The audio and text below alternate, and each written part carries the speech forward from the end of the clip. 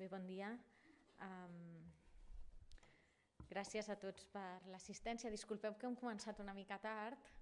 En aquest departament que fem així amb honor portem el tema de la reforma horària. Hem començat una mica tard, però ja sabeu que avui les rondes estan una mica, una mica complicades i, i ens faltaven a les persones més importants, precisament, que eren els ponents que, que han vingut des de fora. Per tant, disculpes.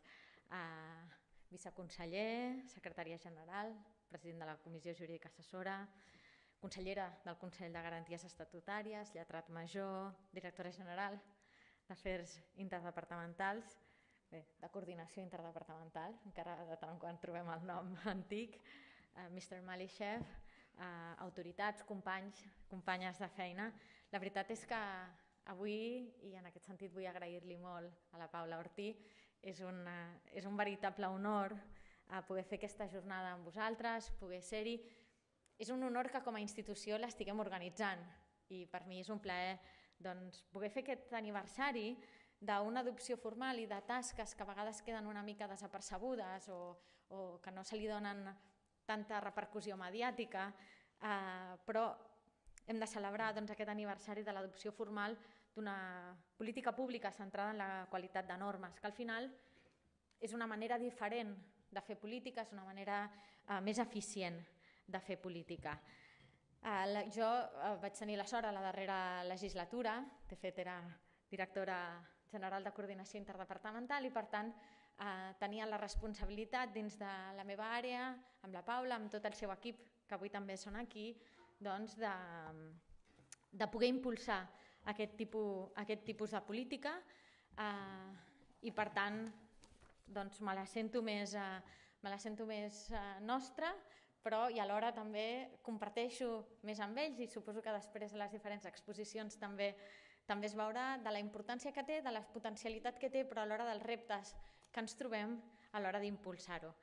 Ara fa 10 anys, doncs, eh, en el govern es van començar a introduir instruments i metodologies per prendre decisions d'una manera més informada. Avaluació d'impacte normatiu, es va crear una unitat central en el cor de l'administració, aquí mateix, al, a presidència, a la secretaria de govern, eh, i per tant crec que és important fer aquest reconeixement eh, del que es va fer en aquell seu moment, en el 2008, en el, aleshores eh, secretària de govern, la, la Laia Bonet, que no sé si ens ha pogut acompanyar. Ah, la Laia Bonet, amiga i gran professional, i, i volíem tenir aquest reconeixement tant per ella, per la primera directora de qualitat normativa, la Dolors Canals, i tots els que, totes les que han vingut després.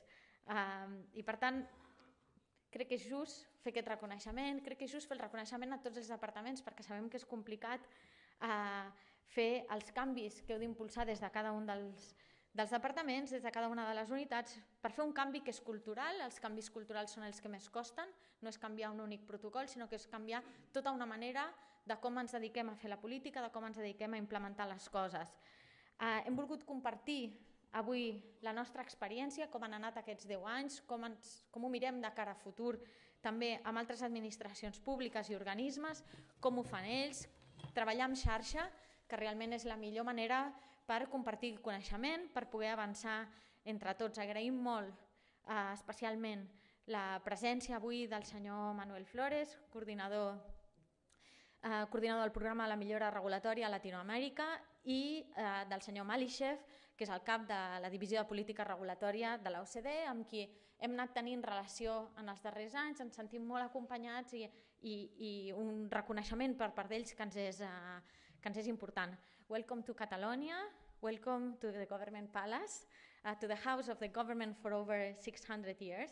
The Catalan government, as you know, is fully committed to the improvement of public management in the study of legislative impact. So thank you very much to both of you. Uh, thank you for being here today. Thank you for coming with us during this path that, as you know, you know, it has its complications. So we feel uh, very comforted by the idea that you're walking with us in this. Eh, és cert que quan fem un aniversari és un bon moment doncs, per felicitar aquells que ho van impulsar, per fer balanç, però sobretot per mirar, per mirar cap endavant. Eh, fer lleis és important, ho sabem, fer bones lleis és imprescindible, però eh, sobretot el que cal fer és fer aquelles lleis que s'han de fer i no només fer lleis per fer lleis. És cert que des del govern implementem diferents uh, coses, des de lleis a altres aspectes regulatoris, però també plans, uh, programes, etc que ens calen, doncs, evidentment, per millorar el benestar de la ciutadania, per tenir una millor regulació de l'economia, per poder preservar el nostre entorn, per poder mirar amb, amb sostenibilitat en sentit ampli eh, la sostenibilitat del nostre país, de construir la Catalunya cap al futur, però realment i això ens hi trobem moltes vegades, tant quan presentem el pla de govern com quan ens pregunten què ha fet el govern, que l'única cosa que sembla rellevant aquí és haver fet lleis. És igual si les lleis són bones, és igual si les lleis són dolentes i és igual si les lleis eren necessàries o es podia haver trobat un instrument més flexible. Això que és un greu error, crec que entre tots, i em sembla que en aquesta sala també en som molt conscients, doncs hem de començar a repensar com expliquem què és aquesta acció pública més enllà d'una llei. Aquesta preocupació a casa nostra ve de lluny, des dels anys 90 ja es va començar a fer feina i de fet en molts d'aquests aspectes, tant el sentit ampli de fer una millor regulació, doncs hem estat pioners en el que seria doncs, el, el territori espanyol. Es va impulsar la simplificació del marc regulatori per agilitzar procediments, tràmits que afecten a les empreses, que castiguen a l'activitat econòmica i en particular d'aquells que fan activitat econòmica en condicions més complicades. Es va, es va començar a avaluar, això ja fa ara gairebé 20 anys, l'impacte de gènere a totes les decisions normatives, que també va ser un efecte cultural i transversal de tota l'administració. Vam ser pioners en el registre de lobbies i en garantir una participació transparent i un retiment de comptes. A les darreres dues legislatures s'ha impulsat molt eh, tot, a, tot aquest aspecte i des de la, des de la passada legislatura doncs, eh, s'ha dut a terme un procés de, re, de revisió, de vigència de normes amb rang de lleis que realment és sense precedents. Jo recordo, crec que va ser la darrera llei de mesures que es va expressament derogar eh, més de 200 normes que havien quedat obsoletes, que estaven en el nostre marc normatiu per allà pol·lulant i que ningú sabia si estava en aplicació o no i que generava tota una incertesa jurídica molt important. La revisió, a més, que de, de més de 6.000 decrets i d'ordres que es van adoptar per part del govern de la Generalitat només entre els anys 1974 i 1985, de les quals gairebé 23.000 encara estan vigents. Per tant, tot un corpus normatiu que algú li ha de posar ordre, que és una feina que és, que és molt costosa de fer, però que al final té un resultat que és important, perquè la seguretat jurídica, l'agilitat, és el que ens ha de fer també eh, competir a tots amb igualtat de condicions. Tenim un país que és fonamentalment de pimes, però també hi ha grans empreses. I què ens diu l'OCDE? Doncs l'OCDE ens diu que per cada euro que gasta una empresa gran per donar compliment als requisits normatius, per tant a tot aquest corpus legislatiu, una empresa mitjana en gasta 4 i una empresa petita en pot arribar a gastar fins a 10. Per tant, el que no podem és intentar dinamitzar l'economia del nostre país quan realment tenim empreses que estan competint amb molta desigualtat de condicions. És per això també que es van fer mesures com el test de PIME en el seu moment per assegurar que les normes estaven adaptades i feien a jugar a tothom en les mateixes condicions. Amb el mateix convenciment i per això també s'han impulsat diferents mesures. Entenem que l'interès públic també és que hi hagi participació de la ciutadania, dels consumidors, de les entitats, de tots els sectors afectats a l'hora de fer la normativa, perquè aquest també és el veritable esperit que hi ha al darrere i que és molt nostre a Catalunya de la, de la col·laboració público-privada. Hem de poder posar junts els reguladors amb aquells que eh, ho viuen directament en primera persona i aquells que també en són, en són experts. Continuem treballant ara, per exemple, amb l'adopció de, de l'objectiu de les Nacions Unides eh, de l'Agenda 2030, compromís envers la consecució d'un de, desenvolupament sostenible, que ens està dient que l'avaluació prèvia de la sostenibilitat de l'acció de govern ha de ser des de part de tot el govern i des de part de tots els instruments regulatoris, que és l'única manera que tenim doncs, per donar realment sostenibilitat a totes les polítiques que estem fent. Estem fent coses molt bé i aquests són alguns dels exemples, exemples en els que hem sigut els primers en, en molta part del sud d'Europa d'implementar-ho, però encara tenim camí per recórrer. Tenim camí per recórrer perquè ho seguim tenint tot una mica descoordinat, cadascú fa la seva tasca, que és la que ha de fer i la fa molt bé, però cal millorar en l'esperit en el que s'havia fet originalment el que és la coordinació de totes aquestes unitats i, i tenir una supervisió centralitzada. Avui dia que vivim i que més ens ho repetim i, i ens ho trobem en la nostra tasca del dia a dia quan passem, pensem en els reptes de futur, amb aquesta eh, quarta revolució industrial, que, en, que és, un gran, és una gran, gran oportunitat perquè ens pot permetre resoldre no? l'antic dilema de si conservàvem bé el medi ambient o intentàvem créixer, aquesta contradicció que semblava que teníem ara bueno, ens pot fer que els incentius vagin alineats, però que alhora ens genera grans reptes. I un d'ells, eh, i abans ho comentàvem amb els companys de, de PIMEC, ara fa molt poc, doncs eh, un d'ells clarament és la formació dels treballadors. Però un altre, que és el que just ens ocupa avui que forma part del, dels debats que, que se generen en aquest àmbit, és com adaptar el dret, com adaptar el dret, com adaptar la regulació, com adaptar doncs, tota, la, tota la normativa. I en aquest sentit hem de ser prou àgils, hem de ser prou àgils perquè l'economia funcioni, perquè els treballadors s'hi puguin adaptar, perquè la, manera, la nova manera de treballar, que a vegades ja no és estar contractat amb una empresa, sinó molt, cada vegada més important, l'emprenedoria, els autònoms, etc. es pugui ser prou flexible i alhora, però, garantir que tothom competeix amb igualtat de condicions, però també donar seguretat en els consumidors, en els proveïdors i a tota, a tota la cadena de valor. Per tant, ens calen eines per seguir en aquest camí. És, una, és un camí en el que compartim amb, amb la resta de països del nostre entorn, no és res que només ens passi a nosaltres i per això jornades com les d'avui, que també doncs, podem posar en comú tota, tota la feina feta i totes les reflexions que sorgeixen en diferents eh, administracions és tan rellevant. Per tant, estem treballant en tenir una bona regulació, hem de treballar en pensar quina ha de ser la regulació del futur, quins són els reptes i per tant crec que avui és molt oportú que puguem fer aquesta jornada, doncs representa aquest compromís per part del Govern de la Generalitat d'encetar i de continuar fent aquesta bona feina que s'havia fet, en, que s'ha estat fent en els darrers 10 anys. Moltíssimes gràcies, espero que sigui molt profitosa la jornada d'avui.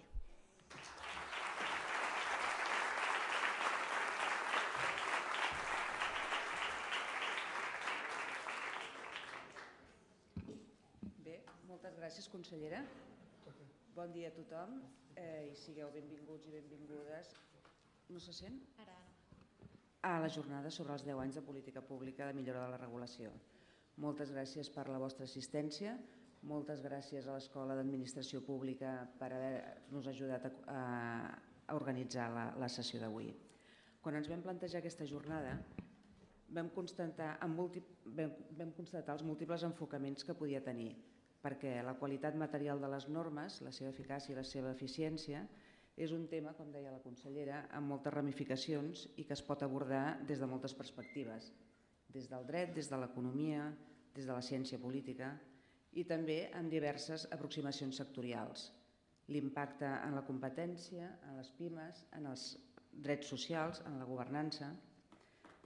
Finalment, vam decidir que en la jornada d'avui volíem reflexionar sobre la rellevància estratègica de la bona regulació i les raons per les quals els governs han d'adoptar una política pública específica per garantir-ho. Per això ens centrarem en dos aspectes clau per poder-la desenvolupar amb caràcter sistemàtic i transversal. En primer lloc, i la primera taula, per parlar sobre el procediment eh, d'elaboració de normes i els instruments eh, que es poden incorporar en l'ordenament jurídic per millorar-ne la qualitat. I, en segon lloc, en l'organització que ha d'assistir vetllar en l'aplicació d'aquests instruments perquè se'n faci un correcte compliment. Per tractar dos, els dos temes comptem en dues taules rodones, amb experts de primer ordre. Una primera taula amb un perfil més acadèmic, que serà moderada per la directora general de Serveis Consultius i Coordinació Jurídica del Gabinet Jurídic de la Generalitat, la senyora Dolors Feliu, que és advocada de la Generalitat i especialista en dret constitucional. I la segona taula, integrada per responsables i funcionaris de diverses administracions públiques, que serà moderada per al senyor Manuel Flores, economista sènior a la Divisió de Política Regulatòria de l'OCDE, i responsable del programa de, de millora regulatòria Amèrica Llatina, on ha supervisat nombrosos programes de simplificació administrativa i d'implantació d'avaluació d'impacte normatiu.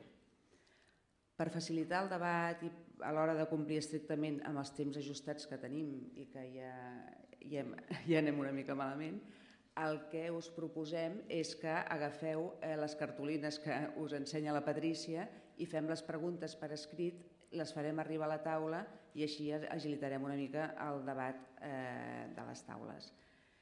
Després de les de les dues taules rodones eh, intervindrà la Paula Ortí, la cap de l'àrea de millora de la regulació, i ens farà un repàs de les principals fites assolides en relació amb els temes esmentats des de que es va crear l'àrea, com ara deia la consellera, ara fa 10 anys.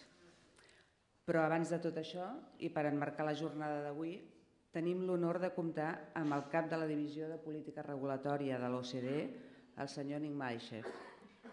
Ell és economista i expert en l'àmbit del risc i la regulació. Dirigeix els informes que elabora l'OCDE sobre política regulatòria dels seus estats membres i dels que no ho són. Entre d'altres, va ser responsable d'actualitzar les recomanacions de l'OCDE en aquest àmbit.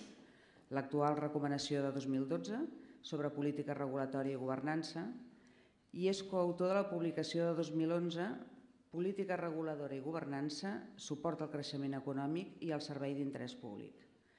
És un plaer tenir-lo avui aquí entre nosaltres. Moltes gràcies i endavant, si us plau. Thank you.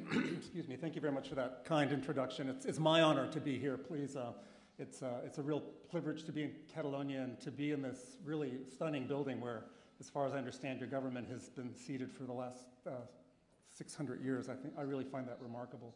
Um, if I could, I'd like to speak a little bit about OECD work on, on better regulation for the next, uh, the next couple of minutes. I have 30 slides, so I, it's going to take me a while to get through this, but, uh, but I might rush through a few and, and spend more time on others. Altres temes. Eh, si us plau que el senyor comenci el, parli al micròfon perquè si no no el podem sentir bé i no podem traduir. La millora, la millora de la regulació comença amb una pràctica clau administrativa hem de pensar en la millora regulatòria com un propòsit, no com un principi. És un projecte, una meta a la qual on volem arribar. Pensem en el que és bon dret, en el que és una bona normativa. I miro d'explicar un parell d'idees, un parell de principis que pensem que qualsevol dret, qualsevol normativa, qualsevol administració hauria d'aconseguir. Tot parlant que hi ha una base lògica, un objectiu que justifica la intervenció en el mercat, en la societat, en la comunitat. La intervenció apunta cap a una identificació clara d'un problema concret i ho fa de manera racional proporcionada. Petits problemes demanen normativa petita, grans problemes demanen molta regulació ambiciosa. La intervenció no és prescriptiva. La normativa basada en el control i el comandament no és prou, no és pas efectiva. És millor indicar quins resultats volem a partir de la intervenció regulatòria per ser. És important que qualsevol norma cassi en el cabal, que tot hi hagi, eh, que hi hagi harmonia a tot arreu, que el rol d'aquesta llei s'entengui que estigui ben escrita, això facilita l'aplicació d'aquesta norma i que el públic entengui què és el que els demanen que facin. I la llei, a més a més, eh, cal que resistir la prova de temps, que s'ha d'adequar a la seva finalitat, que ha de ser dinàmica. Podeu trobar, aleshores, una sèrie de pràctiques administratives que menin cap a aquesta mena de resultats. Vet aquí a la gràcia de la normativa, en la meva opinió. Repeteixo que hem de pensar això des de molts punts de vista i no només des d'una perspectiva del profit que podem treure. Hem treballat eh, per fer bona normativa des de fa més de 20 anys, sobretot a nivell nacional. Em sembla que hi ha unes experiències claus que cal subratllar que també són pertinents per als aquí aplegats al govern de Catalunya. Sobretot mirem de pensar en la normativa des d'un punt de vista d'allò més ample, identificant-hi quatre eh, actius importantíssims que eh, qualsevol sistema de regulació bona hauria de tenir. Primer, cal adoptar un enfocament estratègic. Molt sovint estan consagrats en un decret ministerial, una llei a Mèxic, per exemple, la millora de la normativa està en la Constitució. Això és indubtable. De vegades també pensem que una millora de normativa necessita una mena del funcionari, un ministre al darrere responsable de l'agilització d'aquest ordre del dia. Clarament hi ha moltes, molts organismes en la confecció de lleis lleis de normativa, cadascuna té el seu propi rol en la millora de la normativa. Repeteixo que normalment els organismes polítics són els ministeris dedicats a la creació, a l'esbós de la legislació. Pensem que cal que hi hagi un control de qualitat, un cos de supervisors que garanteixi que l'administració fa servir unes bones pràctiques a tot arreu. Quan reflexionem sobre l'aplicació, això és quelcom que afecta als eh, reguladors, que són els que aporten al públic la legislació i la seva execució. De vegades el Poder Judicial també toca això, perquè de vegades eh, no entenen gaire si les lleis funcionen o no, per tant s'han d'implicar en tot aquest procés de política normativa. En tercer lloc hi ha les eines. Mm, en això pensem com pensem en la millora de la legislació. Aquest, són eh, eines regulatòries no són avaladores de l'impacte. Es tracta de fer consultes amb, la, amb el públic i fer-ne una avaluació. En quart lloc, és important el que vam fer l'any 12 quan el desenvolupament d'aquest eh, marc per arribar a una bona regulació a l'OSD es compta més amb els governs a l'hora de fer una bona normativa. Hem identificat un grapat de coses importants. La primera és el desenvolupament de l'enfocament total del govern. Repeteixo que això costa fer-ho de vegades els ministres i els organismes i els reguladors eh, actuen aïlladament. Quin és el pagament que mira d'enganxar tot això? Repeteixo que em sembla que de vegades això és impulsat per un ministre que obliga els seus col·legues a, a adoptar una única postura quan a com endegar tot això. Cal reconèixer la qual, cooperació normativa internacional. Eh, la majoria de lleis són importades, venen de l'estranger. Eh, ets un país europeu, per exemple, suposem que aproximadament la meitat de la teva normativa ve de Brussel·les. I repeteixo com en les relacions nacionals i internacionals és molt important. Això ara aquest tema l'estudiem. I també hem identificat, a més a més, la importància de la relació nacional-subnacional. Els ajuntaments a Catalunya els poders locals de vegades tenen poders regulatoris importants i s'han d'assegurar que aquests els compleixen en l'interès del públic. Després en parlo amb més detall. Què hem fet a l'OSD? A doncs cada tres anys eh, fem una publicació que s'anomena la perspectiva normativa regula i regulació i aquí incluïm eh, informació de quina és la millor eh, millora de regulació que podem fer. Vam fer a la darrera publicació de l'octubre, les dates que presento són fresques, quelcom que cal mirar a la pàgina web us donaré una bona instantània de les tendències claus. I el que veiem que ara fan en aquest tema als països. Mirem les dades. Sobretot hem desenvolupat uns indicadors eh, quan al compromís dels grups d'interès, l'anàlisi de l'impacte normatiu i la seva avaluació. Vet aquí els promitjos i ja Eh, la, el darrer cop que ho vam fer, l'any 2015, des d'aleshores que hi ha una mica de millora, eh, quan vam circular aquestes dades em va impressionar el resultat. Això considera les pràctiques individuals de cada país, quan això arreu dels països de la CD. I vam descobrir aquesta enormitat de la varietat quan a la qualitat de la millora de normativa. Hi ha països que han fet un, una millora de la regulació durant els darrers 50 anys aquí, però hi ha fites increïbles increïbles a Espanya. No parlo dels eh, números, no volem que això sigui una mena de concurs de belleses, però reconec que, està al, quart, al terç inferior a Espanya en aquesta escala, que és el que evita que els països de l'OCDE facin una millora regulatòria amb més insistència. Vet aquí el que més em preocupa, em dedico a aquest tema des de fa gairebé 10 anys. Quan vaig llegir aquestes dades gairebé que vaig caure de cul. Pensava que hi hauria molta més convergència i més millora de pràctiques arreu als països de l'OCDE encara i ens queden importants reptes que enfocar a l'hora de crear millora regulatòria arreu l'OCDE eh, com a govern subnacional que sou enfocava aquests reptes també, segur les dades són les mateixes a la resta d'indicadors. N'il·lustro uns quants temes que hem identificat eh, que són importantíssims en aquesta perspectiva.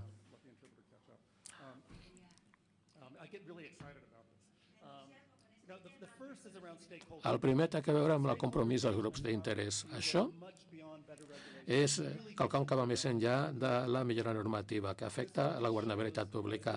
Això, sobretot, identifica de quina manera els països es comuniquen amb el públic, amb l'opinió pública i com eh, aprofiten els consells que el públic els dona. Això ens porta al nivell de governabilitat i com funciona. Destaco pel seu interès que hi ha hagut un gran repte per a molts països de l'OCDE, després en parlo. Hem desenvolupat unes directius sobre com els governs eh, poden, poden enfocar això. Hi ha 34 països a l'OCDE que es van avaluar en aquest nivell. Es veu que gairebé tots aquests països, tret d'uns quants, després eh, tenen una política de consulta. Si mireu a la dreta aquesta xifra d'aquí baix, això vol dir si el govern sap comunicar-se amb la comunitat, amb l'opinió pública, quan el que s'ha fet amb els seus comentaris hi ha només un grapat de països que ho fan. És a dir, estem perdent aquest instrument fonamental que demostra que el govern és obert al que l'opinió pública diu, que està compromès envers l'opinió pública i que hi dona comptes del que fa. Vet aquí un problema fonamental. Pensem que hi ha un grapat de factors que hi tenen a veure al govern, cal que s'hi dediqui. Quan es parla del compromís del, dels grups d'interès i vegem que hi ha molt poca alfabetització, dit així, entre l'opinió pública, quan a la seva eh, eh, participació en el procés de valoració de normativa. És a dir, que l'opinió pública sàpiga que ell que eh, voleu que emboliqui en aquest procés. L'opinió pública necessita una campanya d'informació perquè aquesta conegui que les seves opinions interessen al govern. Això és el que passa i baixo aquí, a aquest quart punt, hi ha moltíssima captura. És a dir, a les grans empreses, les empreses, els eh, grups industrials saben perfectament eh, com fer que funcioni una norma s'hi dediquen a això. Normalment, eh, la gent del carrer són els que tenen problemes amb això. I parcialment això neix del que s'anomena la sobrecàrrega d'informació. Aquesta nova era de governabilitat oberta implica un gran índex de dades que comparteixen la l'opinió pública als governs. No sempre queda clar a l'opinió pública pública quan tenen la possibilitat de contestar o no i dir, miri, aquesta idea legal és dolentíssima, s'hauria de canviar per aquesta i ens aclapara aquesta sobre informació. S'ha de tenir molt de cura a l'hora de fer conèixer l'opinió pública quan els informes i quan necessites eh, que et donin comentaris i opinions sobre la, seva, la teva proposta. L'anàlisi d'impacte regulatori. Això és eh, la, el fill de la millora de la normativa, és l'eina clau usada i sembla molt similar arreu les jurisdiccions i als governs dels països. Es basa en una feina temprana que es va fer ja als anys 80 als Estats Units l'avaluació de les eines d'avaluació d'impacte normatiu, i a més a Gran Bretanya. Quelcom que vam descobrir, quelcom molt important, és assegurar el compromís del públic per fer això. Això ha de venir des de dalt o ha d'imposar o ha de dinamitzar un ministre compromès envers això i ha de créixer orgànicament arreu de l'administració. L'enfocament ha d'anar des de dalt cap a baix a l'hora d'endegar això perquè és un exercici difícil de fer per a qualsevol. Vet aquí dades la immensa majoria dels països de l'OCDE, la majoria se centren en els costos. És molt fàcil mesurar els costos per al sector econòmic. D'això la majoria de governs fan la millora normativa mitjançant els programes de reducció de la càrrega administrativa, simplificació normativa, centrant-se sobretot en el cost d'aquesta iniciativa. Mm, sovint no, eh, pensem que això no n'hi ha prou, que hem de saber demostrar quin és el benefici que això suposa per a la societat eh, d'aquesta intervenció. Molts més països tenen problemes amb això. Mirem cap a la dreta de la gràfica. Pocs països sistemàticament han mirat d'avaluar el benefici net d'aquesta intervenció. De debò que insistim que la, la filosofia normativa és responsabilitat dels països, dels ministeris, eh, tenen que pensar-hi i, i pensar que hi ha beneficis derivats de la millora normativa, perquè si no, perquè regulem, perquè fem normes. Això no té sentit, és una bajanada. Hem identificat un ventall de reptes que s'han de considerar curosament. Em venen al cap dues coses. Primer, l'oportunitat. Hem actuat massa tard. Un cop hem pres la decisió de fer una norma, de fer una regulació, o que la decisió ja s'ha esbossat i eh, el que fem és justificar això, pensant a posteriori eh, hem de redissenyar aquestes idees que primer m'han vingut al cap. A la primera diapositiva en parlava. Quin és el problema detectat? Hi ha alternatives a fi d'enfocar el problema i resoldre'l? Eh, s'ha d'avaluar aquest problema, com és de grau, quins són els impactes, qui eh, s'encarregarà de tot això. I aquest pensament, aquesta reflexió s'ha de fer ja des del principi perquè ajuda moltíssim.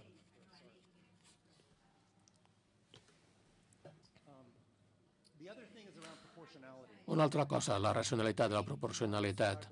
No tenim en compte el fet que en totes les intervencions regulatòries no hi cap tot. Els grans problemes necessiten una inversió en eh, capital per millorar de normativa. Els petits problemes potser no tant. Aleshores s'ha d'actuar proporcionalment, mesuradament. Vet aquí un problema eh, per als funcionaris del govern. No es tracta del regulador, és ell qui decideix si es fa això o no. Això necessita un enfocament per part de tot el govern. I Aquí hi ha funcionaris de regulació, són els que haurien de fer un senyal als reguladors i als decisors de polítiques que abans d'avançar això s'ha de fer una anàlisi pregona. Vet aquí el que pensem més important a l'hora de fer tot això.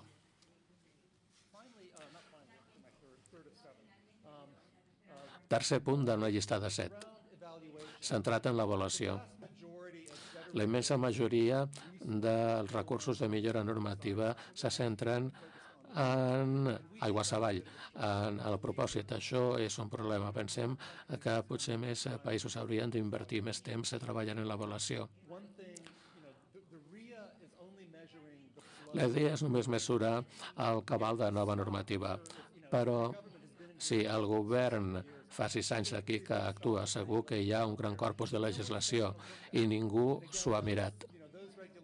Aquestes normatives poden imposar costos significatius damunt l'opinió pública. La societat potser que no donin a la societat eh, cap benefici, per tant cal una mena d'avaluació sistemàtica del corpus legislatiu que ja hi ha, que és tan important com a millorar el que hi ha. I pocs països s'hi han dedicat, com es veu a la taula.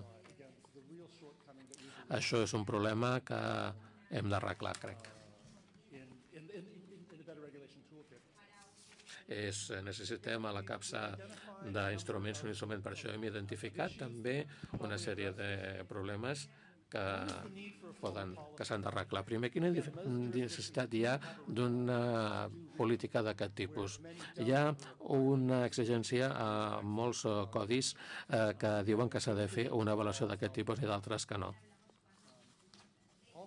A més, la majoria de països tenen un cos supervisor responsable d'examinar la qualitat i de l'avaluació de l'impacte fet. Aquests tipus d'entitats no existeixen pas a tot arreu. Post-avaluació és una responsabilitat del Ministeri dedicar-s'hi i si s'ha de fer amb bona qualitat és el que cal fer.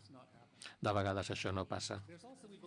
També pensem que hi ha un lligam molt gran entre fer les coses bé, eh, fer eh, una bona avaluació de l'impacte i fer una bona avaluació de l'impacte post a posteriori. Quan es fa això, no s'hauria de pensar en el resultat, quina mena de dades necessito a fi de comprovar si aquest resultat s'aconsegueix o no. Si pots començar a reflexionar en com avalues eh, la vida real, en realitat, identificant clarament els resultats d'aquesta mesura i els tipus de mesures que eh, es cal fer eh, per comprovar que això s'ha fet en realitat, molts pa pocs països s'hi dediquen. Hem de pensar en aquest tema en profunditat. Pensem, repeteixo, i torno al tema de com invertir bé els recursos per a millora de la normativa, és que es dona molt poca consideració a l'examen de com la normativa, la llei s'ha de posar en vigor s'ha d'implementar només al Regne Unit. I ha pensat sistemàticament moltíssims dels problemes regulatoris s'han empès aigües avall a l'hora d'implementar-los. I fins i tot lleis molt bones es poden implementar molt malament, això porta resultats pèssims de política pública. Hem creat una capsa d'eines que intenta ajudar els legisladors, els reguladors, pensar sistemàticament sobre com eh, poden eh, aplicar millor les lleis i eh, tot això es basa en la idea de compliment. La majoria de reguladors, d'inspectors, de supervisors, de vegades tenen criteris de rendiment que es basen només en sancions. És una mentalitat punitiva. Això no té res a veure amb una mentalitat d'exigència de compliment. Hi ha hipòtesis que diuen que la majoria d'entitats reguladores, la majoria d'organismes, no és que negligeixin la llei, potser és que no entenen com funciona, potser necessiten ajut a l'hora d'entendre-la i fer-la funcionar. S'entra en la filo filosofia de la inspecció en, eh, que es basi en el compliment i no en una política punitiva. Repeteixo que podria parlar molt d'això, mitja hora, perquè és un tema interessantíssim de fer, però no ho faré perquè el temps corre.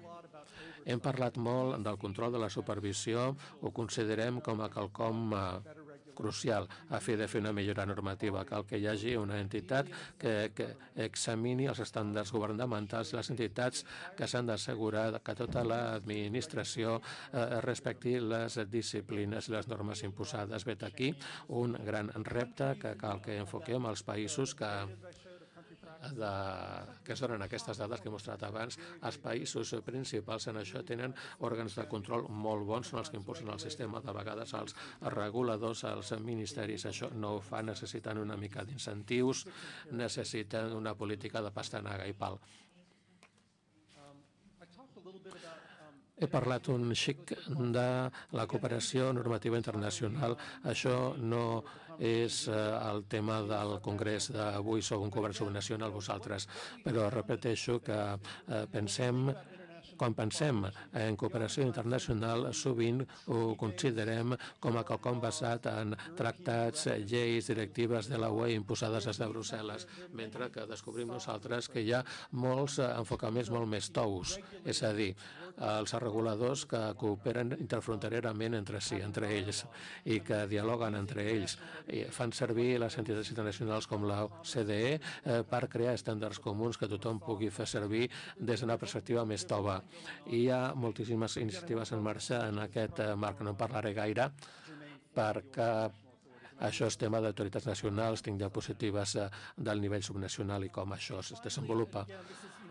En darrer lloc, això és una, innovat, no, una innovació puntera. Es tracta de fer servir les perspectives conductuals a fi de fer una millor regulació, de regular millor. Fins i tot les millors normes de vegades malreixen i això eh, es pot culpar al fet que la majoria dels aquí aplegats, per exemple jo, economista, ens hem eh, format en el sentit que tothom és racional i que fa decisions racionals, que tots som subjectes informats quan prenem una decisió i la perspectiva conductual demostra que això no és pas veritat. Molt sovint som subjectes de molts viatges moltes influències. Som hiperoptimistes a vegades o hiperpessimistes.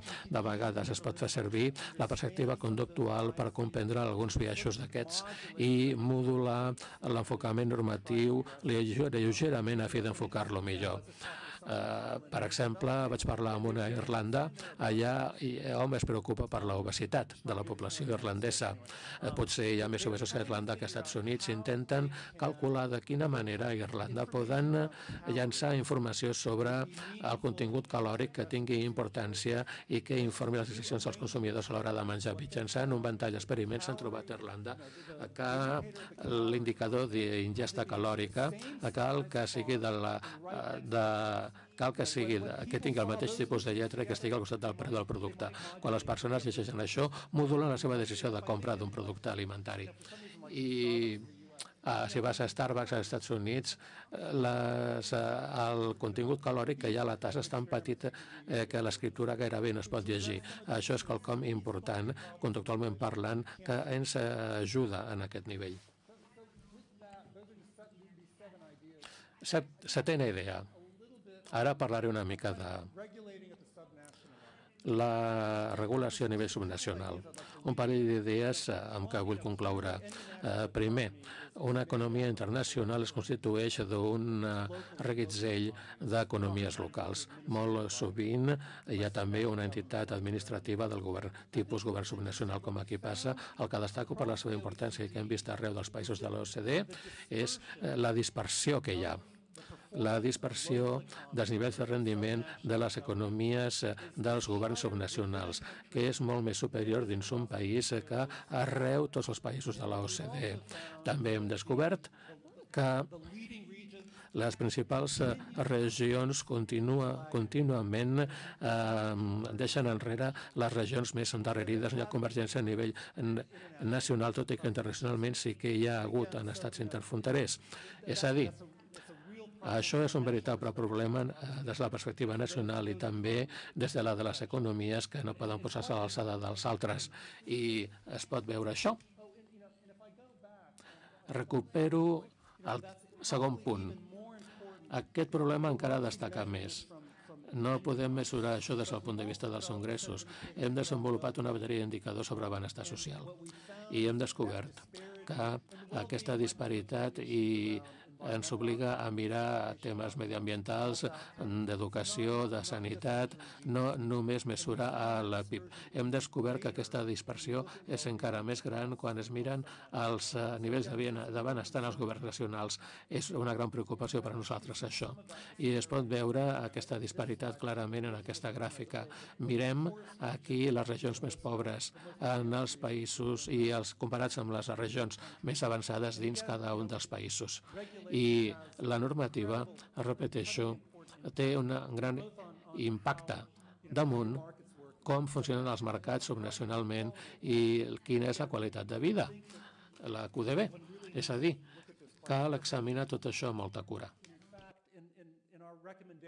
A la nostra recomanació del 2012, això és eh, la nostra filosofia normativa de la millora de la regulació. Tenim dos principis.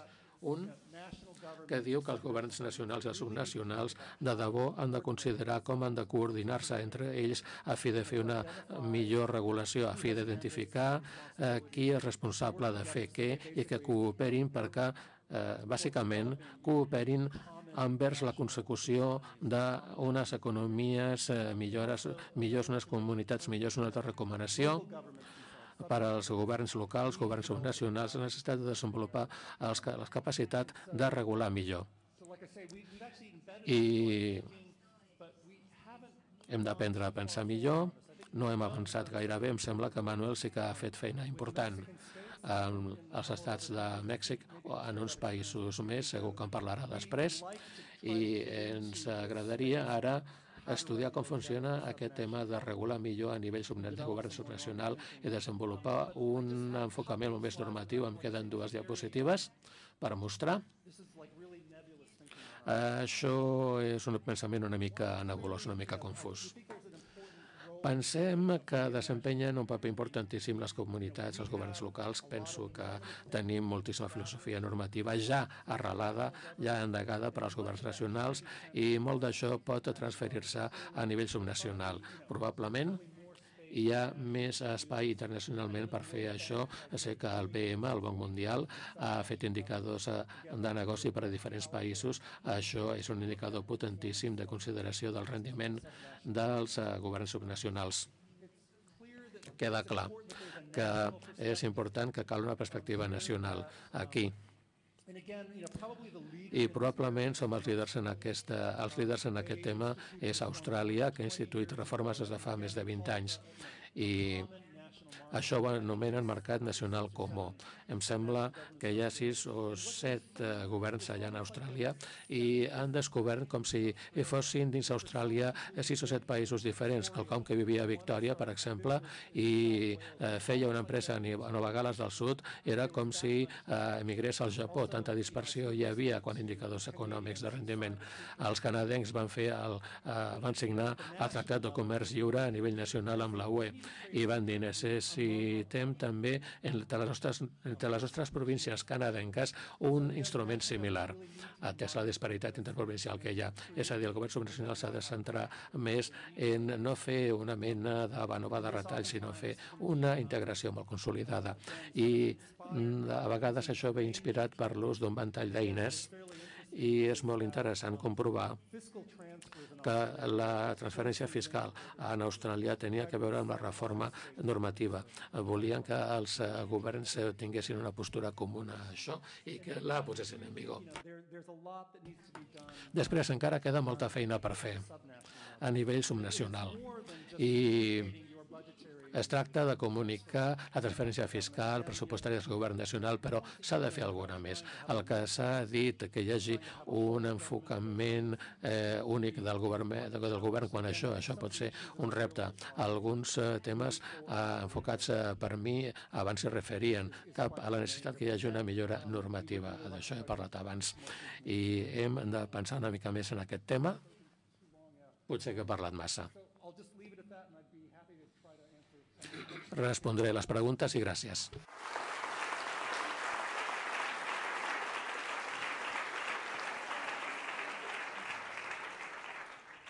Thanks so much for thanks so much for your inspirational presentation, also for sharing all the thoughts about uh, the role of each organization. I also imagine that the European Union could do a lot more if we managed to empower all these, all the European powers in making uh, enforcement of all these uh, for the entire European market, as you were saying, the example of Australia, but not only focusing on what's national and not. Um, and also many of the things I, I actually like very much when you say, why are we regulating otherwise? so I actually highlighted, but, but that's very important because we usually, you know, applaud very much when we do the law. So we seem very impatient about celebrating things and then not patient enough in evaluating ex post. So I enjoyed it very much. Thank you very much. I look forward to, to reading the new Outlook. I haven't had the chance yet, so thanks so much. Molt bé, doncs si us sembla, eh, la, segona, la primera taula rodona començaríem, començaríem ara. Molt bé. Eh?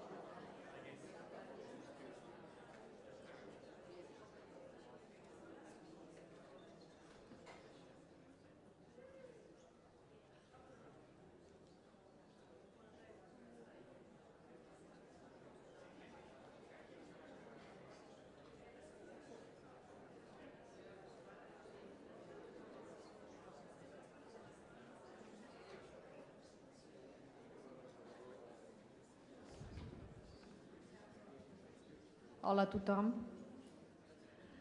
Doncs després de la presentació que hem tingut i de la primera ponència eh, tan interessant del doctor Nick Malishev, jo crec que ja estem en posició d'abordar també la primera taula rodona del dia, que parlarà sobre els instruments de millora de la regulació i el procediment d'elaboració de normes. Com han explicat, doncs ja entrem una mica dintre de què són pròpiament les eines i dintre del que és doncs, aquests mecanismes que ens poden portar a aquesta beta regulation, a implementar aquesta beta regulation i a assolir, com deia molt bé el, el professor uh, Manishev, assolir aquests objectius, que al final és sempre on hem d'anar a arribar, aquests objectius de, d'eficiència, de regulació millor eh, i de participació, per tant, de molta connexió amb el que efectivament es vol aconseguir a la societat amb la connivència d'aquesta societat mateixa.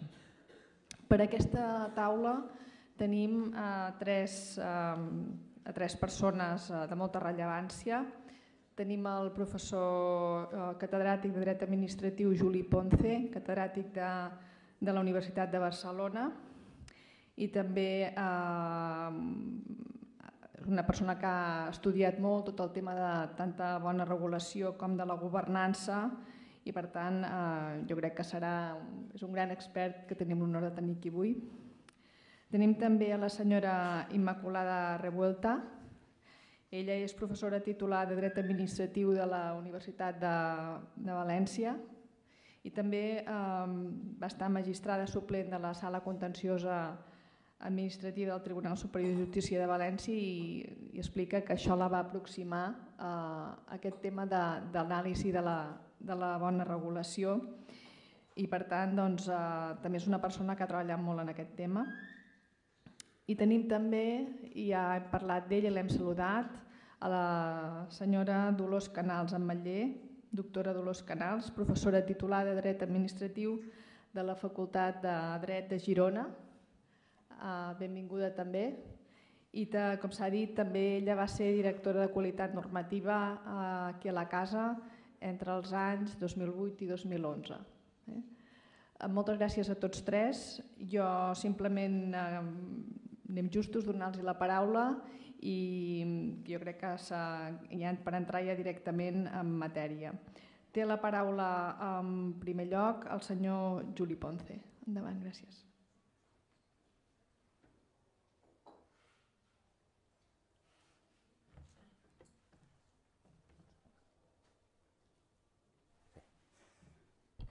Bé, molt bon dia a tots i a totes. Eh, el plaer és meu d'estar aquí. Eh, vull felicitar els organitzadors del, de l'acte, jo crec que ha estat un encert i a la vista està de l'assistència doncs un èxit, eh, ja es pot dir, per, per l'interès despertat. No? Um, I would like to congratulate uh, Dr. Malishev. Felicito el doctor Malishev per la seva magnífica ponència. I think that you em sembla que ha marcat un nivell, ha deixat un nivell molt alt i aleshores jo hauré de baixar una mica el nivell. ¿eh? Y también dar la bienvenida y saludar a, a personas que vienen de fuera de Cataluña. I també donar la benvinguda a persones que venen fora de, de Catalunya, de l'àrea iberoamericana, que estan fent tesis doctorals aquí a Barcelona sobre aquesta qüestió en realitat representen el futur, les persones que estudiaran aquestes qüestions. Hi ha una, transparència, la primera meva transparència és una transparència no d'una persona jurista, sinó en aquest cas d'uns economistes, no? on van en la línia que expressava la senyora eh, Artadi, um, de que en definitiva estem parlant de fer polítiques públiques, en aquest cas polítiques públiques formalitzades eh, en normes jurídiques, no? i ells insisteixen, ell i ella insisteixen en l'extraordinària rellevància de, de, de desenvolupar bé aquestes eh, polítiques públiques. No? Jo dividiré eh, la meva curta exposició i seguint les indicacions que m'han donat eh, em senyaré aquells temes que m'han suggerit i la dividiré en set parts. Eh? Jo faré la transparència, la, està en català i, i combinaré català i castellà, ja que tenim gent de, de fora d'aquí i per facilitar una mica també la tasca de les traductores, els traductors, doncs aniré canviant de, de llengua. ¿no?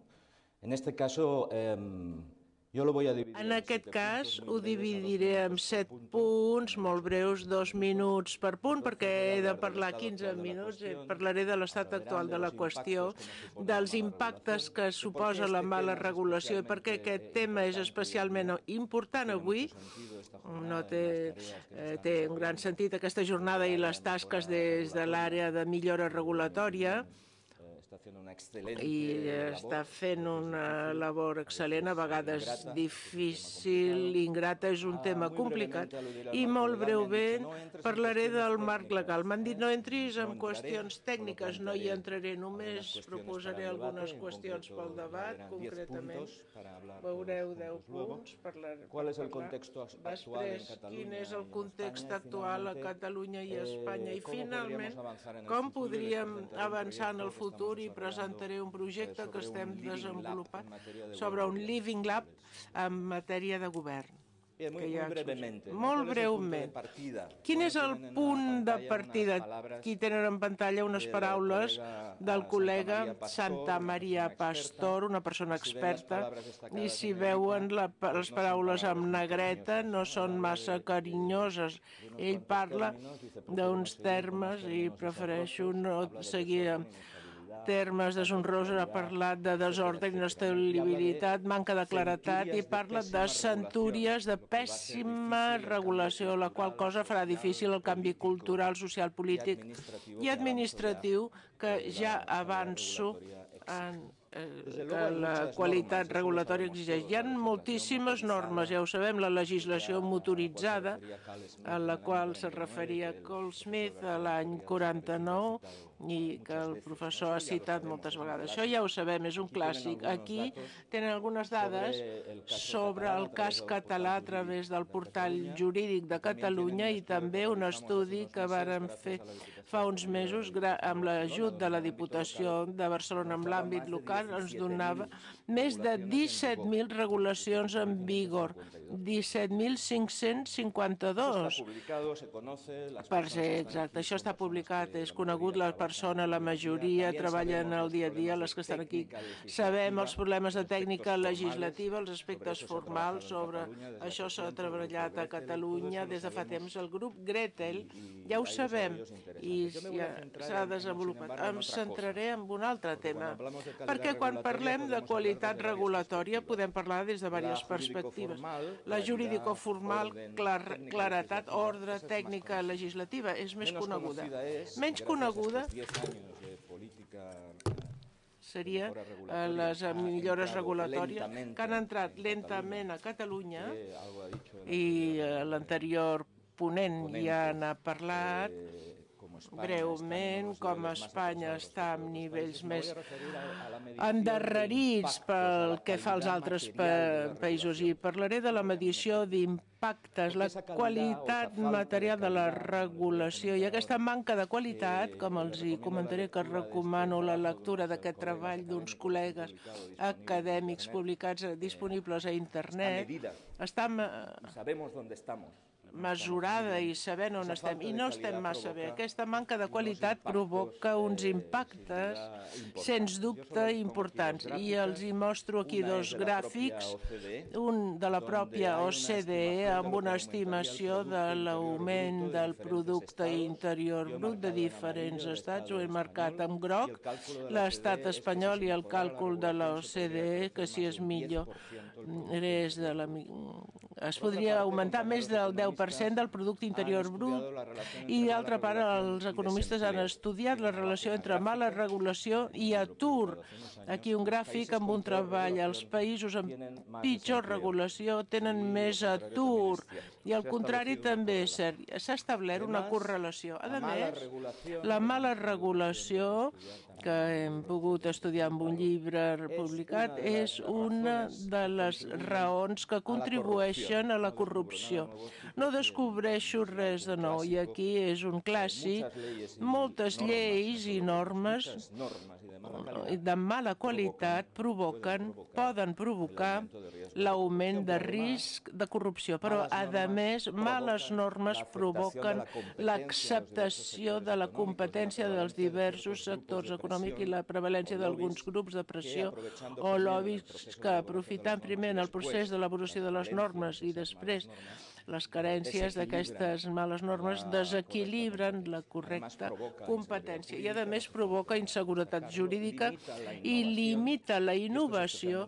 i això és especialment important en sectors com l'economia col·laborativa. A Catalunya, ara com en altres eh, comunitats autònomes, estem discutint sobre les vivendes d'ús turístic. i, finalment, des d'una perspectiva pura jurídica, jo soc jurista, el que provoca les males normes és un augment de litigiositat i ho hem estudiat de l'anul·lació de normes tant de la Generalitat de Catalunya com de l'Estat. En el cas de l'Estat és important una sentència de finals de 2016 anul·lant un real decret jurisprudència i cito una sentència del Tribunal Suprem que vinculant la qualitat normativa amb el dret amb una bona administració anul·la normes per vulneració d'aquest dret.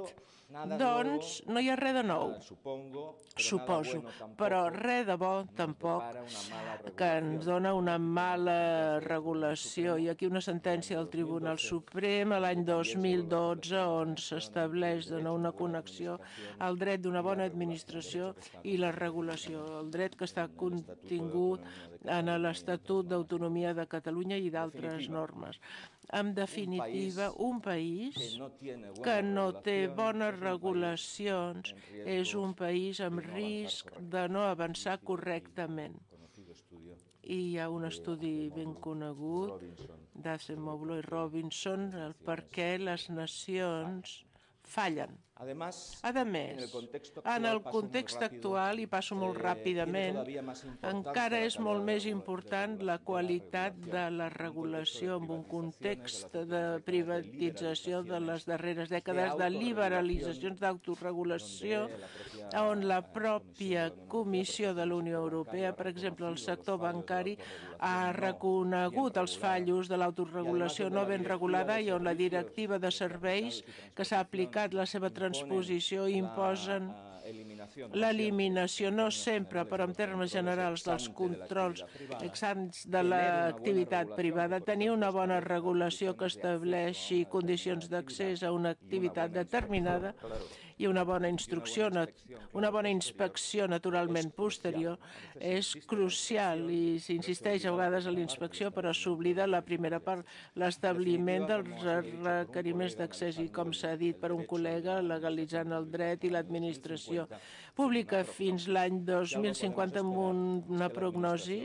Si podem esperar alguna cosa és que l'administració serà cada cop més reguladora i la qualitat normativa té una importància fonamental fonamental que està lligada amb moviments internacionals. Has parlat de la bona governança, principis de bon govern que ja tenim en l'ordenament jurídic espanyol, el català i el dret a una bona administració que ja he citat. Ja tenim rànquings de com s'està governant i administrant. Fa unes setmanes va un rànquing elaborat per un institut radicat a Estocolm, a Suècia, de bon govern, on comparava la qualitat no regulatòria de gestió de les comunitats eh, autònomes espanyoles. Ho tenen aquí en aquesta, en aquesta diapositiva positiva i de diverses regions d'Europa. Quan més blau fosc, millor administració. Quan tornem més colors vermells o blaus clarets, pitjor administració. En aquest context, i estic acabant, les qüestions de la millora regulatòria i la qualitat regulatòria del bon govern, de la bona administració, són crucials perquè quan el New Public Management, la nova gestió pública, ha donat molt menys del que prometia en aquest estudi de Food i Root, analitzant el cas de la Gran Bretanya, hi ha preguntes que la CDS s'ha formulat i és bo.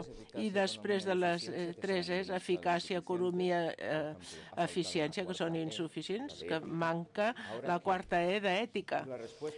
La resposta de la pròpia OCDE és que la millora del govern de l'administració passa també per la millora regulatòria, com amb aquest estudi de fa uns mesos sobre confiança i desafecció a les institucions públiques insisteixo. I aquí ha els meus 10 punts i acabo amb permís de la moderadora. Em sembla que estic respectant el temps per debat i consideracions. No entraré en qüestions tècniques i no consideraré 39 i 40 de la llei 2015, lleis espanyoles que apel·len a l'OCDE per establir principis d'una bona regulació, consultes prèvies, plans anuals normatius, etc. No em concentraré aquí, després ho podem recuperar. Els meus 10 punts de reflexió seran els següents.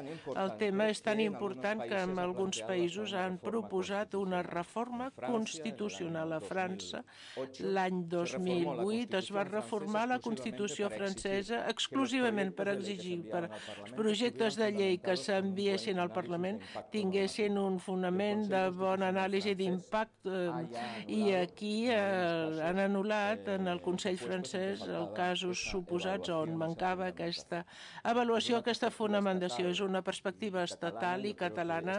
Jo crec que això és interessant considerar-lo en el futur. Segon, ho ha dit el ponent eh, previ, el disseny institucional compta molt i és important. Crec que aquí hi ha un àmbit parlamentari on tenim un camí a recórrer i experiències com la xilena on hi ha una unitat unitat específica que funciona des de fa més de 10 anys per l'expost de les lleis aprovades per al Parlament xilè, és una bona prioritat. En l'àmbit del poder executiu s'ha de subratllar, ja ho he dit, la, la zona de l'àrea de zones a Catalunya i la creació d'oficina de coordinació i qualitat normativa ubicada al Ministeri de Presidència.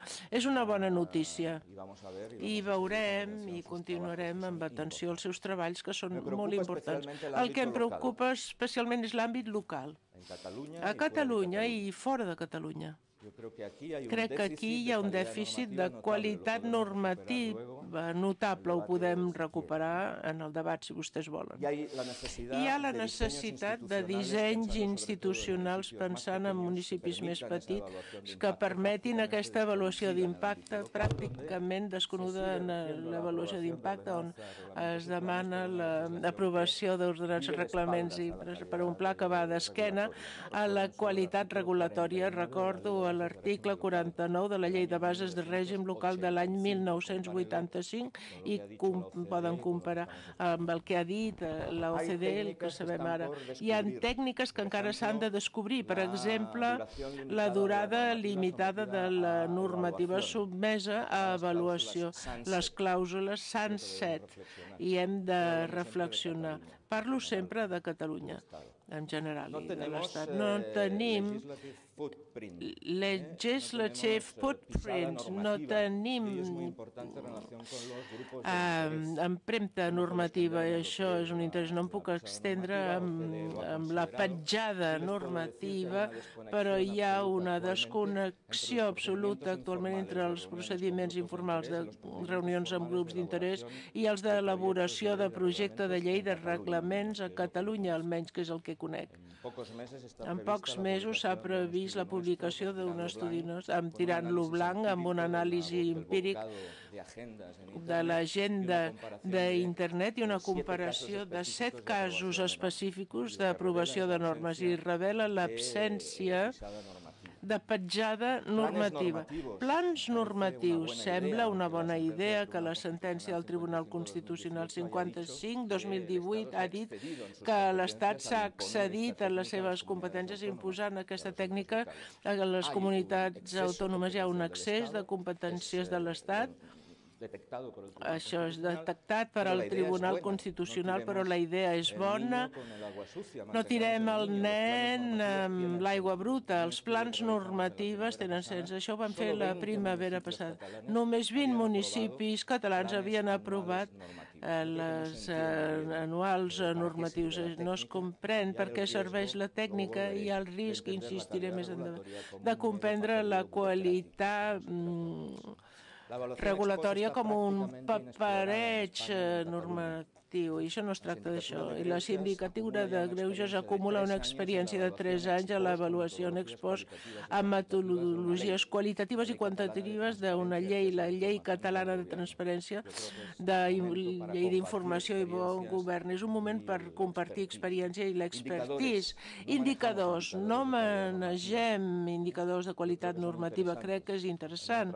Amb un treball ONU Habitat que, hemos ONU Habitat que hem traduït des de la Universitat de Barcelona, l'Institut Translluç, que s'ocupa de la qualitat regulatòria dels plans i les normes urbanístiques. S'ha fet un assaig d'establir uns indicadors molt senzills i que poden ser una inspiració per continuar a desenvolupar indicadors en aquest àmbit. I acabo.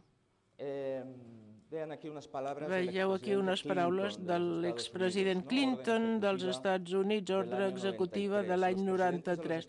Els presidents dels Estats Units, eh, Clinton, Obama, eh, que ja, eh, estan preocupats per la qualitat normativa. A Blair li preocupava la qualitat normativa perquè els ministres cridaven l'atenció sobre aquest punt. I jo crec que és necessari que aquest tema entri a l'agenda política al nivell, al més alt nivell, i aquí veig la consellera actual me dona esperances de que abans de jubilar-me que això s'allargarà, això de la jubilació. Veiem un president o presidenta de la Generalitat o del govern de l'estat espanyol que faci al·lusió en aquest tema, perquè no és un tema superficial. Fa falta consciència administrativa, jornades com aquesta, consciència de la importància d'aquest tema, i fa falta una, una formació específica, perquè això requereix saber fer. Hi ha una capsa d'eines, s'ha dit, no sempre fàcil. Com eh, es manipula un estàndard, un anàlisi post-beneficis, i això és important i crec que institucions com l'Escola d'Administració Pública estan cridades al futur a, a, a augmentar la docència. L'INAP. Em consta que té un mòdul específic de 100 hores de formació en matèria de qualitat regulatòria i és la línia. I finalment acabo, és el meu darrer punt, com fer alguna cosa nova en el futur i com agrupar inquietuds i els hi proposo la idea dels living labs com espais, espais perdó, disciplinaris de trobades de sectors públics i altres implicats del sector privat, petita i mitjana empresa, tercer sector. Què és un living lab? No m'extendré massa, senzillament. Aquí estem llançant ara un en l'àmbit de la Universitat de Barcelona, Transjust, institució que dirigeixo, 60 investigadors de cinc disciplines, eh, dret i altre. La idea és un espai presencial, virtual, neutral, on es puguin fer treballs d'aplicació pràctica de millora regulatòria i expost, també i sobretot, i aquí acabo, posar en marxa en Catalunya l'article 64 de la Llei de Transparència, accés a la informació i bon govern, que recuperant un de la llei de 1989 que parlava de verificació de normes, estableix la possibilitat de fer proves pilot per convenis. Amb qui? Com? Com s'articularà això? La normativa experimental provada en altres països hauríem d'avançar aquest camí, en aquest camí convido, hem tingut contactes amb el sector privat, el món local, la Generalitat, d'altres universitats catalanes. Convido a que s'uneixin en aquest Living Lab per aprofundir aquí. És el que ja he dit. jo crec que és fonamental alguns aspectes no estrictament jurídico-formals, tot i que els jurídico-formals són fonamentals, després hi podem entrar, i acabo dient que un col·lega francès, Well, diu que el dret administratiu és un miracle, perquè el fet de que un poder accepti sotmetre's a la llei en si mateix és un miracle. No? Jo crec que aquest miracle s'ha de cuidar i s'ha d'extendre ara, com diuen altres col·legues britànics, cap a altres àrees per aconseguir la bona administració, la good administration. No? Jo crec que jornades com la d'avui són un camí per aconseguir aquesta fita. Moltes gràcies.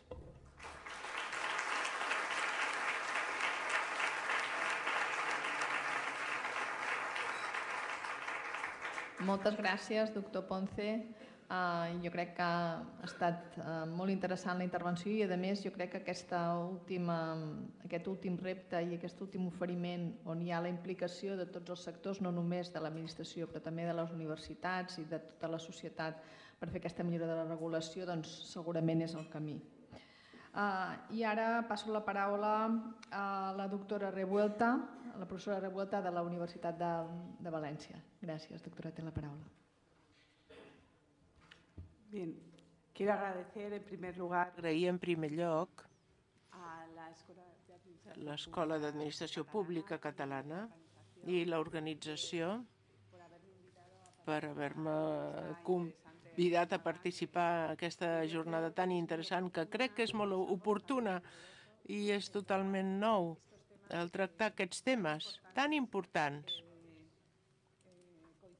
I coincideixo plenament amb la magnífica exposició que ens ha fet el professor Juli Ponce. Senzillament, el que faré és ajustar-me per ajustar-me al temps. Començaré per una reflexió general sobre el que significa els avenços que estan significant l'assumpció d'aquestes polítiques de millora regulatòria, l'assumpció de uh, aquestes polítiques de millora regulatòria, que en aquest sentit l'administració catalana és pionera, hi ha una aplicació per les comunitats autònomes eh, i també s'estan fent coses. Una reflexió general sobre què és la, quina és la situació a la que ens trobem i també m'agradaria plantejar aquest tema té moltes perspectives. He seleccionat tres qüestions que jo crec que són importants per al debat posterior, que seria la relació entre l'avaluació d'impacte normatiu i la discrecionalitat política i administrativa és un tema que crec que és molt important centrar-lo reptes i problemes que es poden plantejar a la pràctica tenint en compte els països més avançats en aquesta matèria. I em sembla important també eh, indicar aquelles qüestions o riscos d'excessiva burocratització que podrien plantejar-se amb aquests instruments de millora regulatòria i finalment fer una referència breu sense entrar en detalls tècnics sobre el control judicial, que també és important.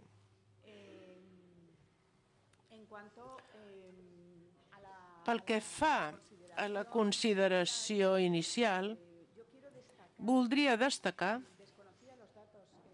desconeixia les dades tan interessants que ha portat el professor Juli Ponce sobre les dades econòmiques aquesta justificació que existeix econòmica per adoptar polítiques de bona regulació, que jo no coneixia.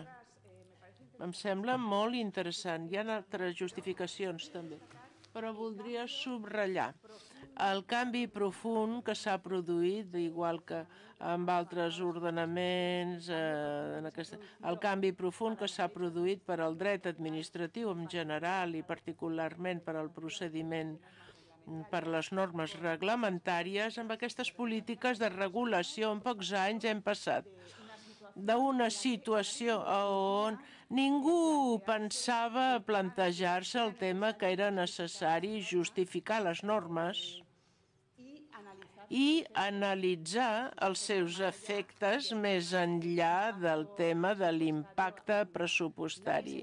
Ningú es plantejava que s'hagués d'analitzar i avaluar els efectes de les normes. No obstant, avui, avui dia, s'està exigint aquesta justificació, aquesta qüestió, ha, ha calat en l'ordinament positiu, ha introduït algunes obligacions en aquest sentit i aquí, insisteixo, a Catalunya i és l'any 2008 que comencen a coincidir amb la crisi econòmica. Això és molt important, que adoptem mesures en aquest sentit i l'administració estatal també pel que fa als reglaments estatals i moltes normes sectorials han establert obligacions per analitzar efectes diferents socials, econòmics de les normes, de l'impacte de gènere, la unitat de mercat, en fi, aspectes socials que són importants i, i, i econòmics i s'han de tenir en compte abans d'aprovar les normes. I és important destacar aquesta menció que hi ha una aplicació a les comunitats autònomes. Això ja s'està fent. Després s'implanten les avaluacions i s'estan realitzant a l'administració estatal. Aquest moviment és paral·lel al mateix temps, és el que està passant a la Comissió Europea. S'estan fent avaluacions ex ante de les normes.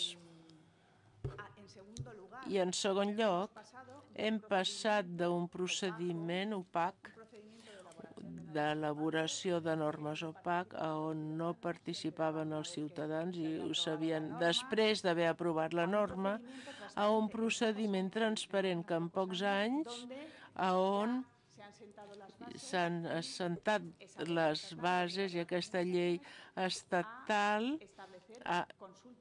estableix consultes prèvies als ciutadans abans que existeixi el resta normatiu i un tràmit d'informació pública o els ciutadans poden manifestar les seves opinions sobre el tema i els grups d'interès.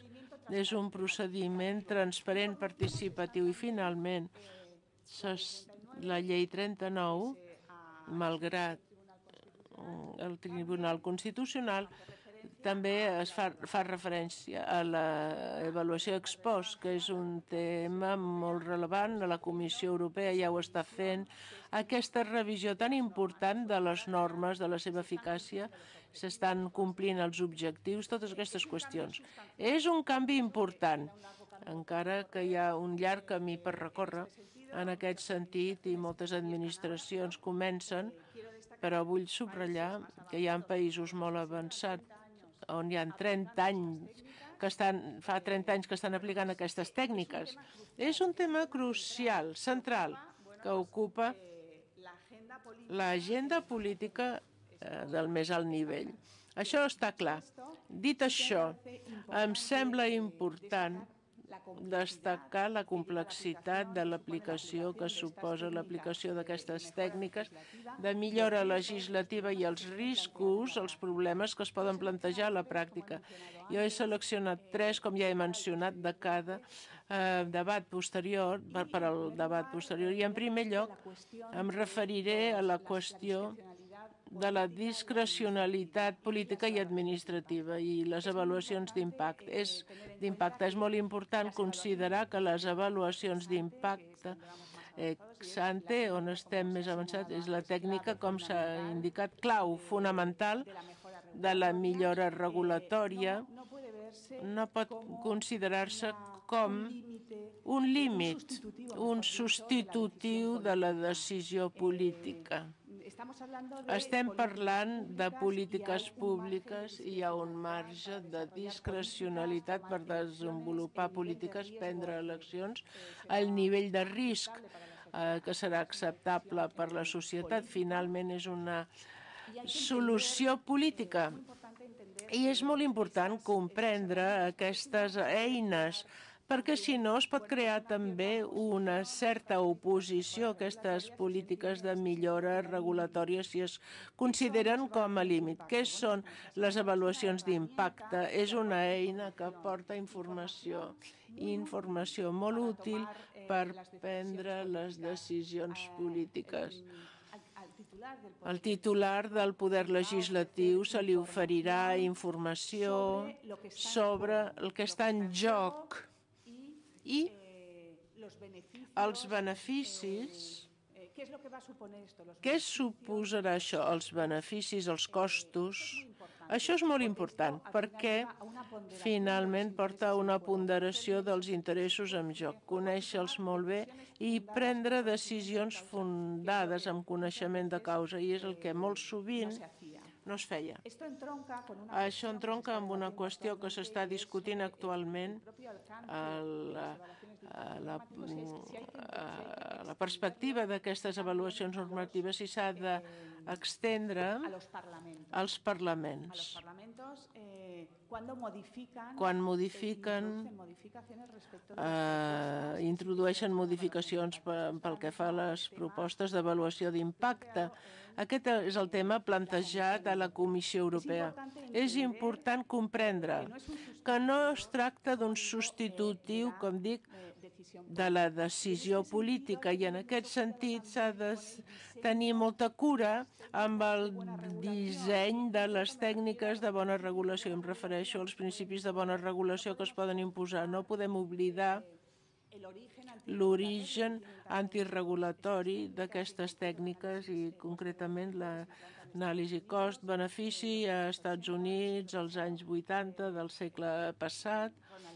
Ronald Reagan introdueix un ordre l'anàlisi cost-benefici com a reacció a la legislació del medi ambient i social aprovada en les dècades anteriors, limitant l'acció de les agències que han de justificar en termes econòmics que els beneficis d'una regulació justifiquen el seu cost a la societat. El mateix al Regne Unit, en èpoques de crisi econòmica, i veiem també que la Unió Europea i aquí a Espanya i a Catalunya, aquestes tècniques es desenvolupen, s'impulsen a partir de la crisi econòmica de 2008, però és important subratllar que aquesta tècnica en aquests països ha evolucionat existe i no existeix. i no s'ha de considerar com aquest enfoc antiregulatori, encara que s'exigeixi una autorregulació, perquè parlem de justificacions qualitatives i considerant criteris objectius i no solament el tema econòmic, que és molt important, sinó ponderar-lo amb altres aspectes com serien els aspectes socials, ambientals, que estan, que eh, trobem a la normativa que s'està desenvolupant a la Unió Europea i en aquestes vies aprovades a nivell del país i és molt important a nivell de Catalunya, a nivell en plena crisi econòmica estan introduint un tall que no he trobat amb cap referència del tema de la legislació ambiental o dels riscos. I en Catalunya ha aprovat el 2010 incideix a les càrregues econòmiques per les pimes i les empreses i els ciutadans sense oblidar el tema de la regulació dels riscos. I en aquest tema s'ha de considerar aquests principis com el de precaució que funciona a la Unió Europea, la jurisprudència que estableix que les consideracions ambientals estan per sobre del tema econòmic. I aquí el Tribunal Constitucional comprenc, considero que quan limita a la portada dels principis de bona regulació és acceptada en el sentit de s'haurà de veure en cada cas quin tipus de regulació s'aprova, quins són els objectius. És un risc que jo crec que a la Unió Europea, com s'estan desenvolupant, és aquest aspecte és més neutral i no es tracta d'impedir la regulació com els seus orígens, però és un risc que es podria plantejar en segon lloc i molt ràpidament, perquè no em vull allargar, eh, que es refereix al tema de l'accés de burocratització que pot existir i és que es desenvolupin aquí s'ha vist el legislador estatal, estatal ha dictat lleis sectorials que exigeixen avaluar impactes, l'impacte de gènere, de la unitat del mercat, l'impacte a la família, l'impacte a la infantesa en alguna comunitat autònoma, l'impacte a l'EGTB, són qüestions que poden portar a un, una superposició d'informes sectorials on no hi ha una visió integrada de l'avaluació. És important que existeixi flexibilitat i que cada avaluació segueixi aquest enfocament i que s'ajusti a les circumstàncies. En aquest sentit, vull indicar què suposa i que pot haver-hi una certa reticència, què suposen aquests mecanismes, són mm, retards a l'aprovació de les normes i costos administratius. És molt important en aquest sentit no ofegar l'administració i establir regles de mínims als Estats Units únicament les regulacions que suposen un impacte per l'economia superior als 100 milions d'euros cada any han de sotmetre's a l'anàlisi cost-benefici i això no impedeix que es faci una avaluació qualitativa dels beneficis i dels costos, saber què està en joc i què es pot guanyar i què es pot perdre en cada cas. Amb, pel que fa al cost, també, a part d'aquesta regla de mínims, seria també recomanable incidir també a l'administració, la formació s'ha indicat del personal, de la importància d'aquests informes i aquesta visió integrada. I finalment, ja acabo amb el tema del control judicial, simplement indicar que hi ha gent que està incidint amb aquesta exigència de justificació de les normes, que és una realitat. Ha calat també a la jurisprudència, observem un més gran control dels reglaments, decisions judicials que anulen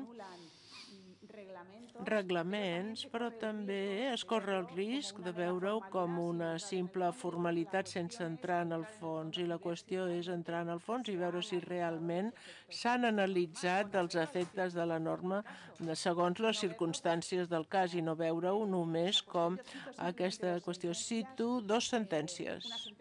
Una sentència del Tribunal Suprem que anul·la un ordre del Ministeri de Cultura perquè no existia l'informe d'impacte a la família sobre la regulació de les tarifes de drets d'autor per part de les entitats d'excepció. Aquesta sentència l'avaluació d'impacte ho entén com una simple formalitat, perquè en aquest cas no hi havia cap associació de família que hagués recorregut en aquesta norma,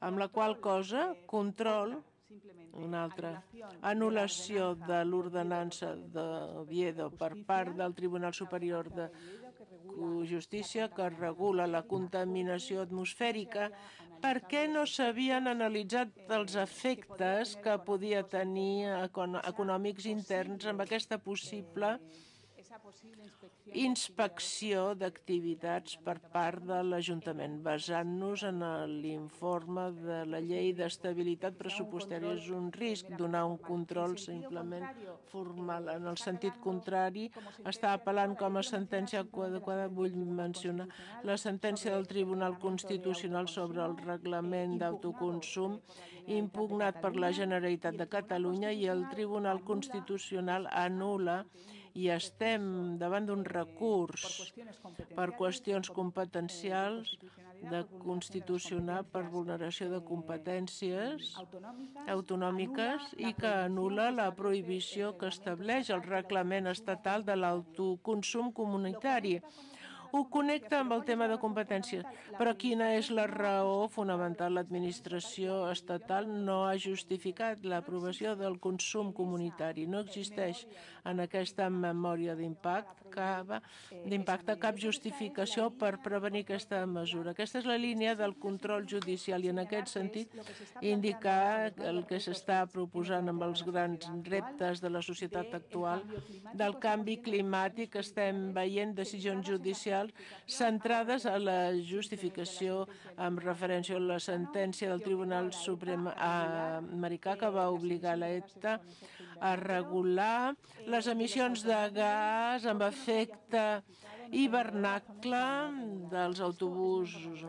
I per això també estem en un cas similar al risc de considerar el conflicte judicial existeix, hi ha una sentència que es pot valorar, els tribunals d'Holanda ha anul·lat i obligat a l'administració, el govern holandès, a comprometre's amb un objecte objectiu, reducció de gasos d'efecte hivernacle, hi havia un compromís del 12%. Això ens crida l'atenció des del punt de vista administratiu, tenint en compte que les organitzacions internacionals, la ONU recomana aquests nivells i acabo indicant les conclusions de la comissió sobre legislar millor recentment publicat que indica que la política de millora regulatòria és una prioritat de la Comissió. S'ha invertit molt eh, per millores regulatòries ja forma i forma part aquesta millora de l'ADN de la comissió. Estic convençuda que en pocs anys podrem dir eh, algo similar. Nosaltres alguna cosa similar. Moltes gràcies.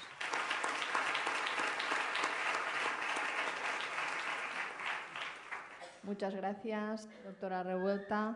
Eh, ens ha introduït molts temes, jo crec, molt importants, tant el tema competencial de la regulació, de la millora de la regulació, amb la sentència 55-2018 eh, del Tribunal Constitucional, com també el tema de quin és el paper efectiu que ha de tenir i, els, i les tensions que moltes vegades genera aquesta, aquests mecanismes de millora de la regulació en procediments doncs, que a vegades doncs, s'aplica doncs, d'una manera formalista. No? Jo crec que això és un, és un tema que importa molt a aquesta sala també.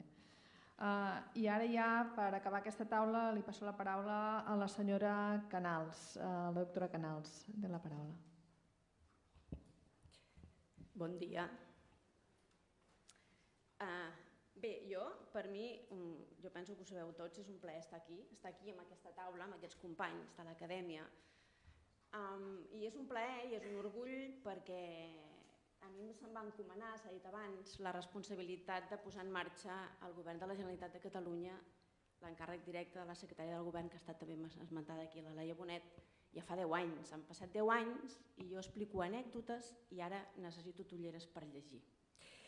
I explico una anècdota perquè tenim aquí el representant del cap de la Divisió de Millora Regulatòria de, de l'OCDE.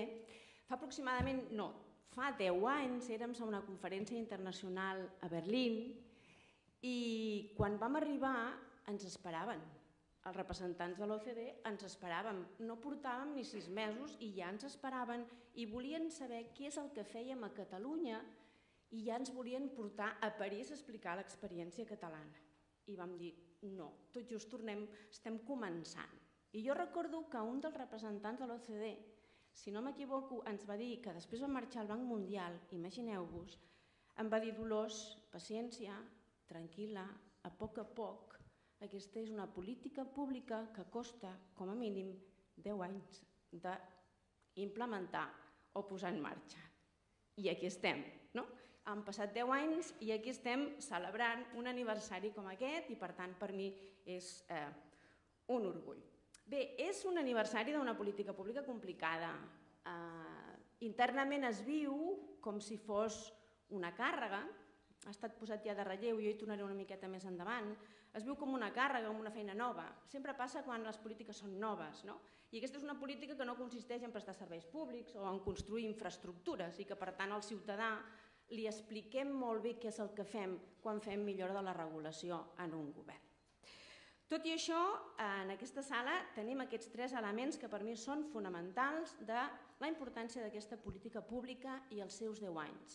La primera, i em reitero, és la presència aquí del cap de la divisió regulatòria de l'OCDE. És un plaer, és un orgull no només per el ressò internacional que té aquesta política catalana, vam ser pioners, sinó també perquè hi ha altres companys que ens acompanyen a la sala d'altres comunitats autònomes i també de l'administració de l'Estat que, per tant, el mateix ressò poden tenir a partir d'ara del que s'està fent entre nosaltres i que s'està fent o s'hauria de fer, evidentment, de manera conjunta. El tercer element és l'interès acadèmic. Estem aquí tres acadèmics diferents, veureu que les exposicions també ho esteu veient, són diferents, i l'acadèmia ha posat l'accent en aquesta nova política de millora de la regulació i en una de les seves eines principals, que és l'avaluació d'impacte normatiu, fins i tot ens ha confessat el professor Juli Ponce que faran avaluació d'impacte normatiu, no? si no ho he malament expost. Aquí em tornaré a referir després una miqueta a això. No?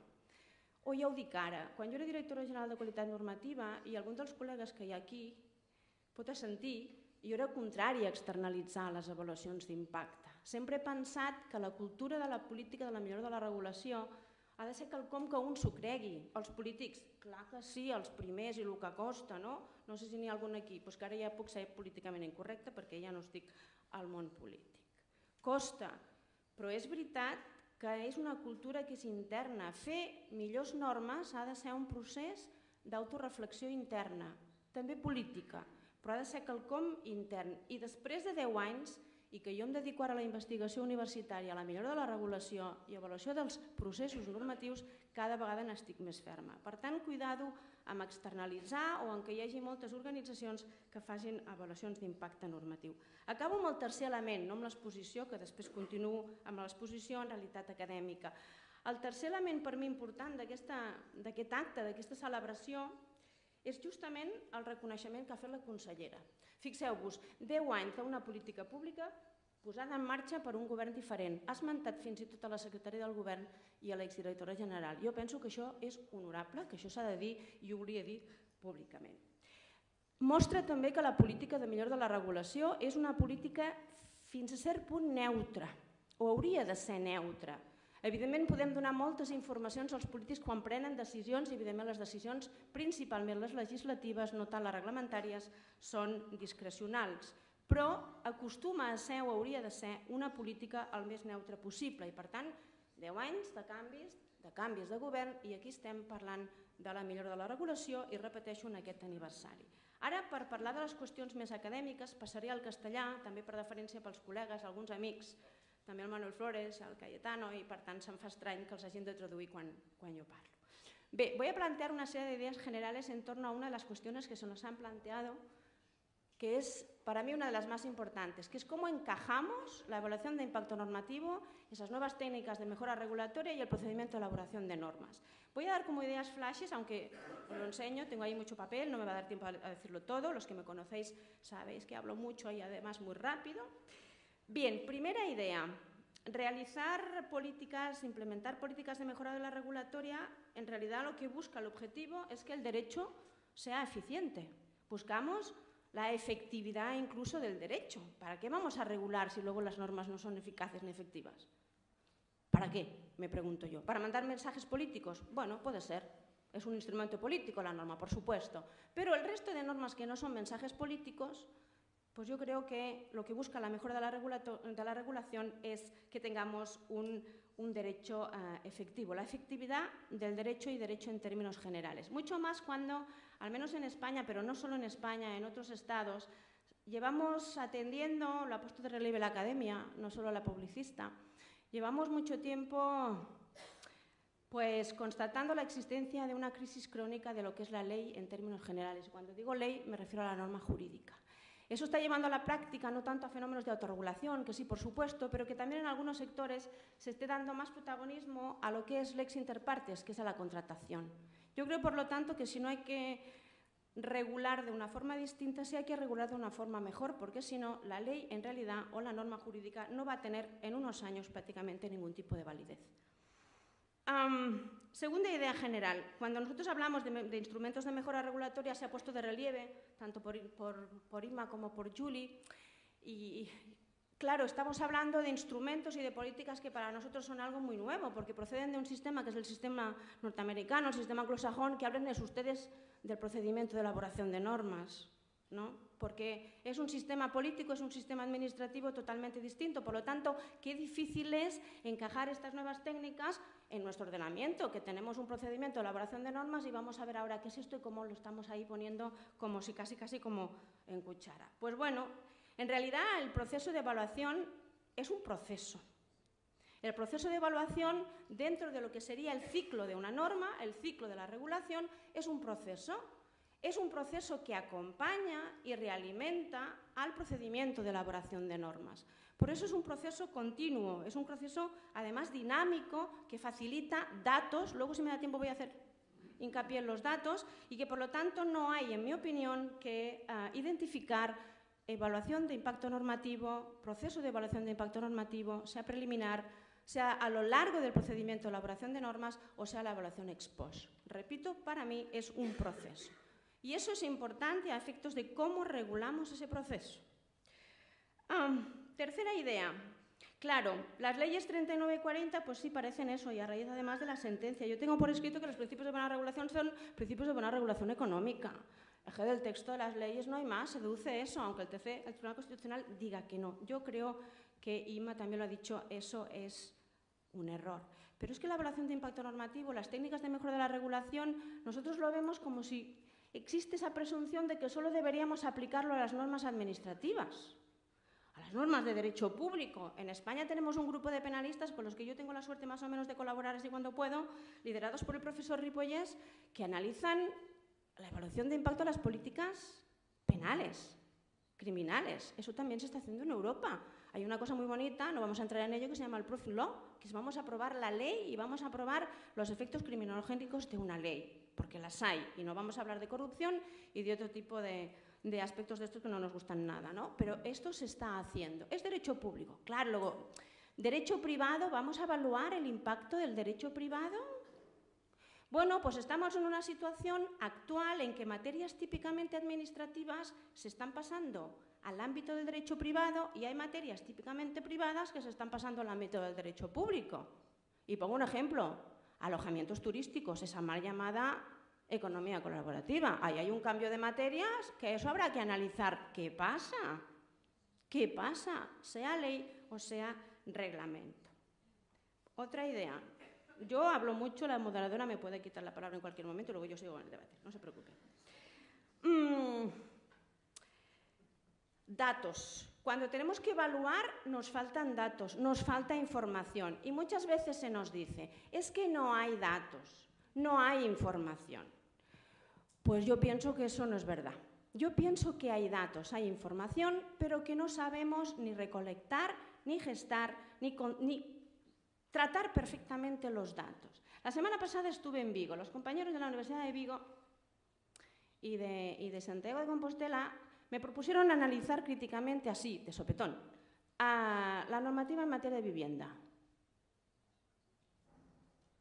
Claro, normativa en materia de vivienda. Y últimamente las leyes autonómicas en materia de vivienda utilizan la expropiación forzosa, utilizan, ¿verdad?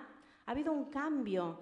El acento está en la función social del derecho a la propiedad, ya no tanto en la construcción de vivienda social, ya no tanto en la adquisición, ¿Verdad que sí? Claro, cuando existe ese cambio, es un cambio evidentemente político, podemos orientar la norma más hacia medidas sociales o hacia medidas económicas, pero hay que evaluar ese tipo de, eh, de cambio. Y me decían que no había datos sobre viviendas. Hay datos sobre viviendas.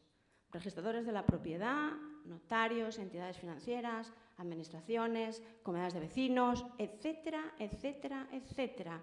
Lo que sucede es que es difícil conseguir que esa información esté perfectamente ordenada, que luego nos facilite, más allá del uso de los datos estadísticos, elaborar buenas evaluaciones preliminares o buenas evaluaciones ex post, que luego digo esto. Yo creo que justamente esas técnicas de mejora regulatoria, al menos en Cataluña y en España, pueden ayudar justamente a racionalizar no solo las normas, sino también todo el conjunto de información que tienen las administraciones internamente. Administraciones públicas y sector público en general en cooperación con el sector privado. que hay que recopilar esas normas que nos ayuden a hacer evaluaciones eh, y, por lo tanto, mejorar muchísimo más eh, las leyes. Claro, la cuestión de, del procedimiento administrativo y la evaluación de impacto normativo o el proceso de evaluación, incluidas las, las consultas previas como en el caso de Cataluña con una memoria o evaluación preliminar. ¿Hay que regular eso? Tenemos regulado el procedimiento administrativo, es verdad, internamente las administraciones pueden autorregular su funcionamiento, el funcionamiento de los órganos internos, mediante directrices y, y, y instrucciones, pero yo creo que no debemos regular el proceso de evaluación de impacto normativo, porque juridificar eso lo encorseta, lo vuelve poco flexible. Es lo que comentaba Inmaculada, lo que hace el Supremo, que no sabe de mejora regulatoria, lo siento. Ah, van a buscar exactamente solo el informe que falta. Y la evaluación de impacto normativo justamente tiene que ser integral, holística, por supuesto. No tiene que ser la suma de distintos informes. La Federación Española de Municipios y Provincias, con el tema de la vivienda, leí que va a propiciar que se haga una evaluación de impacto en materia de despoblación, problema que tenemos en España. No se trata de eso, se trata que ante un proyecto normativo nos hagamos las preguntas correctas respecto a las incidencias que puede tener esa norma o cómo vamos a conseguir mejor los objetivos que quiere ese gobierno o ese parlamento, en su caso, uh, aprobar. Esa es la idea, no la suma de informes. Como decía antes, mejora regulatoria, los instrumentos de mejora regulatoria es nuevo. Tendemos, eso es lógico, es comprensible, tendemos a ubicarlo en nuestro quehacer diario? Pues lo ponemos en un informe. El Estado aprueba un Real Decreto y regula la memoria de análisis de impacto normativo. Es una crítica positiva, no se me entienda mal. Eso es lógico, lo reconducimos a lo que sabemos. ¿no? Vamos a elaborar memorias de impacto y las regulamos. Está bien, pero ese proceso evaluatorio tiene que ser previo y luego la memoria tiene que ser clara, sencilla, para que eso así tengamos opción a que sea una transparencia real. Para los datos, me dicen que me quedan dos minutos, las dos últimas ideas, por lo tanto. Para los datos, importantísimas las evaluaciones ex post. Las evaluaciones ex post son necesarias para obtener datos. ¿Quiénes tienen datos? Las administraciones, por supuesto, y el sector privado. ¿Quiénes tienen muchos datos? Y hay que ayudarles a facilitar los datos para hacer buenas evaluaciones. Las entidades municipales tienen muchos datos. Y un último dato, ¿quién está buscando muchos datos y en un sector muy concreto? Y no puedo dejar de decirlo, las instituciones europeas. Las directivas del año 2014, el nuevo paquete de directivas comunitarias, ¿qué han hecho? Obligan a los Estados miembros a mandar cada tres años informes de supervisión de la contratación pública. Instan a que se creen determinados organismos para que vayan controlando cómo se aplica y cumple el derecho europeo en materia de contratación. Y uno de los objetivos es detectar aquellas regulaciones que propician y son flexibles a la corrupción. Y otra es intentar que la normativa de contratación, por Dios, nos podríamos tirar de los pelos, ¿verdad?, sea muchísimo mejor. Por lo tanto, eso supone, y ahí termino, en realidad cierta evaluación por instancias superiores que en realidad suponen, a mi parecer, un control indirecto. Gracias, gracias.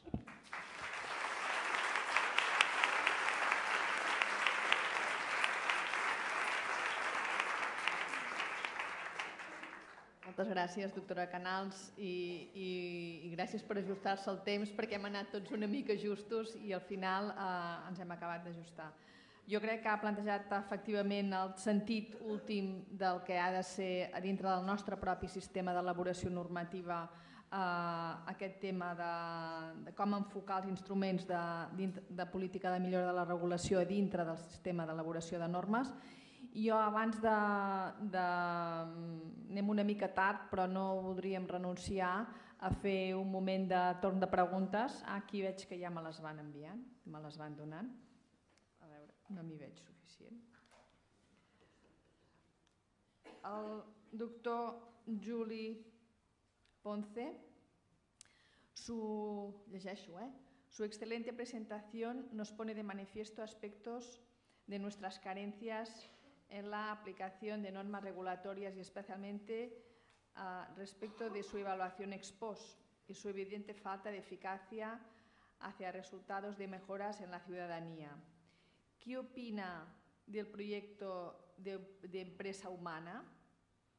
A buen seguro contribuirá a construir, a, construir, a construir un país mejor. O sea, la pregunta es, ¿qué opina del proyecto empresa humana? Bé, suposo, clar, hi ha diverses iniciatives al voltant de la idea de, de empresa humana. No? Jo el que conec... Perdó, perdó, eh, la pregunta és que no ho he vist abans. Eh, fa PIMEC i Club Siglo, Siglo XXI. Ah, Ah. llavors... Eh, Llavors ja té més sentit, potser, no? Possiblement, perquè eh, hem coincidit, diríem, amb alguna activitat amb l'OCDE i el, i el Banc Mundial d'un projecte que tenen sobre un model humà d'empresa eh, privada i llavors opino que és una gran idea, no? Eh, opino que és una gran idea. Com deia Gandhi de la civilització occidental, seria una gran idea. Eh, S'està avançant i aquest projecte és un més dels que hi ha. Clar, i amb això molt breument, té a veure amb tot el que hem estat discutint aquí, no? perquè la manera d'incentivar una, unes empreses més humanes és dir, que tinguin en compte l'ànim del lucre lícit, però a més components ambientals i socials més enllà de la mera responsabilitat corporativa. Aquesta és la idea, breument, no? per qui no estigui, diríem, al cas. Això que estem parlant ara serà crucial perquè els incentius i desincentius que es eh, eh, regulin per impulsar, tal com estem treballant, una empresa més humana, seran, seran importants. Per tant, té molt a veure també amb la qüestió de la, de la millora regulatòria eh, internacional, a, una, a un abast internacional, perquè el projecte que jo conec i participem, eh, ja dic que està a l'OCDE i al Banc Mundial. Molt bé. Eh, No sé si hi ha alguna altra pregunta. Estan escrivint en aquest moment. Ah, mira, allà jo crec que ja l'han acabat d'escriure. Aquesta pregunta entenc que venia del senyor, la que hem dit ara, del senyor Lluís Bahamonde, que era el representant de PIMEC i Club Siglo XXI. Ah, ara una, una pregunta pels tres ponents. Mm, Quina, quina actuació caldria prioritzar per impulsar la política regulatòria? Aquesta quasi potser que ens donaria com a tres ponències més, oi? Però potser breument, si poguessin assenyalar o eh, jo diria potser els, la seva eina preferida, el seu, el, la seva, el seu allò, aquesta és la que jo crec que, que seria, que és la, la, que, la que trobo jo més avantatges, cada un de vostès breument. Eh, com vulguin.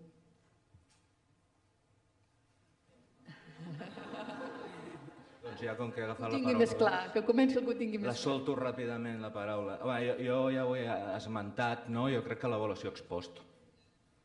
Conèixer els impactes reals de la normativa per poder, en el seu cas, eh, modificar-la eh, i incorporar en aquests anàlisis ex post components empírics que han de venir de diverses disciplines. No? I jo amb això deixo damunt de la taula una, una taula una reflexió. No? Commemorem 10 anys diríem, de política pública regulatòria de la Generalitat i és, és una bona ocasió. Eh, I també és una bona ocasió per pensar en els 10, 10 anys següents. No? I els que portem ja, jo ja porto uns 20 anys dedicant-me a aquestes qüestions des de l'acadèmia. Um, clar, jo vull deixar damunt de la taula que a l'avaluació ex ante jo estic totalment d'acord amb el que han comentat les companyes, és un tema de formació, de mentalitat, uh, però la meva pregunta és si no, ho deixo, eh? torno a la pregunta, eh? una tàctica en aquest cas gallega, no? Si, no, si no hem arribat ja, diríem, a, al límit. Eh, hi ha molta feina per fer, per consolidar el que s'està fent, per extendre en l'avaluació ex ante, etc. Però és dir, fins a on hem arribat, quines passes hem de fer, jo crec, insisteixo, l'avaluació ex post, jo crec, estic totalment d'acord, que això ha de ser interioritzat per l'organització, que això no s'ha d'externalitzar. Ara bé, els que treballem en el sector públic també ens hem de preguntar, i els que treballem a l'acadèmia, no? per què hi treballem en aquestes qüestions, no? com volem contribuir a, a, a millorar i a transferir. Jo crec que falten llocs de trobada entre sector públic, sector privat i tercer sector. I falta, eh, per exemple, el desenvolupament de la 64. No sé, algú em pregunta, i quin seria el següent pas? Jo diria desenvolupar l'article 64 de la llei 19-2014 de transparència, accés a la informació i bon govern. Com farem proves pilots? Com farem avaluació ex ante i ex post? No? Com posarem això en pràctica? Hem d'ajuntar-nos tots els que estem a la sala i, apren i aprendre fent, no? I jo crec que aquest és segurament el, el proper repte. Gràcies. Bien, yo también creo que es la evaluación ex post. Uh, y però no solo la evaluació ex post, sinó no només l'avaluació, però qualsevol instrument de la millora regulatòria que no ens donguin dades, sinó informació. Estem habituats a regular per una societat. I ara llançaré una cosa a la qual estic donant voltes. Um, hay algun estudi ja... Ja hi ha algun estudi de periodistes i sociòlegs. Que, um, Claro, nosotros no tenemos Nosaltres no tenim aquest nivell de participació que tenen els americans, que quan l'ETA fa un projecte de regulació com a agència reguladora d'un tema de medi ambient, apareixen milers i milers de respostes, incloent fins i tot tuits, la qual eh, genera un gran volum de dades i s'utilitza la intel·ligència artificial amb una sèrie de programes que identifiquen la gramàtica i govern 3.0 i tot està molt bé, però com encaixem tot això aquí?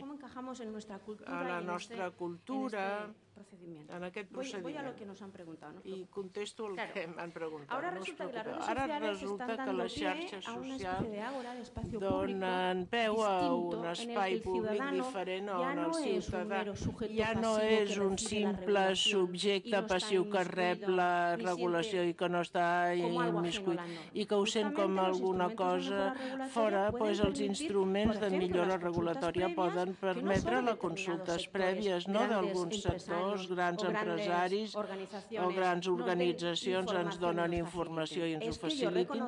És que reconec que m'agrada que quan participo d'un procés de les entitats europees si recullen la meva observació, doncs sí. Ho faig com si fos alguna cosa més meva i això implica que després el ciutadà se sent partícip del procés d'elaboració de la nova i se la fa seva. I això té una incidència en el compliment de la normativa, però parlarem de compliance, estava el que ha dit el cap de direcció, és important no establir règims sancionadors per a altre tipus de mecanismes de control de compliment, però l'aplicació normativa per a administracions, per veus i ciutadans. Jo crec que aquests instruments, tots els que venen a captar informació, són essencials.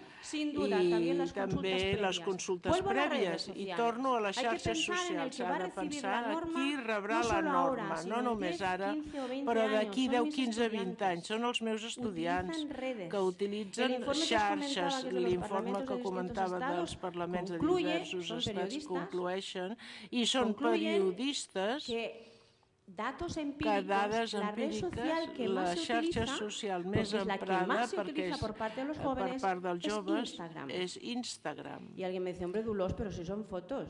Fotos, pues sí. Són fotos, Dolors. Són fotos. I Sí, Hay són fotos. escribe poemas en Instagram. I aquí escriu No si poemes ho a. Instagram. Jo no sé si em seguís. Les xarxes socials són aquest espai públic on el no es el ciutadà ja no és l'únic subjecte passiu i receptor, és el que dona en informació. I la informació que hi ha en xarxes i les administracions públiques en hauríem de, de participar més amb les xarxes, amb les en avantatges de les noves tecnologies i en el mateix escenari i que la informació flueixi eso, entre tots. I això, repeteixo, per mi tanto és para las essencial tant que se per les pueden hacer de consultes prèvies que es poden fer también en redes, de maneres también para las diferents, evaluaciones de a, avaluacions d'impacte també. Moltes gràcies. Yo coincido también. eh, Coincideixo. eh, es, es necesario. És eh, necessari Todos los instrumentos. Es un tots els conjunto, instruments. És un conjunt, però en el momento potser en el que ara, en el moment on ens trobem eh, evaluaciones ex ante, d'aquestes avaluacions s'ha de- post. comprar amb les avaluacions expostes. Estic perfectament d'acord amb el que ha sí, senyalat la professora Canal sobre la informació. Aquesta informació generada és fonamental. L'administració no disposa de tota la informació. És necessari generar aquest procés. I voldria subratllar de tot això que és un imperatiu els ciutadans demanen, no sé si ja ho he dit, eh, el principi de legitimitat el principi de legitimitat democràtica i són normes fundades, justificades i en les quals s'ha participat a la presa de decisió. Eh, M'ha cridat l'atenció aquest any per primer cop als meus alumnes, els hi dono classe de ciències polítiques, els hi he posat com a cas pràctic participar en una consulta prèvia. i m'ha sorprès moltíssim el que els ha interessat aquest cas pràctic i les seves aportacions, parlem de consultes prèvies a la Comissió Europea, a l'administració estatal. M'ha sorprès aquestes al·legacions que han fet. La informació, com estava ben fonamentat i com han interioritzat lo important que és per ells haver participat en aquesta decisió si es canviarà l'horari a la Unió Europea. Totes aquestes qüestions i temes molt més tècnics. Uns alumnes, pues això, jo crec que són les tres tècniques que actualment absolutament indispensable, encara que es corre el risc, com s'ha indicat, no obstant, la Comissió Europea ja ho està fent. Crida l'atenció la Comissió Europea, les avaluacions ex post que està fent amb totes les polítiques, amb tots els àmbits, està molt bé programat. Però no es pot fer tot al mateix temps. Ho has dit molt bé, per exemple. Ho he comentat. Jo crec que no s'haurien d'avaluar totes les normes perquè es produeix una paràlisi per anàlisi i una extensió de lo banal. Com hem d'avaluar tot? Farem un informe de tot perquè és un paper, preferiria un model americà de concentrar-se en algunes normes perquè les oficines que treballen eh, s'ha de dir que tenen uns recursos i un personal limitat i faig aquí una crida per augmentar el personal i els recursos. I després prendrem el cafè. Però encara que s'augmenti el personal i els recursos seria una bona inversió, no una despesa. S'hauria de concentrar una mica. Eh, no pot ser tot en l'àmbit judicial, l'horari del Tribunal Suprem nord-americà, el recurs de cassació del nostre s'ha de restringir. Això és discutible, sí ho podríem discutir. Sí, sí no, uh, realment aquest tema uh, realment aquest tema és el tema d'una altra de les preguntes que jo crec que aquí uh, ja podríem, no sé si l'hem de comentar més, però jo crec que uh, seria la conclusió perquè comenten que un projecte de llei eh, o decret a Catalunya porta un any i a Madrid un mes. No, això no sé si és molt científic, però... Eh, llavors, esclar, es pregunten que la legislació catalana no és prou garantista per l'administrat. O sigui, jo crec que aquí la pregunta és com, com de doble fil, no? de dir, com més garanties ens posem, eh, més, eh, evidentment, no? tots aquests processos doncs, fan que la presa de decisions, evidentment que jo crec que la presa de decisions quan més fonamentada estigui, més motivada estigui, més encertem aquesta eficàcia, és allò que dèiem, no? després serà més fàcil eh, executar-la, per tant aquest, aquest termini, si realment serveix perquè la norma tingui una qualitat normativa més elevada, jo crec que després hi sortirem guanyant, si no suposo que no. No sé si voleu afegir alguna cosa, perquè jo crec que era exactament el comentari que estàvem fent en aquest moment, no? No sé si... Ah, ui,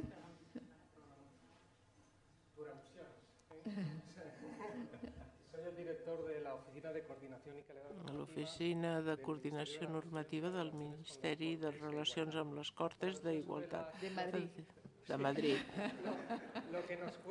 El que ens costa en condicions normals podríem anar a la novena legislatura, potser, que no és la més normal. I aquí portava vuit i una vista legislativa des de que s'elabora el text i s'arriba i arribem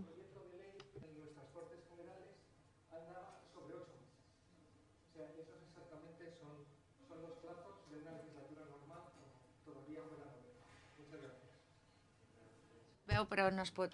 No sentim bé per... suficient bé. per A, mí si me dejan 30 segundos, sí. Yo sí quería decir algo. Deixeu 30 segons, No sé si voldria relaciona dir alguna pregunta, cosa. però- Jo no sé si relacionat amb la pregunta, evaluar- però avaluar... Ahora va parecer que estoy como en contra de Sembla no que estic Pero lo de en contra de Juli. No és el cas. Avaluar com ho fan els americans, establint un, un la topall. Jo he pensat sempre la l'experiència práctica de la pràctica m'ha donat la raó, que a vegades una llei que tingui un article, un reglament amb cinc articles pot tenir un cost molt important.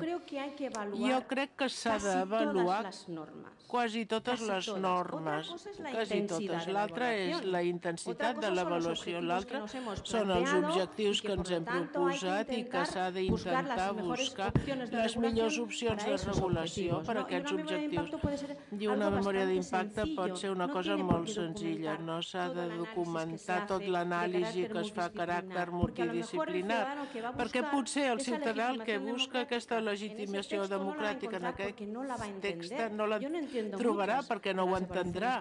Jo no entenc gaire les avaluacions de les institucions europees perquè són llargues. Si fóssim metges i tinguéssim un problema molt greu d'una patologia, voldríem que el millor todos i mejor l'especialista analitzés la millor solució i riesgos, valorés pero yo no els riscos, però los jo no riesgos. vull A mí saber tots els riscos, a resumen. mi que em Yo creo facin que un resum. menos Jo crec que més o menys hauria de ser això.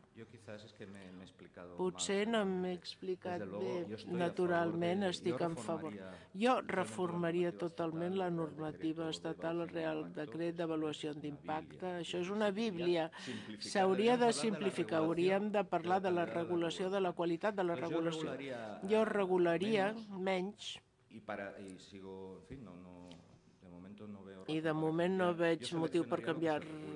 Jo seleccionaria el que es regula, però no he dit que s'hagi de seleccionar pel nombre d'articles. No és el meu criteri, llavors s'hauria de pensar amb els criteris. Naturalment, si tinc, si haig de fer-me una artroscòpia, cirujano vull el millor cirurgià del món i que es reuneixi un cron sexe i que deliberin durant sis mesos, però els que hem gestionat lo públic sabem el límit de recursos i possibilitats. Potser les artroscòpies formant bé els metges que han de fer les artroscòpies i que comprenguin el que estan fent, no podem dedicar menys d'atenció a les operacions de cor i potser s'ha de seleccionar projecte de llei, potser tots, i pues, s'ha de mirar no per impacte econòmic, com diuen els eh, americans, encara que afegeixin tres o quatre criteris per afectació de drets estatutaris. Jo aniria en aquesta línia per un tema de gestió com a jurista abstracte teòric, avaluar-ho tot de la millor manera possible, però em sembla, els altres ho saben millor que jo, em sembla que això agafa afortunadament momentum i em sembla que el risc de col·lapse de les unitats serà important, però com hi ha una altra mesa i gent més preparada que jo, Sí, doncs moltes gràcies. Realment el que m'estan comentant és que hauríem de passar ja a la pausa cafè perquè anem molt tard. Ens quedava alguna pregunta que, que està guardada i es farà segurament a, a la taula següent, no? Uh, I per tant, eh, jo no, simplement agrair moltíssim els ponents. Jo crec que es veu l'interès que ha despertat i, i, i la interessant que ha estat i continuem. Moltes gràcies per la vostra intervenció.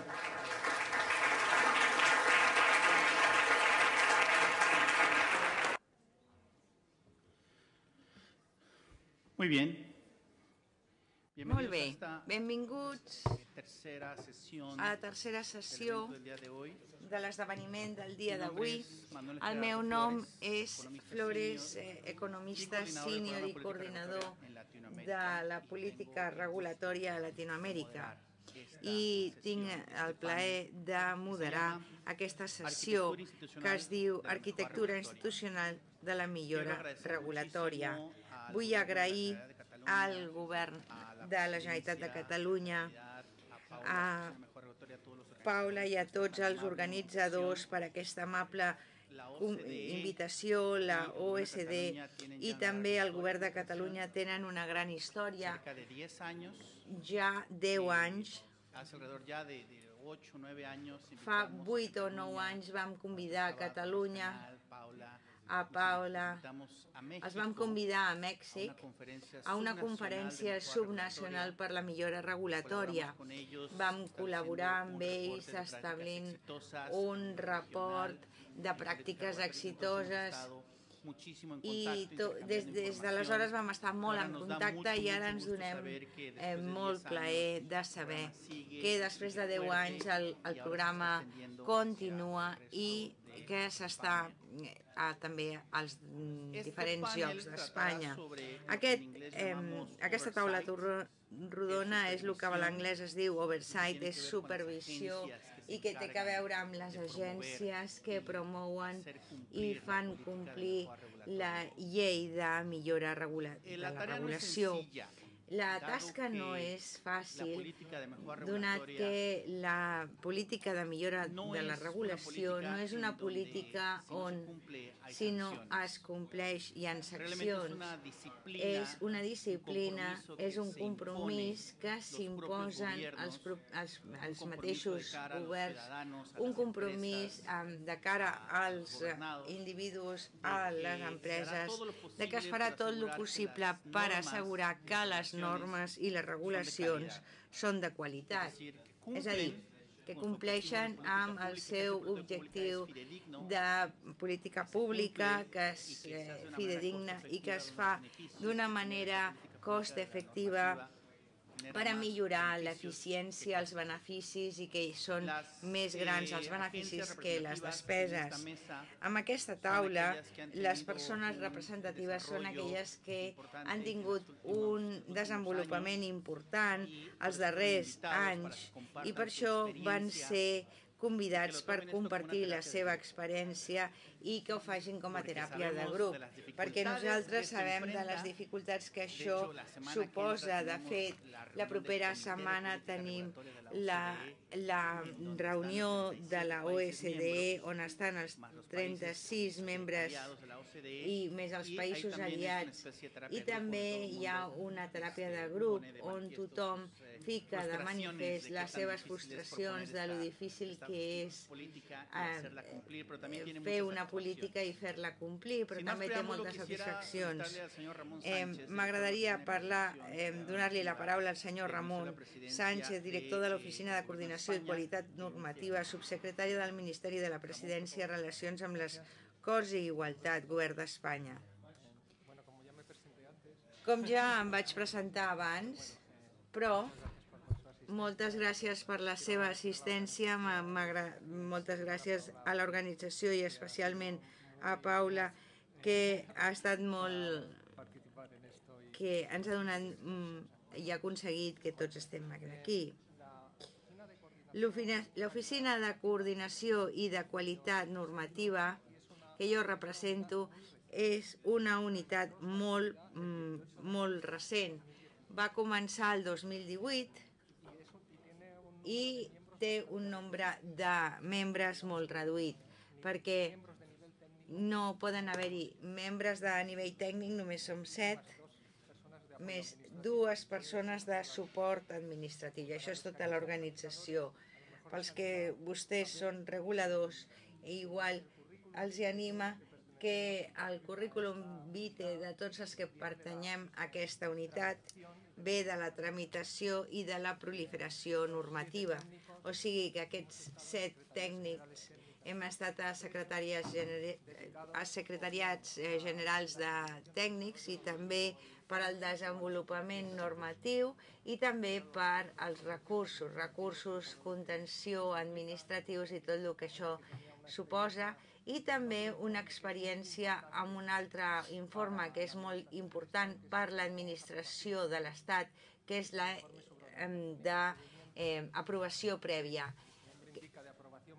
Vol dir, aprovació prèvia és, en certes ocasions, el darrer informe administratiu previ al Consell de Ministres dels Reglaments. És cert que hi ha una fase que ja no és administrativa, sinó de presa de decisions que es porta per la Comissió Real a través dels eh, secretaris i els eh, subsecretaris.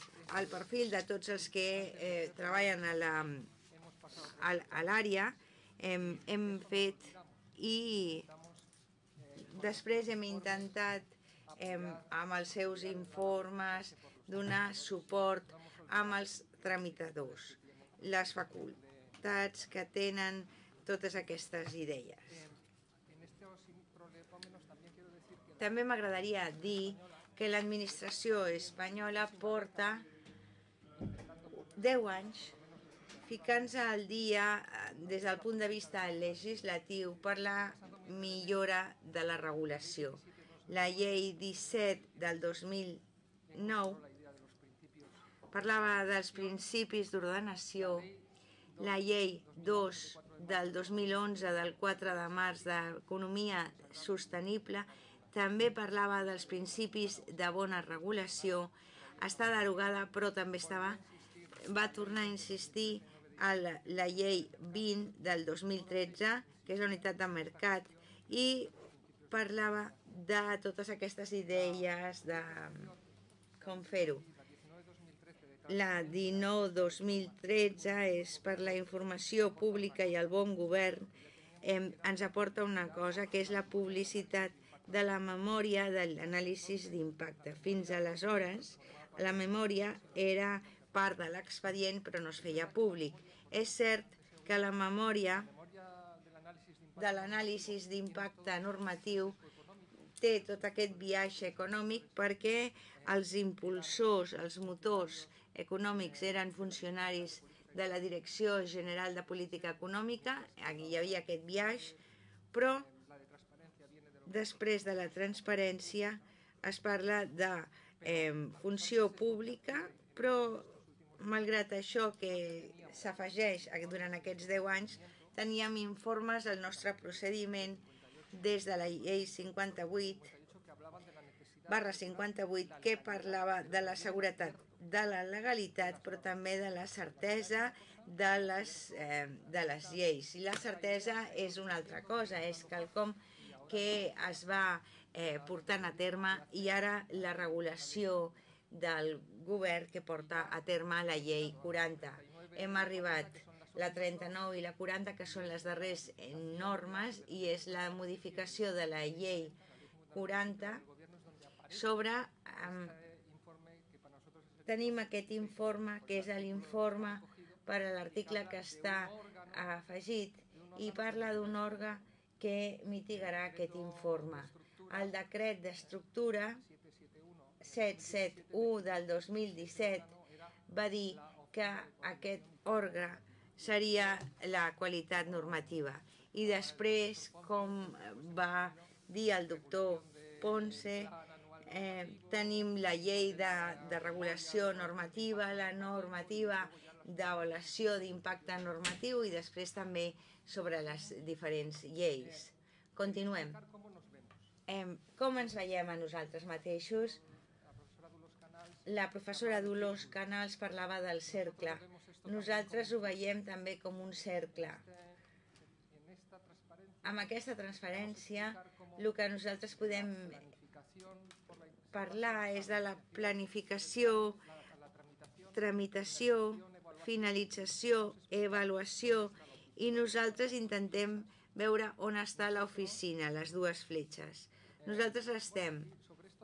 Sobre això jo diria que, fa, que manca un eh, element. A la planificació, abans d'arribar a la planificació de manera ideal dels nostres predecessors, eh, tindria que tenim que tindre participació com a fons de planificació, com a gestors, nosaltres necessitem, tenim unes normes que ve fabricada, donat a terme a través de la transposició o execució del dret de la Unió Europea, que és un percentatge molt important del pla anual normatiu i que és el que nosaltres fem amb el que ja ens eh, diu la Unió Europea. Deurien ser normes que arribessin després d'un procés de participació amb el que la, la ciutadania hagués eh, recolzat el, i hagués donat suport a aquestes lleis. Això um, hauria ser la planificació normativa. La tramitació, el que nosaltres diem iniciació, és l'elaboració del primer disc. El que el Consell d'Estat diu que a cada projecte li ha de correspondre una memòria, sempre. Hem de tindre una memòria des del primer text que s'elabora. I com és aquesta primera fase? La primera fase és un concepte eh, on no hi ha encara eh, memòria. És una consulta a la societat perquè es pronunciï sobre aquesta norma i elaborada, realitzada la seva consulta prèvia, la prenormativa, tenint en compte el primer text i el, la primera norma, és quan arriba a l'informe de l'oficina de coordinació. La nostra idea, de manera ideal, tots sabem eh, entre el, el, el, el que és i el que hauria ser, és que l'informe de l'oficina s'ha de ficar al principi per guiar el contingut i el procediment, per fer advertències als òrgans de com ho han de fer. Si nosaltres eh, detectem algun problema d'omissió o d'incongruència, s'ha d'advertir i especialment és molt important per als tramitadors saber quins són els tràmits que han de fer. Sense ser advertits eh, posteriorment per uns altres eh, àrees, especialment quan es diu del Consell d'Estat que la tramitació és incorrecta i especialment perquè no arribem amb un,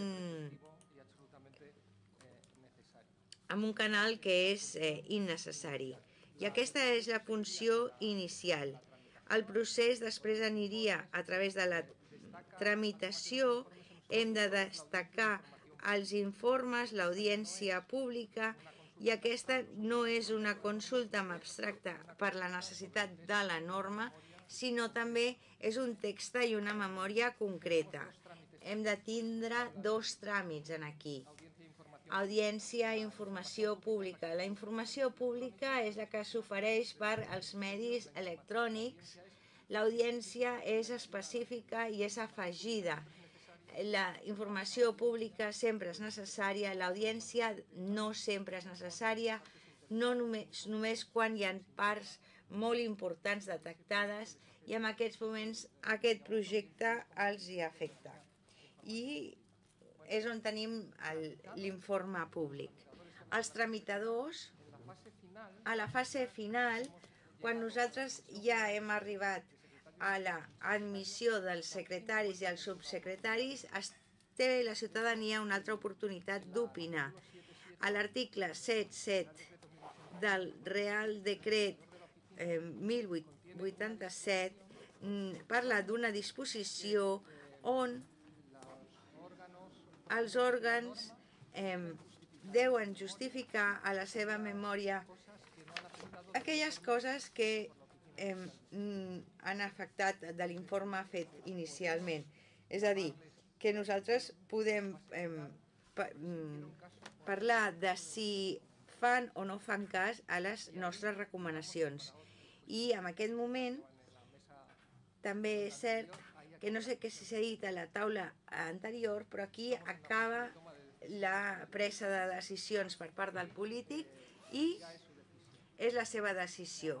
Nosaltres advertim al principi, hem recordat en un segon moment, tenim un òrgan molt sòlid que ens acompanya amb aquesta fase de control que és el Consell d'Estat, amb aquelles fases de dictamen, però diguem el que diguem nosaltres o el que digui el Consell d'Estat, la decisió és política i no és administrativa. Ràpidament. Nosaltres hem col·locat la fitxa de coordinació al centre, però hi ha molts implicats, com poden veure. De manera curiosa, aquí manca la cita del Consell d'Estat. El que va dissenyar finalment l'organització, l'ordenança, va pensar en l'oficina com un mini dictamen al principi del procés. És a dir, tenim el dictamen guia al principi de l'elaboració de la norma i això tancaria. Han de ser consultats perquè així ho diu la llei orgànica i després tenim aquest altre control de l'òrgan de col·laboració del govern, un, una idea diferent que no és merament de tramitació, però tenim molts implicats i jo diria, i es parlava de la urba, de l'organització ex post, l- els que haurien de participar a la, a la mm, participació ex post és el que es parla amb l'oficina col·laborativa del govern, el Ministeri d'Economia, la Comissió d'Economia i dels principis de competència, el que es parla de planificació, de la normativa de l'Estat i les obligacions també fixar la, les avaluacions ex post i també del seu contingut. La idea és que la valoració ex post és competent dels ministeris, ho pot fer-ho pels seus propis membres o bé externacionalitzar-lo. Eh, de vegades no es pot ser de manera externa, però quan la norma és a nivell econòmic o afecta la competència, es farà de manera ex post.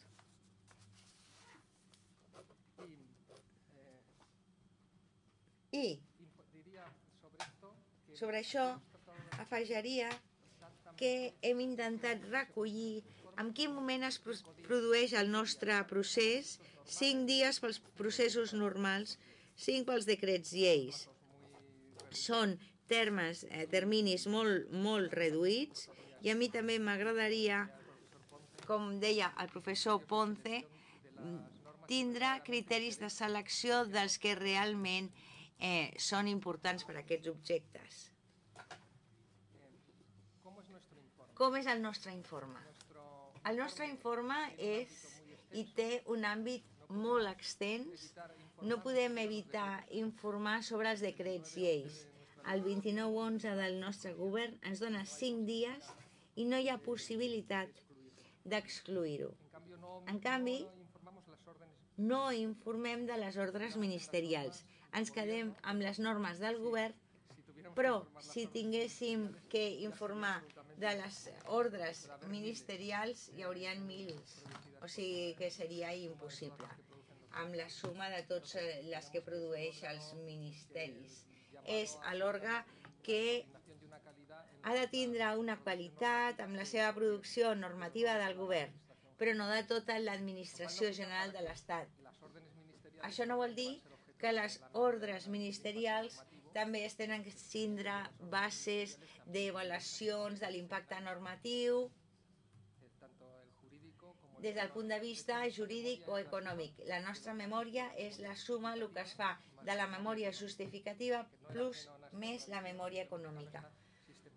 I ara està de manera sistematitzada amb aquests dos aspectes, però diguem que les idees ja estaran, amb els dos informes seran similars. Hem de veure aquestes set qüestions, la qualitat, el, quin nivell, rang, també a dintre de la- de l'ordenament jurídic espanyol i passem de les 6 a les 7, què passa amb la llei europea, que és una de les nostres fonts de lo que és el pla normatiu. I després veiem aspectes com necessitat d'afegir la, la fundació, la refundació, la llicència, els principis de la bona llicència i el bloc d'impactes. L'educació al òrgan em, nacional, quins són els impactes, els impactes econòmics, idealment general i sectoral, els efectes sobre la petita i mitjana empresa és molt complicat, sobre la competència, sobre la unitat del mercat, tot això té que portar a l'anàlisi econòmic. Un altre epígraf seria l'impacte pressupostari. El tercer element seria l'anàlisi de les càrregues administratives que no hem de confondre amb l'anàlisi pressupostari, que és una altra qüestió, i després passem a un paquet de possibles impactes mediambientals, socials, igualtat de condicions o ADF, diferents possibilitats de desenvolupament sostenible i tot això ens porta amb una idea de lo que seria l'impacte sobre les idees. I el tramitador, el legislador, el que intentem és complimentar tot això. I la nostra tasca de supervisió és intentar um, assegurar-nos de que ha de tindre un, um, un enfocament um, molt proper a la ciutadania. A través de la manera metodològica nosaltres eh, tenim pendent l'elaboració d'una via metodològica. És una obligació que nosaltres tenim. Hem de fer una guia de la consulta pública després d'un treball sobre participació, sobre els centres d'estudis culturals i veure quina és la possibilitat d'augmentar les penetracions amb, el, amb els tràmits eh, previs com el d'informació i audiència. I tindríem que ser capaços de produir directrius que portin a unificar eh, criteris sobre la producció i només portem set mesos, durant aquests set mesos, i no sé si probablement tornem a ser burocràtics, però hem sigut capaços de donar 180 sol·licituds d'informe, hem fet 180, però el nostre rànquing va amb augment. Cada vegada necessitem més. Surten 4 i entren 6. És a dir, que anem amb més amb la cua de retard i també és cert que amb la part de control la, el, el Consell de Secretariats hem, hem de veure totes les organitzacions i els exàmens realitzats amb aquest examen. Tenim una afectació de mm, diferents opinions perquè ens donguin un resultat que serà validat per un 90%. Moltes gràcies i a la seva disposició després per les preguntes.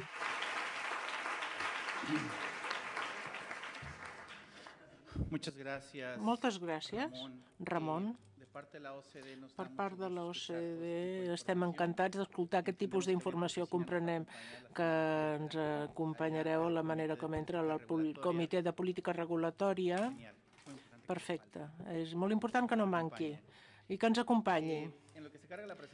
Pel que fa a la presentació, Faig la introducció del senyor Cayetano Prieto, cap de divisió de l'Oficina de Qualitat Normativa de la Secretaria General Tècnica de la Vicepresidència, Conselleria de Presidència i portaveu de la Comunitat de Madrid. Cayetano, té la paraula. Bon dia. Moltes gràcies en nom de la Comunitat de Madrid per la invitació en aquesta trobada.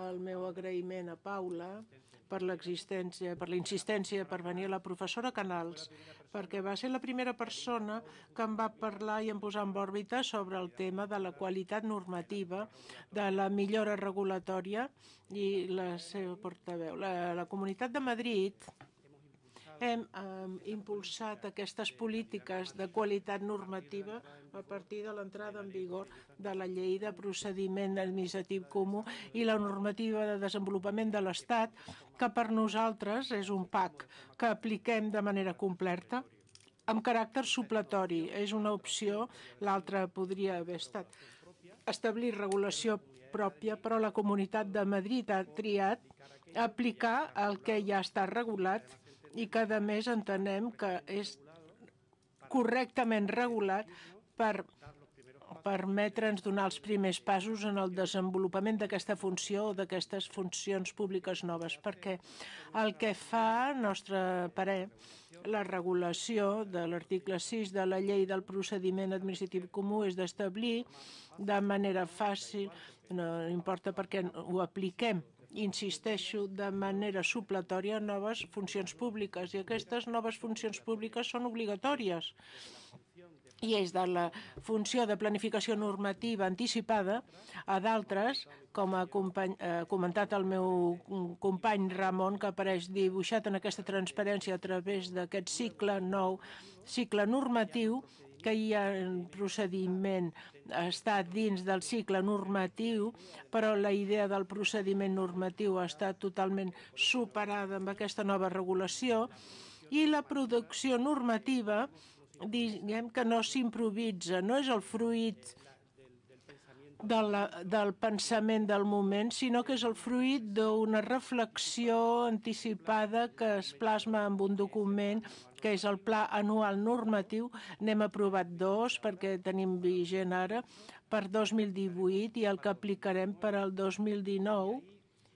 I aquí... conjunto de proyectos que la Comunidad de Madrid pretende eh, aprobar este año y el año que viene. Es decir, eso es un, una función eh, que no se hacía antes, que además contribuye a la transparencia, porque da a conocer a todo el mundo, a todos los operadores económicos y sociales, cuáles son los planes de la Comunidad de Madrid en los próximos años en esta materia. Esto no existía antes. Antes nos enterábamos de que se estaba tramitando una norma justo en el momento de los 15 días del trámite de audiencia. Ahora no. Ahora nos podemos anticipar eh, en nuestras reflexiones y en los argumentos que vamos a emplear después en el trámite de audiencia en formación pública, con lo cual ya de entrada es una tarea que facilita eh, a los operadores económicos, como digo, y sociales reflexionar sobre las propuestas que va a hacer la Comunidad de Madrid o las administraciones públicas en el futuro inmediato. ¿no? Y de este ciclo, que acaba con una función tan importante, novedosa, de la cual no tenemos práctica, no conocemos, no hemos hecho evaluación de normas los empleados públicos, es una función que no existía antes y la tenemos que aprender. ¿Vale? Entonces, eso es algo que todavía no hemos comenzado, que todavía no hemos tenido ocasión de poder desarrollar, pero en lo que se refiere al ciclo, yo insisto en lo que es la memoria de análisis de impacto normativo, porque es algo que no, en mi opinión, no hacemos bien. Es algo que todavía no hemos consolidado, es algo que todavía no hemos asentado de forma definitiva. Es decir, estamos hablando del futuro, que es la evaluación, pero primero tenemos que consolidar el presente. Y el presente es que la norma tiene que estar, el proyecto, debidamente justificado. ¿no? Sucede que un ayuntamiento conocido eh, aprueba una ordenanza que establece una prohibición para eh, prohibiciones para circular con vehículos por el centro. ¿no? Y estas son medidas que, adoptan otras, que han adoptado otras muchas ciudades. Pero cuando eh, se lee la memoria o cuando leemos la memoria de, esas ordenanzas limitativas, en este caso del derecho a la libre circulación en, este, vehículos, eh, eh, es verdad que el ayuntamiento tiene la opción política de limitar por distintas razones de interés público el tráfico en el centro, pero creo que cuando leemos la memoria que justifica ese tipo de medidas, la memoria debe ser lo suficientemente ilustrativa de las razones concretas por qué el ayuntamiento decide prohibir el tráfico en ese perímetro y no en otro. ¿Vale?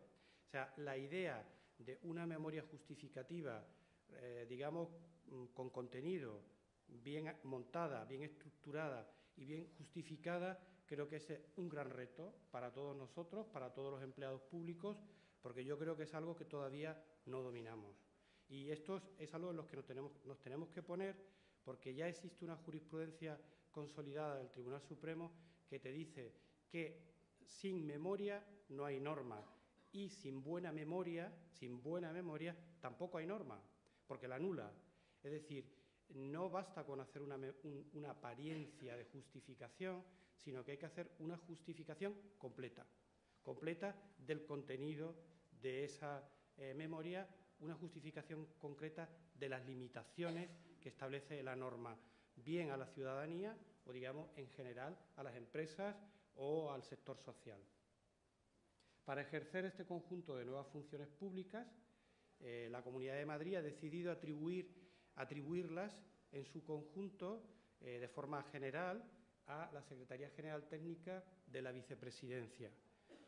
Las razones por las cuales se ha ubicado estas funciones públicas en este órgano concreto no es fruto de la improvisación, sino que también es fruto de un debate previo, un debate previo que hemos tenido en la Comunidad de Madrid sobre quién consideramos nosotros que puede desarrollar mejor este conjunto de nuevas funciones públicas. Y en ese debate previo, inicialmente se consideró que lo suyo es que fuera un órgano colegiado, eh, a modo de comité mejora de la regulación, integrado por todos los secretarios generales técnicos de la Comunidad de Madrid, porque ellos son los responsables competencialmente hablando de la producción normativa, junto con el director general de presupuestos y la Dirección General de Política Económica, que harían, digamos, un equipo, un equipo de especialistas que informarían cada proyecto, harían el informe de calidad de cada proyecto, pero después pensamos por razones de eficacia y por razones de agilidad que mm, eh, hacer un informe como exige la práctica de un día para otro, el, constituir un órgano colegiado para esto no es buena idea, porque tienes que convocarlo anticipadamente, porque tienes que garantizarte que existe el quórum adecuado para tramitar este tipo, adoptar este tipo de decisiones, y finalmente optamos porque fuera un órgano directivo. Y ahí nos planteamos si órgano directivo de nueva creación, es decir, si un órgano directivo ad hoc, creado exclusivamente para esta función, especializado en, estas funciones públicas, y, eh, o utilizar uno ya existente. ¿no? Y aquí digamos que el principio de la austeridad presupuestaria inclinó la balanza en beneficio de la atribución a un órgano ya existente y por eso finalmente se decidió que fuera la Secretaría General Técnica de la Vicepresidencia, porque además tiene funciones horizontales respecto de toda la Comunidad de Madrid, la que se encargara de esta función, y la Secretaría General Técnica lo hace pues con un equipo mínimo, eh, siempre en estos casos la, dotación de medios es de mínimos de mínimos, es lo que aparece aquí. Mi responsabilidad está en el puesto de jefe de división que aparece aquí y somos cinco personas los que trabajamos de forma directa y exclusiva eh, para tratar de consolidar y desarrollar las políticas regulatorias de la Comunidad de Madrid, eh, pero lo hacemos, digamos, en colaboración con otros órganos, con otras entidades que también tienen funciones no exclusivas, pero sí relacionadas con la calidad normativa y con la evaluación, como son todas las demás secretarías generales técnicas, porque son competentes en materia de producción normativa, la abogacía general y la comisión jurídica asesora, porque ellos son especialistas en el informe jurídico y en el informe de calidad también. Con lo cual, sumamos esfuerzos todos para tratar de conseguir el objetivo final, el objetivo final que es norma eh, adecuada o norma con un contenido adecuado, con un contenido proporcionado que sirva de verdad para conseguir los objetivos políticos o que permita de verdad desarrollar las políticas públicas del Gobierno de la Comunidad de Madrid. Porque si la norma no es eficaz, si la norma no consigue aplicarse de forma completa, la norma no es buena. Y de esto se trata, de conseguir eh, desarrollar eh, normas de calidad en, este sentido. Estamos funcionando como en el Dos minutos, por favor. Sí, gracias. Estamos funcionando como en el caso de la Comunidad de Madrid, eh, del Estado, perdón, desde hace solo ocho meses.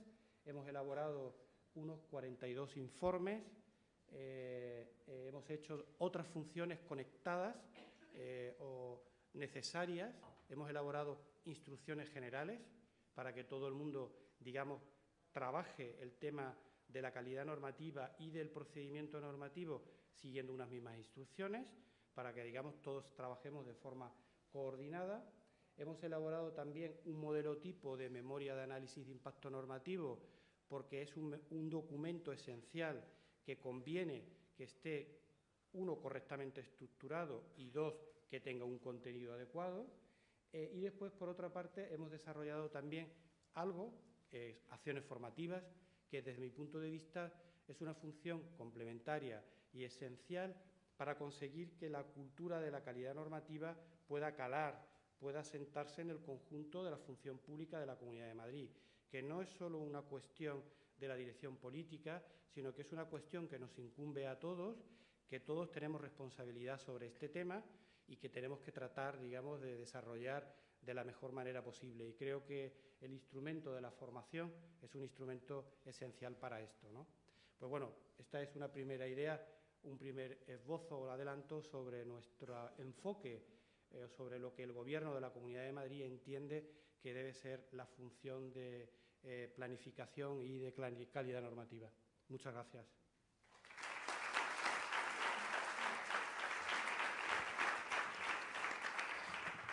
Muchísimas gracias a, Cayetano. Ser parte de la OCDE tiene sus ventajas. Cuando participamos mucho en estos eventos vemos realmente una diferencia entre funcionarios públicos y académicos. Los académicos tienen más libertad de mente, más libertad de habla, eh, eh, los funcionarios públicos tienen que ser más políticamente correctos y en la OCDE estamos más cerquita a los académicos, por eso es que me atreví a interrumpir. Nos podemos salir con la nuestra. Este, tenemos 12 minutos, se me olvidó comentar esto al principio, tenemos 12 minutos por ponente, entonces a los 10 minutos yo les voy a recordar a cada uno. Aquí con, este, con Ramón no tuve necesidad porque estaba muy apegado al tiempo, Cayetano también muy apegado al tiempo, muchísimas gracias.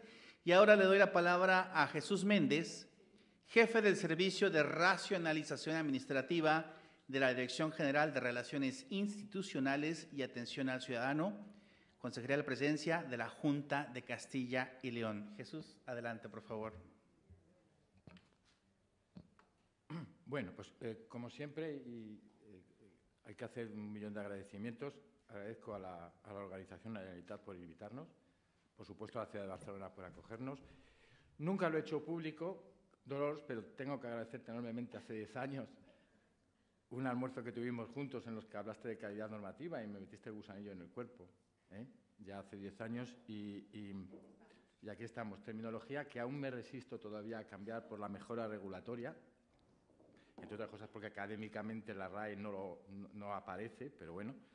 Por tanto, sigo pensando que la calidad normativa y, y en, los, en, la fase embrionaria fuiste tú, evidentemente, una de las, de las artífices y, y hay que hacerlo y reconocerlo.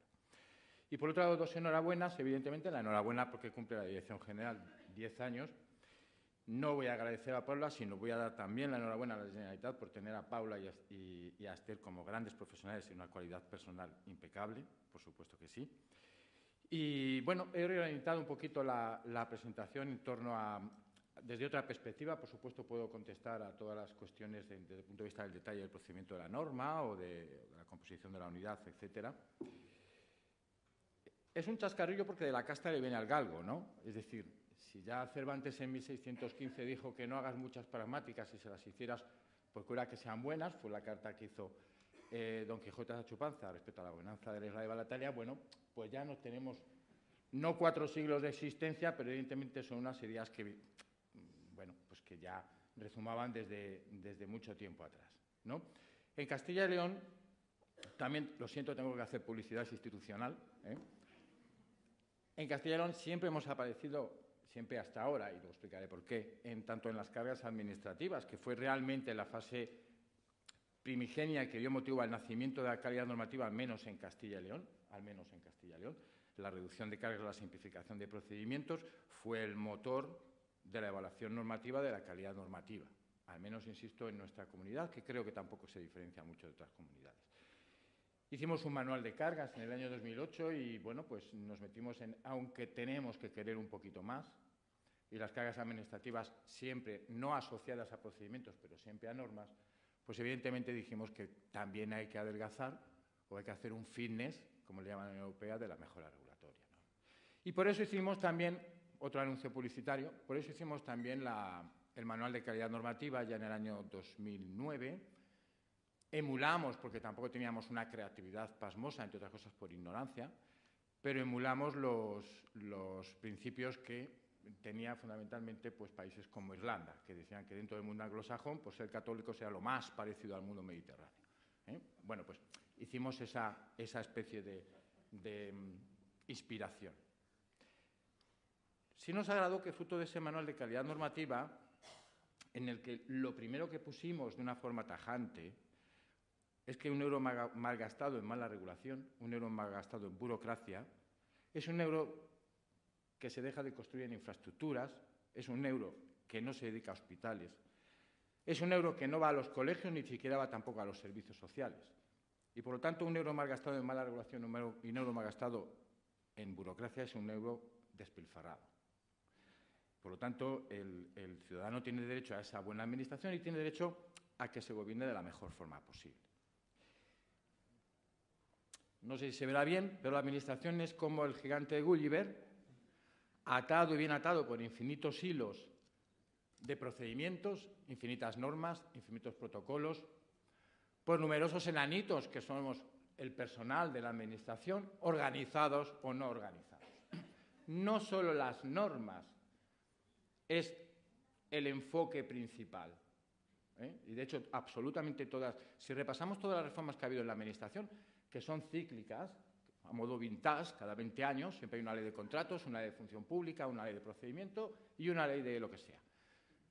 Cada 20 años hay esa reforma, 20, 25 años, y sin embargo siempre nos quiebra en el personal, en la cultura del funcionario, en cómo organizarse. Es realmente donde tenemos que incidir. ¿eh? Comentábamos ayer Dolores y yo, bueno, pues que el mundo nativo digital de ahora, pues algo en lo que tenemos que adelantarnos, pero el personal, evidentemente, del siempre se ha hecho así, de esa inercia y ese, eh, bueno, pues todavía no estamos acomodados. Hay que incidir muchísimo en la cultura funcionarial, muchísimo. De tal forma que en este tablero de ajedrez la calidad normativa forma parte, es una jugada, es una apertura, pero evidentemente para coronar reina hay que mover todas las, todas las piezas. No se puede coronar desde el principio. Y la racionalización administrativa es una racionalización normativa, es una racionalización orgánica y es una racionalización de procedimientos y de personal. Va todo en el paquete. Y no se puede preocupar uno de uno sin mover las fichas en el resto. Bueno, es verdad que he lanzado esa publicidad, ya no estamos en los primeros, es verdad, pero bueno, toca también ser un poco reivindicativos. La, verdad es que lo del streaming y tal, en vez de ser prudente, a mí me envalentona un poco. Mm, el Estado, bien o mal, no lo juzgo, no lo juzgo, pero es como una especie de safety car. El, coche, el coche que va, el Mercedes que sale tan bonito que sale en los accidentes de la Fórmula 1, que sale y todos tienen que colocarse detrás suyo. ¿no? Cuando avanzamos las comunidades autónomas en temas como la calidad normativa, etc., em, es verdad que eh, el Estado, con, buena razón, puede sacar elementos y principios básicos de la mejora, etc. Pero eso nos en algunos momentos, desde el punto de vista básico, nos retiene en determinadas comunidades autónomas. Voy a poner un ejemplo que es absurdo, porque al fin y al cabo, pero los principios de mejora regulatoria, que son los principios que aplaudo, evidentemente, no deben por qué coincidir con los principios que llevamos manejando, no recuerdo la Generalitat, pero por lo menos sí, Castilla y León, desde hace 10 años. A más a más, los principios de la mejora regulatoria que aparecen en la Ley 39 son distintos de los que aparecen en la Ley 2-2010, que es la nuestra. Y tuvimos que hacer la modificación diciendo sí, sí, y además de los del Estado, yo quiero seguir manteniendo la accesibilidad y la responsabilidad como principios de buena regulación. Cuando yo eh, legislo en materia de trabas administrativas, y lo hicimos en el año 2013, pues es verdad que tienes cierto miedo a que seis meses después el Estado sacó, creo, recordar, la economía sostenible con un concepto de traba que no encajaba exactamente con el que teníamos nosotros. Entonces juega ese modo de de coche de prevención, no, se me adelanten, pero no se me retrasen, ¿eh? y eso ni desmotiva ni no desmotiva, solo mm, constata un hecho, ¿eh? que, a veces ese avance que tienen las comunidades autónomas a veces no, encuentra freno, pero sí mm, tiene que remoldearse, que readaptarse al, al quehacer estatal, que por otro lado será su papel, pero mm, tiene ese freno. Y aprovecho además también, si llevamos siete meses ya con la oficina en el Estado, pues para decir aquello de el anillo para cuándo, a ver cuándo nos reunimos, ¿eh? y nos ponemos pronto y, compartimos todas las experiencias que haya que compartir, que por nuestra parte, por supuesto, van a ser todas las que sean. Bueno. El proceso, el proceso de calidad normativa en, el, en, eh, perdón, en Castilla y León, como he dicho, partió de una simplificación administrativa en el año 2009, hicimos el decreto 23-2009 eh, de simplificación de los procedimientos y de la reducción de cargas en Castilla y León, el manual normativo, etc. Esto desembocó en la racionalización administrativa, en un, es verdad, un esfuerzo importante en el año 2010 con el manual de eliminación de cargas, eh, fue cuando se hizo aquella, el método abreviado de evaluación de cargas, del estándar Cosmode, ¿verdad? Tanto ir para el estándar Cosmode y luego al final, en, tres meses, nos desviamos hacia la memoria, a, ese método abreviado. Bueno, junto a la racionalización administrativa, que teníamos clarísimo que no era procedimiento, sino también normas, elaboramos en la LID 2 2010, digamos que consagramos los principios de calidad normativa y empezamos a trabajar de una forma ya no oficiosa, sino legal, ¿eh? desde la perspectiva de, nuestra comunidad. Eso hizo que el apartado de procedimientos estuviera bien, el apartado normativo estuviera bien y nos metiéramos con la estructura organizativa. Había también que racionalizar. La verdad es que Castilla y León en este proceso es hija de su tiempo y tenemos también una idiosincrasia particular y somos muy austeros organizativamente recursos contractuales lo tenemos en el Consejo Consultivo, en el Procurador de Común tenemos eh, todo el apartado de transparencia. Eh, bueno, no en vano tenemos, creo recordar, en el último informe que viene, noventa y tantas eh, organizaciones, cuando hay comunidades autónomas que nos triplican ni cuatriplican. ni lo critico ni lo debato, pero es verdad que tenemos mucha austeridad organizativa. A más a más, tras el informe CORA y todas aquellas instrucciones guion mandatos que se nos dijo en materia de racionalización, bueno, pues eh, se llegó por la Junta de León a un acuerdo del 22-2014 en el que suprimía muchísimos observatorios, mm, restringía muchísimo la creación de los órganos colegiados, etc. Con lo cual, la, la, idea de la oficina de calidad normativa per se estaba descartada.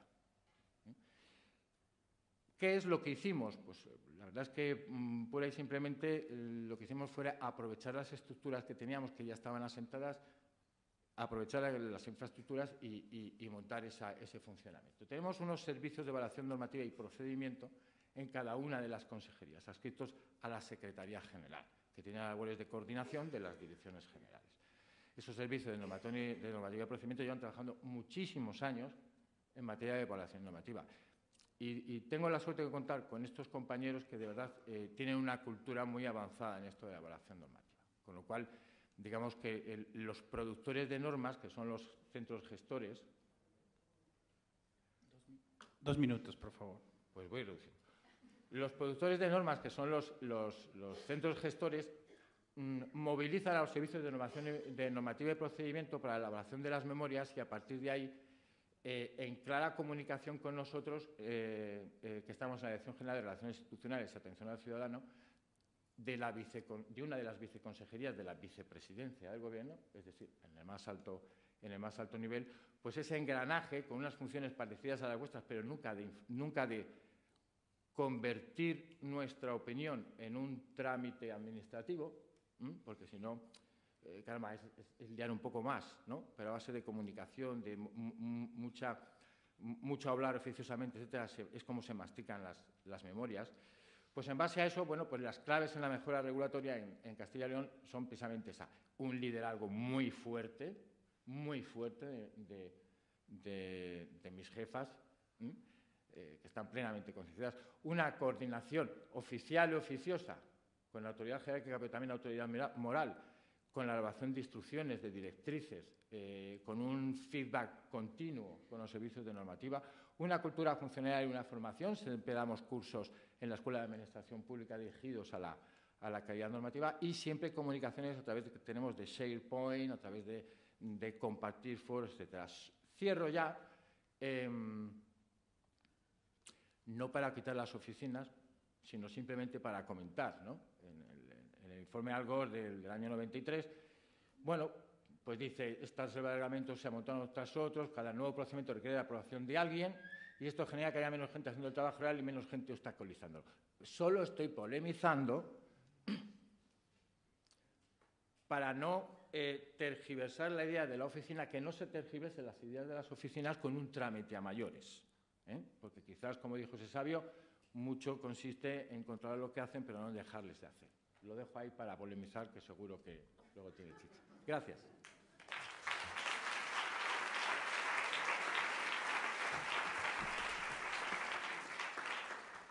Muchas gracias a Jesús Méndez. Y para cerrar el panel con broche de oro tenemos a la señora Esther Diegues, responsable de análisis de proyectos normativos del área de mejora de la regulación de la Dirección General de Coordinación Interdepartamental, Departamento de la Presidencia, de aquí de nuestros anfitriones, la Generalitat de Cataluña. Esther, adelante, por favor. Hola. Eh, bueno, muchas gracias por venir, por vuestras intervenciones. Yo ahora explicaré un poco cuál es la arquitectura institucional en el ámbito de la Generalitat. Eh, de inicio hay que decir que la Secretaría del Gobierno tiene la función de impulso y coordinación, perdón, de impulso y coordinación de la mejora eh, de regulación y que actualmente, actualmente, dispone del área de mejora de la regulación, eh, que, es, eh, que, es, quien ha de implantar los principios e instrumentos de esta política.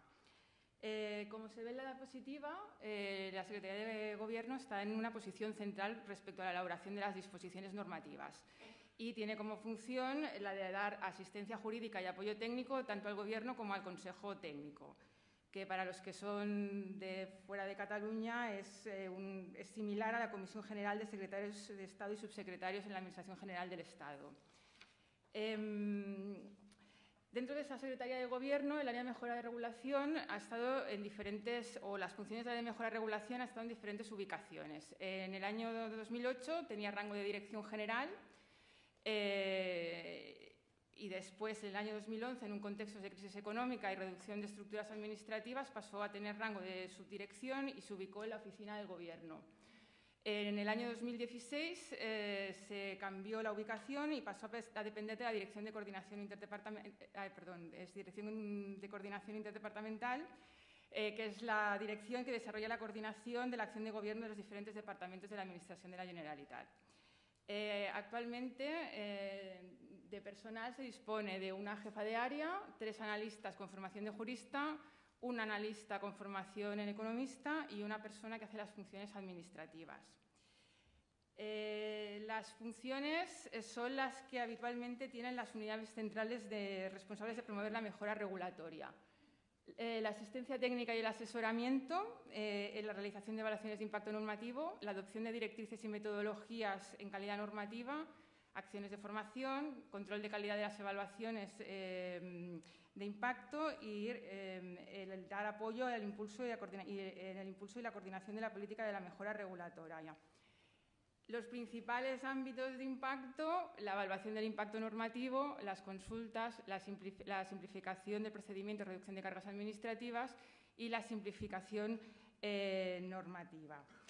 No se consideran funciones propias de la mejora de regulación, aunque después matizaré lo que voy a decir, ni el asesoramiento jurídico de legalidad, ni el asesoramiento sobre la tramitación, ni las consideraciones sobre técnica normativa. Em, de todos estos ámbitos que, sí que son nuestras funciones, tengo que decir que a lo largo de los años los hemos ido ejerciendo de manera diferente, por diferentes motivos. Uno es la propia ubicación de la unidad. Eh, otro, el grado de conocimiento que la organización ha tenido de los instrumentos de mejora regulatoria, que te permite, a medida que la organización los conoce mejor, exigir que se hagan eh, cosas más, eh, más complicadas o más complejas. Y también hay cuestiones meramente coyunturales que ponen determinados temas en la agenda. Por ejemplo, la aprobación por parte del Estado de la Ley 39 de 2015 puso las consultas públicas previas en la agenda y por lo tanto se ha, hecho un esfuerzo muy importante en, implementar este instrumento de política de mejora regulatoria. Sin embargo, me gustaría decir que eh, fundamentalmente el área de mejora regulación, donde ha hecho los mayores esfuerzos y a lo que dedicamos las horas de nuestros días, es a velar por la calidad de las evaluaciones sobre los proyectos normativos eh, que se someten al Consejo Técnico y al Gobierno. El área de mejora de regulación interviene de dos maneras. Bien, porque eh, lo pide la unidad promotora, que desafortunadamente eh, es las menos veces. Invito a, si alguien está tramitando, por favor que nos llame. o bien porque el proyecto comienza la tramitación en el SIGOP, que es la aplicación informática que tenemos de tramitación en el ámbito de la Generalitat.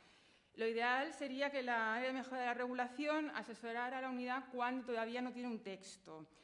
Pero la realidad es que tradicionalmente hemos estado interviniendo en el momento en que ya se ha empezado la tramitación, se dispone un texto y las unidades no están tampoco en disposición de reconsiderar las opciones que están eh, intentando adoptar. Por lo tanto, básicamente nuestro esfuerzo de estos años o los resultados es que tenemos memorias de, evaluación eh, que tienen más información, eh, y que sirven para hacer mejor información pública, sirven para justificar mejor la decisión que se toma ante una eventual impugnación, pero mm, eh, nos falta eh, incidir en, el tema de la evaluación. También quiero destacar en este momento que el área de mejora de regulación no hace informes preceptivos, sino que lo que se dedica es a, revisar las evaluaciones y cuando considera que las evaluaciones no tienen la calidad necesaria, se hacen observaciones para intentar mejorarlas. Esta legislatura, uy, perdón, esta legislatura intentando cambiar un poco la dinámica de lo que estamos intentando hacer, se quiere aprovechar que las consultas públicas previas eh, se hacen en un momento en que no debería haber texto, cosa que también recuerdo, no debe haber texto hecho. Em, entonces, cuando se plantea la consulta al Gobierno, eh, el área de mejora de regulación intenta sobre todo mejorar en el documento de evaluación que se consulta eh, eh, cuál es el problema que se quiere resolver, los objetivos y las opciones que se quieren plantear. Y también se están haciendo observaciones de diseño de consulta que se han pactado con la Subdirección de Calidad Democrática en relación a cuánto debe durar una consulta para ser efectiva, las preguntas que debe hacerse a los ciudadanos para que eh, uno obtenga las aportaciones que quiere obtener de la consulta. Eh, ya está. Y estamos haciendo como novedad unas nuevas observaciones que son inmediatamente después de la finalización de la consulta, para recordar a las unidades que deben incorporar en su evaluación eh, las aportaciones que realizan los ciudadanos en la consulta pública previa. También eh, estamos eh, sugiriendo qué tipos de impactos eh, deben, tener deben tener las evaluaciones que, presenten en la memoria de evaluación. Y se explica también un poco la, sistemática de la memoria de evaluación y cuál debe ser la lógica interna que debe haber. Y la idea es que a partir de ahora, cuando empiece la tramitación, nosotros hagamos las menos observaciones posibles, pero en todo caso quiero incidir que para nosotros es muy importante que se identifiquen bien los impactos relevantes de la norma, los que sean de la norma que sea, y eh, que haya una, auténtica comparación de opciones, que se haga un esfuerzo en comparar las opciones, no que se haga un esfuerzo únicamente en justificar que la opción que tomamos es maravillosa y estupenda. Em, he puesto también una diapositiva con el tipo de observaciones que, estamos, que hicimos la legislatura pasada eh, que como se pueden ver son básicamente sobre eh, evaluación. Eh, como se ve al final, hemos puesto de texto y de tramitación. Normalmente las, observaciones que se hacen de texto y tramitación están relacionadas con la propia evaluación. Por ejemplo, de texto solemos hacer cuando la opción propuesta no encaja, por ejemplo, con una norma de rango superior y, por lo tanto, difícilmente será adoptable. Y de tramitación, eh, por ejemplo, hacemos cuando, por ejemplo, mm, hay un tema de competencia y sugerimos que se eh, pida un informe a la Autoridad Catalana de la Competencia para que les ayude a eh, mirar, a, aprofundir en los, informes que, que, se hacen. Em, otras funciones de la unidad son pues, recopilar los datos sobre las evaluaciones, eh, los analistas recopilan los datos de las evaluaciones a los efectos de poder hacer informes, que están todos colgados en la web eh, de mejora regulatoria. Eh, también una función esencial es informar sobre los asuntos del Consejo Técnico y del Gobierno. se informa al secretario de Gobierno, a la directora, a la oficina de Gobierno y se informa sobre la, propia evaluación, sobre qué nos está explicando la unidad que entiende que serán los efectos de la norma. Em, también eh, los analistas, cuando se, finaliza una norma, introducen, eh, cuelgan la memoria, de evaluación y, la identificación de las cargas administrativas en una aplicación que tenemos que se llama SICAT, que está abierta a todos los departamentos y, y consta allí un repositorio que se puede utilizar para hacer análisis de las normas. Se realizan jornadas, cursos y sesiones como la de hoy eh, y se actualiza habitualmente la web y la intranet. Y he dejado para el final em, las funciones de realizar nuevas metodologías y de coordinación e impulso de la política de regulación, que son em, funciones que normalmente requieren mucho tiempo, que requieren muchas horas de trabajo y que requieren mucho consenso en general con las em, otras unidades de esta administración y hay una ejemplificación del tipo de cosas que se están, em, que se están en las que se está trabajando ahora mismo. Eh, aprovecho que se citan cosas que aparecen en otras unidades para dar las gracias a toda la gente que eh, nos ayuda a intentar hacer mejores normas y que nos sigan ayudando. Muchas gracias.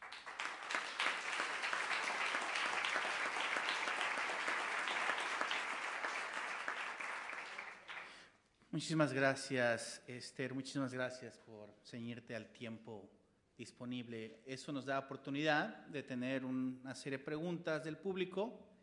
Eh, solo agradeceré que sean en castellano, dado que yo no leo catalán, y ver si hay preguntas del público para nuestros panelistas. ¿No? ¿Todo muy claro? Bueno, yo quisiera abrir la mesa con una pregunta. A ver, ¿ya acá tenemos?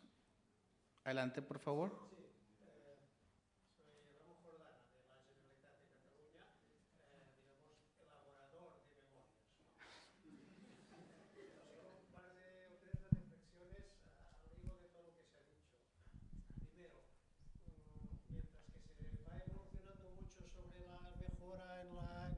normativo,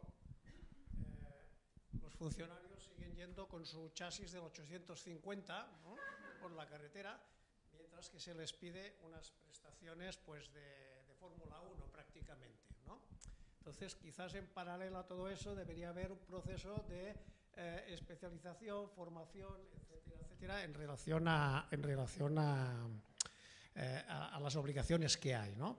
Porque se, se, nos pide, digamos, que seamos poco menos que Dios, ¿no? Porque debemos saber todo. Debemos hacer normas eh, útiles, eficaces, económicas, eficientes dentro del presupuesto, que no tengan un impacto negativo, eh, que sean, digamos, eh, con perspectiva de género, que sean mm, intergeneracionales ya, porque hay que pensar en el futuro, que no afecten al clima, que no afecten, etcétera, etcétera, ya se ha visto antes. Y además, cuando ya lo tenemos hecho, que esto es fácil, ¿no? Todo esto, después eh, analizar todas las versiones alternativas posibles para esto. ¿no? Entonces, eh, al, hilo de esto, simplemente eh, el hilo de esperanza es que dentro de la mesa, en varias ocasiones, desde la academia y desde la propia administración, se ha ido ya dando avisos sobre no nos estaremos pasando, no, no, no, deberíamos hacer una selección de cuáles de las normas son importantes y deben hacer este proceso y cuáles otras eh, son de una categoría suficientemente menor o controlada simplemente para que no haga falta todo este proceso entero, porque hay muchas cosas, digamos, que no parten de cero. No es decir, eh, descubrimos la Antártida y vamos a hacer una nueva normativa desde cero y hay que consultar, etcétera, ¿no? Eh, se ha dicho. Bueno, quisiera interrumpir aquí porque no hemos escuchado la pregunta. Si no hay pregunta, pasamos a la siguiente. Perdón, pues eh, simplemente eh, mi pregunta sería muy insidiosa. Cuando hagamos la normativa perfecta, ¿harán falta los políticos o podremos suprimirlos? Porque la norma ya estará perfecta. ¿Algún valiente que quiera responder? ¿O, alguna valiente? Sí, no, a esa no, a esa no. Pero sí a lo de si nos estamos pasando o no. Y efectivamente eh, la, el análisis, la parálisis por análisis y lo que comentábamos antes en la, en la, en la mesa anterior. Nosotros estamos trabajando en, los, en lo que estamos denominando informes de pertinencia.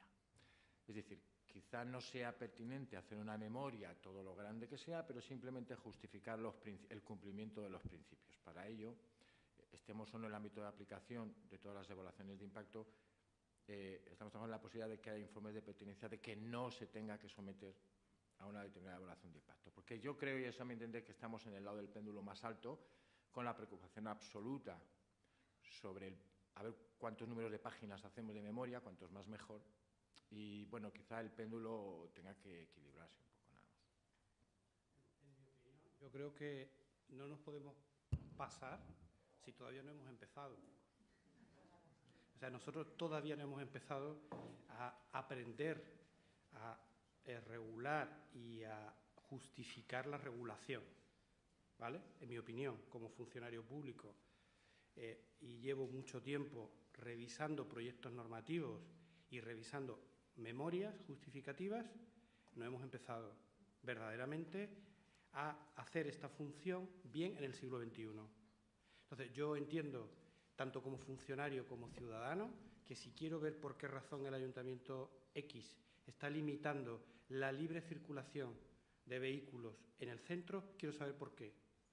Y si quiero saber por qué, voy al portal de transparencia y lo leo en la MAI. Eso no es un gran esfuerzo, es un esfuerzo razonable. Yo creo que es un esfuerzo sensato. Y no se trata de que no esté justificado prohibir. El Ayuntamiento de, Madrid o cualquier otro tiene opción política para decidir esto, pero yo quiero conocer las razones por qué esto. ¿Por qué en el centro de Madrid, no en toda la ciudad de Madrid, por ejemplo? ¿Por qué en el centro de Madrid y no en las zonas más contaminadas? Quiero conocer las razones de por qué una administración o un gobierno toma una decisión política que afecta a la ciudadanía o afecta a las empresas.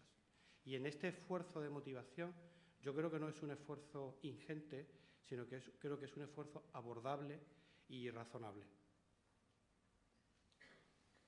Yo, a mí me gusta, bueno, porque somos de la casa, me gustaría decir también que cuando el área de mejora regulación eh, revisa eh, las normas y decide hacer observaciones o no, tiene muy en cuenta siempre el principio de proporcionalidad. No se miran las, igual las normas que es una reestructuración de un departamento que las normas en las que hay incidencia económica gravísima, como puede ser una ley de comercio. No, estamos en la misma situación, no afectamos a la misma gente. No, estamos, nosotros no estamos pidiendo exactamente lo mismo en un sitio que en otro. Y eso de entrada, a lo mejor damos una sensación equivocada, pero no estamos pidiendo, y, y lo reiteramos en todas las observaciones, sobre todo el principio de proporcionalidad, porque eh, lo que tampoco queremos desgastar es a la gente que hace memorias. Y a veces, hay que decir, mm, a ver, yo antes lo comentaba con unos compañeros, esta semana me ha llamado alguien bastante desesperado con la memoria de evaluación. Mm, bueno, cada uno, tiene, cada uno tiene su trabajo, cada uno tiene sus funciones. Nosotros intentamos, desde el área de mejora regulación, no ser impositivos, sino ayudar el máximo posible a la gente. Por eso también he dicho que yo de verdad insisto, por favor, llamadnos antes de, empezar a tramitar, porque cuando uno está en el 3A, que tiene que ir al Consejo Técnico, que tiene que ir a Comisión Jurídica Asesora, entonces sí que todo es horroroso y todo es espantoso y hacer muchos documentos, pero si a nosotros nos llamáis antes, cuando estáis pensando en cómo hacer la norma, cómo hacer la consulta, pues todo para, para todos es mucho más fácil, mucho más relajado y seguramente muchísimo más útil. Lo dejo ahí. ¿Ya ven cómo si es terapia de grupo? Siguiente pregunta, una más acá de este lado, por favor. Eh, un micrófono, si es tan amable. Felicitar a, los, a la mesa. La pregunta es, para el señor Flores es muy clara. Em, ¿Sus unidades están considerando incorporar la perspectiva, lo ha mencionado el primer ponente de OCDE, del nudging y del em, Derecho y Economía Conductual en sus eh, diferentes eh, aproximaciones. Y con permiso del ponente, una observación sobre esto. ¿eh? Y con lo que acaba de decir, el, que creo que era una buena pregunta. Es decir, se están generando unidades parecidas a las suyas en Europa. Hay un informe del año 16 de la Unión Europea donde se están incorporando estas aproximaciones que vienen de la psicología cognitiva, etc. Esto, por tanto, es 2.0. El, anterior interveniente se ha referido al 850. Para los eh, asistentes extranjeros era un coche entrañable, mi primer coche fue un 600, que no se caracterizaba por su rapidez. ¿eh? ¿Le podemos pedir a la Administración que vaya a 100? Hombre, yo creo que podemos. a 2000, no lo sé. Pero esto ya es ir a 2000. Otras administraciones, y en Cataluña queremos eh, ser los mejores, ¿no? ya están haciendo no solo lo que parece tan extraño, sino incorporando otras aproximaciones, es decir, complejizando todavía más e intentando alcanzar buenas regulaciones. Yo creo que su observación tiene un problema de confusión, que la tengo yo, ¿eh? la confusión también, entre política, derecho y administración. Siempre va a ser necesario que desde la política se adopte la política pública final. Lo que ya no es tolerable en el siglo XXI es que ningún político piense que por el hecho de tener el poder político pueda hacer lo que quiera de cualquier modo. Yo he citado varias veces el derecho a una buena administración. Hace 30 años que se está diciendo exactamente eso, que quien tiene la capacidad para decidir y la legitimidad no puede decidir cualquier cosa de cualquier modo. Y esto es un cambio cultural que tiene que ver con lo que decía la señora Revuelta del concepto de discrecionalidad administrativa. Entonces, yo creo que hay temas profundos aquí implicados. Gracias. Muchas gracias. Eh, quisiera hacer una eh, pequeña intervención. Eh, estos temas de economía conductual, economía del comportamiento, psicológicos que entran en esa parte, behavioral insights, como lo llaman en inglés, es un área sumamente novedosa. Eh, pocas instancias de gobierno aún la han adoptado. Eh, inicia el Reino Unido como parte de una oficina de gobierno. Eh, con un cambio de gobierno ellos salen y se crean una entidad semipública en donde ahora ellos dan asesoría y consultoría alrededor del mundo y esto ha inspirado a otros gobiernos como Estados Unidos, la propia Comisión Europea, a iniciar en donde nosotros como se le llamaríamos programas pilotos. Creemos que es un, eh, un enfoque sumamente complementario y útil al tema de eh, calidad normativa, de política regulatoria, de mejora regulatoria, que en, pone en la mesa un menú de opciones más amplias para lograr los objetivos de política pública. Entonces, este, pues bueno, nosotros no esperamos todavía que, los colegas aquí de la mesa ya lo estén tomando, porque realmente apenas los países de la OECD lo están tomando y, estamos en, en, la época de infancia. Y esto me lleva al siguiente tema que yo mencioné ahorita de política pública. En el castellano, y supongo que en el catalán, tenemos un problema en donde la palabra política es tanto policy como politics. Necesitamos separar esas dos, aunque sabemos que en el fondo están muy unidas. Pero eh, algo que hemos escuchado aquí sumamente eh, parte de todos los discursos y todas las presentaciones, pero que no se ha hecho de una forma explícita, es que la normativa, la regulación tiene que servir un objetivo de política pública, un policy objective, y este tiene que ser fidedigno, legítimo, es decir, que esté basado en evidencia, evidencia de que hay un problema, evidencia de que el problema requiere que se le dé una solución, evidencia de que está justificada la acción de gobierno, y evidencia de que la normativa es la mejor opción de las distintas alternativas. Entonces, si se va a prohibir la circulación de vehículos en el centro de Madrid, es porque hay un problema. ¿Cuál es? ¿Y realmente la solución que se plantea lo va a abordar? ¿Y realmente el gobierno tiene que entrar hacia ello?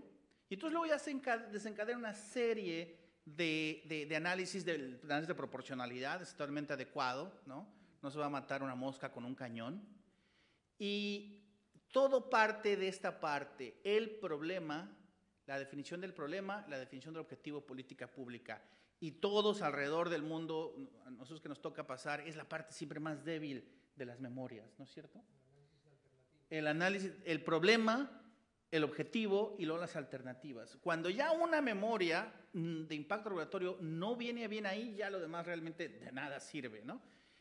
Y ahí es donde está la parte significativa. Más allá de que luego ya se pida a las eh, agencias de gobierno, a las oficinas, oye, revisa cuál es la normativa a nivel Europa, cuál es la normativa, la normativa a nivel Alemania que se debe hacer, ¿no? Pero estas partes son básicas porque de ahí, de ahí se define si realmente la regulación se justifica o no se justifica. Eh, ¿Quieres dejar a los colegas de la mesa reaccionar ante este punto? si gustan, para antes de finalizar. Bueno, eh, yo compartimos esa preocupación. Realmente, en, la, en, en la decisión de, bueno, excepto cuando estamos ejecutando o transponiendo derecho de la Unión Europea, que digamos la fase de la decisión se tomó en otro lugar y antes. Pero efectivamente, la decisión de legislar debería basarse en tener muy clara la motivación el, y el análisis de alternativas. Incluso una alternativa que no, eh, no suele citarse en las memorias, que es no hacer nada, no legislar. Bueno, eso eh, yo lo dejo aquí. Quiero decir, intentamos transmitir la importancia básica del punto primero de nuestras memorias, que es el análisis de alternativas, eh, que su primera epígrafe es motivación, fines, alternativas, para llegar luego a principios de buena regulación o el plan anual normativo.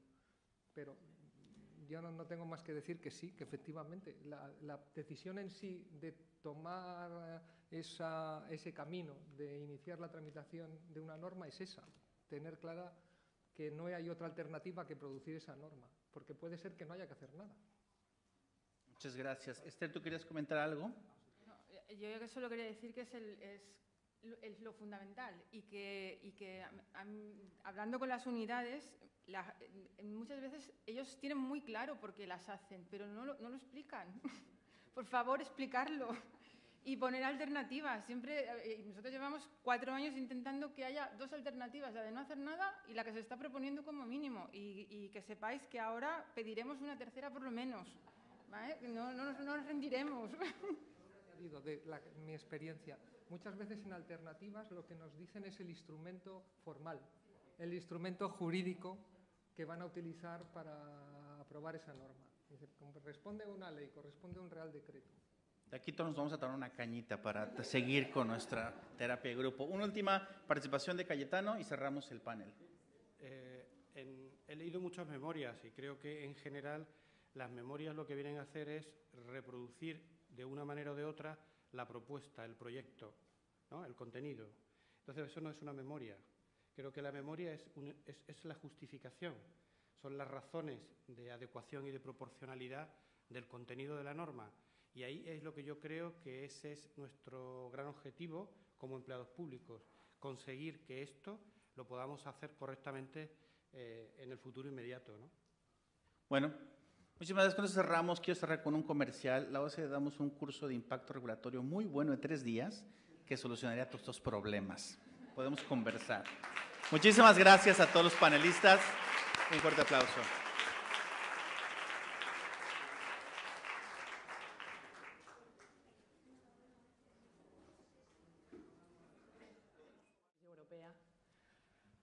Són moltes les, les iniciatives que van precedir a, aquest moment i que avui també voldríem recordar, eh, encara que sigui com un apunt, perquè eh, abans va, el grup de, de, d'estudis de tècnica legislativa Gretel, eh, doncs, que van ser pioners en els anys 80 del segle passat i que van inspirar tots els manuals i directrius adoptats a Espanya en aquest sentit, els estudis sobre l'avaluació de les normes i la factibilitat eh, de la professora Montoro, la nostra llei 1389 de procediment administratiu i règim jurídic capdavantera i també no me'n voldria oblidar el Manual d'Elaboració de Normes de l'Administració de la Generalitat de 1992, elaborat pel Comitè Assessor per a l'Estudi de l'Organització de l'Administració, que alguns companys d'ells crec que ens acompanyen avui, i que aquest manual ja va preveure una de les preguntes més bàsiques de la tècnica legislativa del moment, que era reflexionar sobre la necessitat i les alternatives de la regulació proposada. Estem parlant de l'any 92 i, per tant,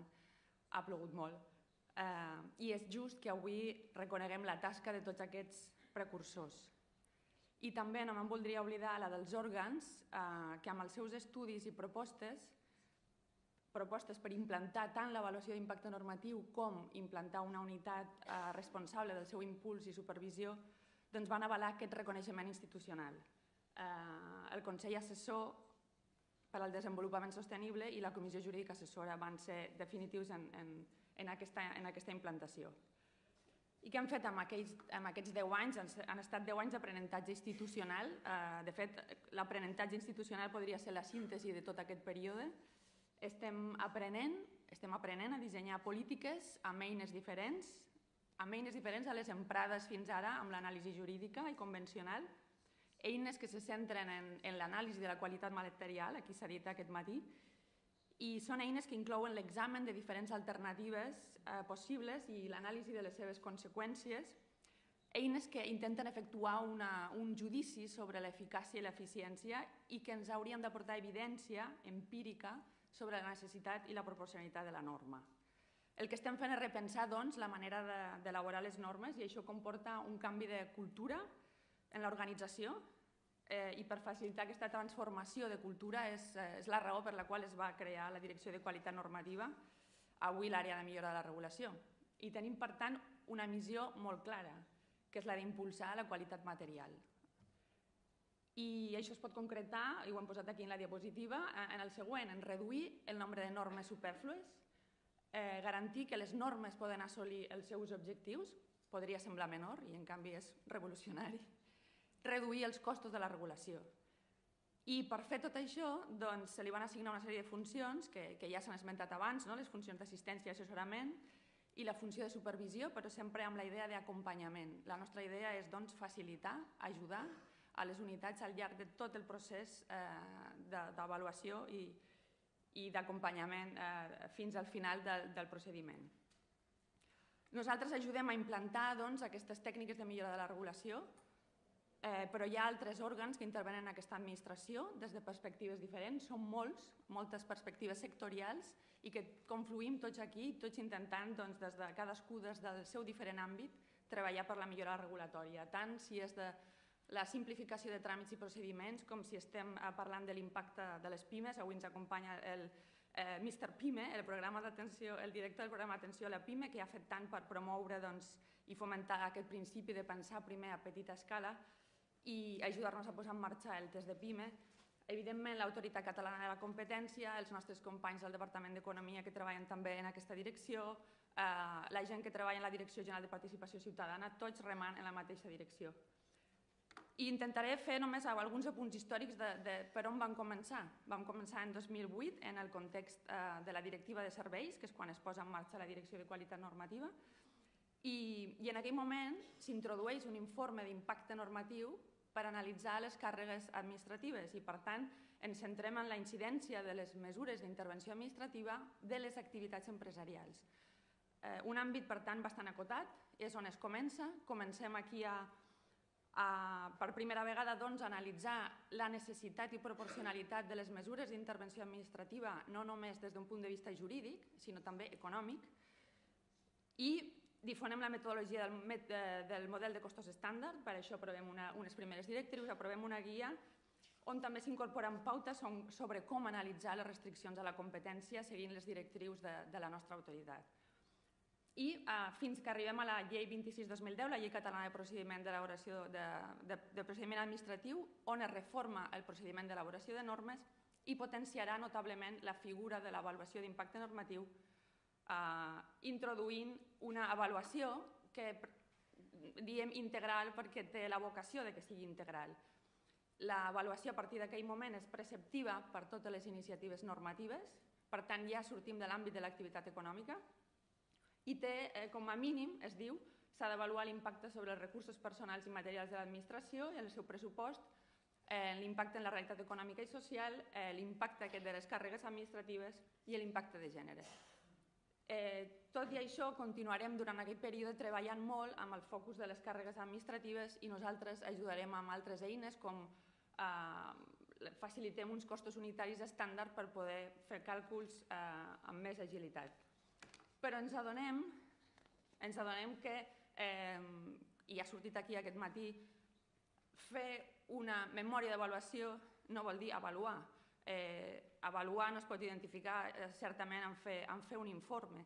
I el que pretenem amb, amb, aquesta, amb aquesta idea que comencem a partir de 2014 és introduir els elements bàsics de l'anàlisi del procés d'avaluació en la memòria d'avaluació. Que s'entengui que eh, això és una, una operació d'anàlisi global i interrelacionada i, per tant, en cap moment una memòria d'avaluació pot ser una compilació d'informes, això també ho va dir el Consell d'Estat i ho ha dit la nostra Comissió Jurídica Assessora, No es tracta d'anar afegint informes sectorials, es tracta de tenir una visió global eh, de, quin és el, de quin és el problema que volem resoldre i cap a on volem anar i plantejar-nos alternatives.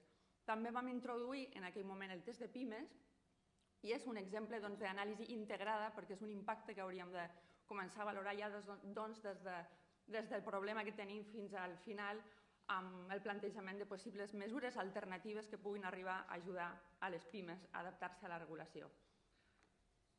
Això ha sigut una panoràmica molt ràpida del que hem fet amb l'avaluació d'impacte normatiu, però ara us volia també eh, apuntar que des de 2016 estem treballant amb la simplificació normativa, hem comptabilitzat totes les normes de competència de la Generalitat, que són més de 23.000, i el que vam fer, eh, com veieu aquí, són 624 normes amb rang legal, més de 6.000 decrets i més de 16.000 ordres. Eh, fins al 2016 només 4.000 s'havien derogat i el que vam fer nosaltres en, en aquest pla de simplificació normativa és revisar les 624 normes amb rang legal revisar-les totes des del punt de vista de la vigència. Això no és avaluació ex post, això només és saber què és el que tenim vigent per, per després poder fer avaluació. I en vam derogar 200, n'hem derogat 200 de manera expressa i per tant doncs, això ens obre ja eh, doncs un, un terreny de dir s'ha disminuït el corpus jurídic, sabem exactament què és el que podem avaluar ex post. I tenim una tasca per davant ara per continuar amb tots els reglaments i amb totes les bueno, ordres i decrets eh, amb, amb una tasca ingent de revisió de la seva vigència. També que hem fet en aquest període? Ha estat, com ja s'ha dit, introduir la consulta, la consulta prèvia.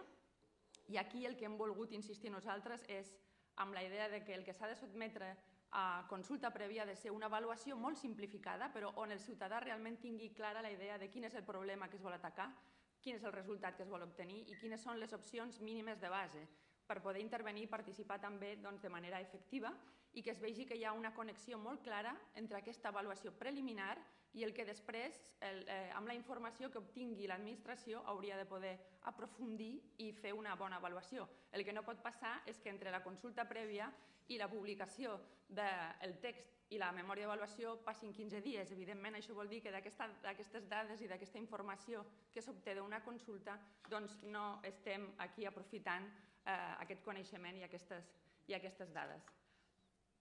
Us vull posar aquesta diapositiva perquè es vegi com estem avançant realment i estem, en el cas de l'anàlisi de càrregues administratives, eh, estem quantificant i estem quantificant perquè eh, un 80, més d'un 80% dels projectes normatius eh, incorporen una quantificació de l'impacte que tenen les càrregues administratives per les empreses i això, per tant, és, és una dada que, que estem fent les coses i estem, i estem treballant. S'han fet grans avanços, com a mínim, en la quantificació d'aquest cost. Ja ens agradaria que tots els costos de la regulació es poguessin mínimament eh, valorar, si més no, nosaltres, a més a més, com ja s'ha dit també, incorporem les, els resultats d'aquestes avaluacions en una, en una aplicació que està a disposició de tots els departaments i que permet fer un seguiment i una mono, monitorització perdó, eh, d'aquests costos i això els ajuda a ells també a reflexionar eh, i també fins i tot a poder després eh, introduir possibles reformes.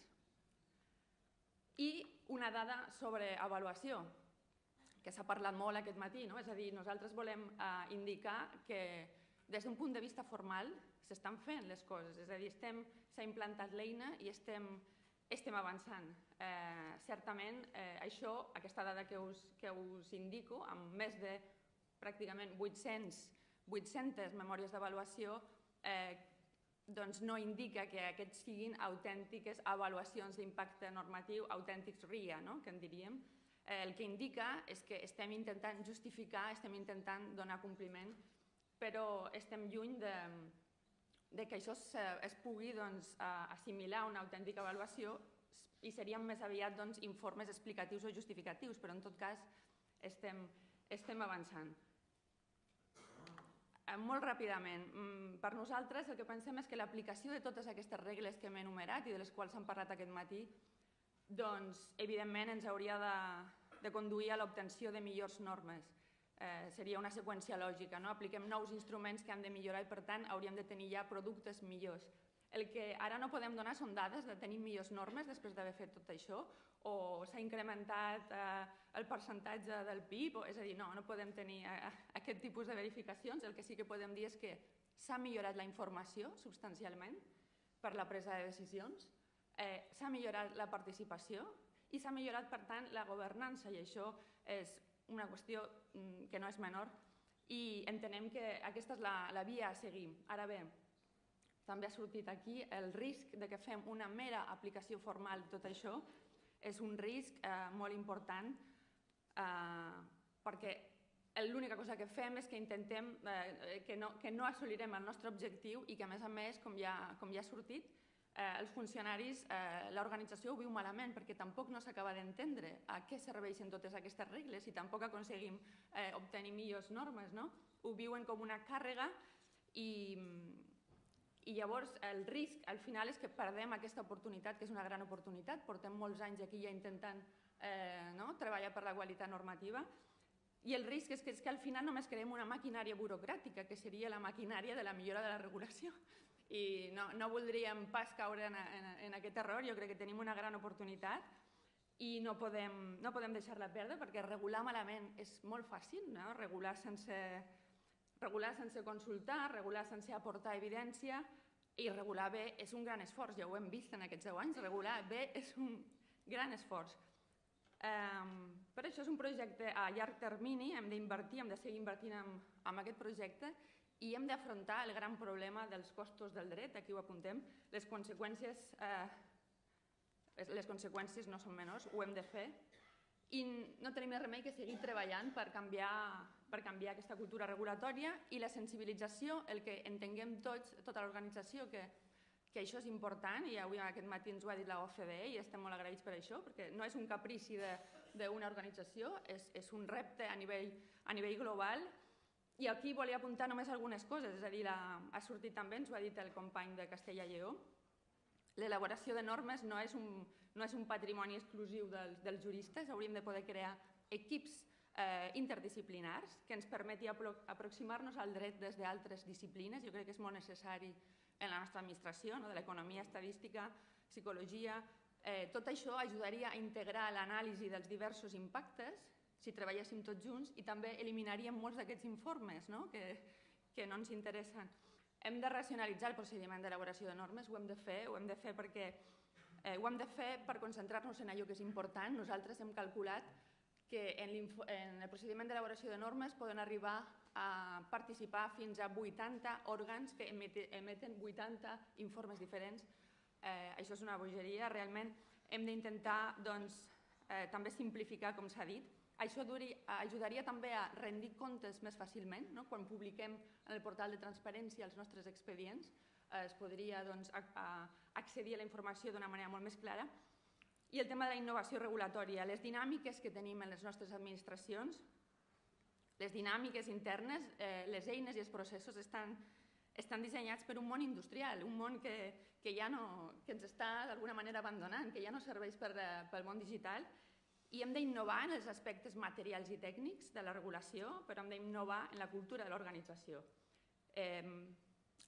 Molt ràpidament només eh, dir que en el cas de l'avaluació ex ante, nosaltres no aspirem aquí com a gran ambició eh, a desenvolupar una anàlisi cost-benefici, no és la nostra meta, aspirem eh, de manera més modesta, perquè és molt realista, a, a fer, a desenvolupar una autèntica anàlisi d'alternatives i impactes, ja aplicar la metodologia que en cada cas sigui més adequada, perquè eh, només en què sapiguéssim, eh, si almenys sapiguéssim que les solucions que estem proposant, les noves solucions, són millors que les que tenim en l'actualitat, són més efectives i menys costoses, ja hauríem avançat molt.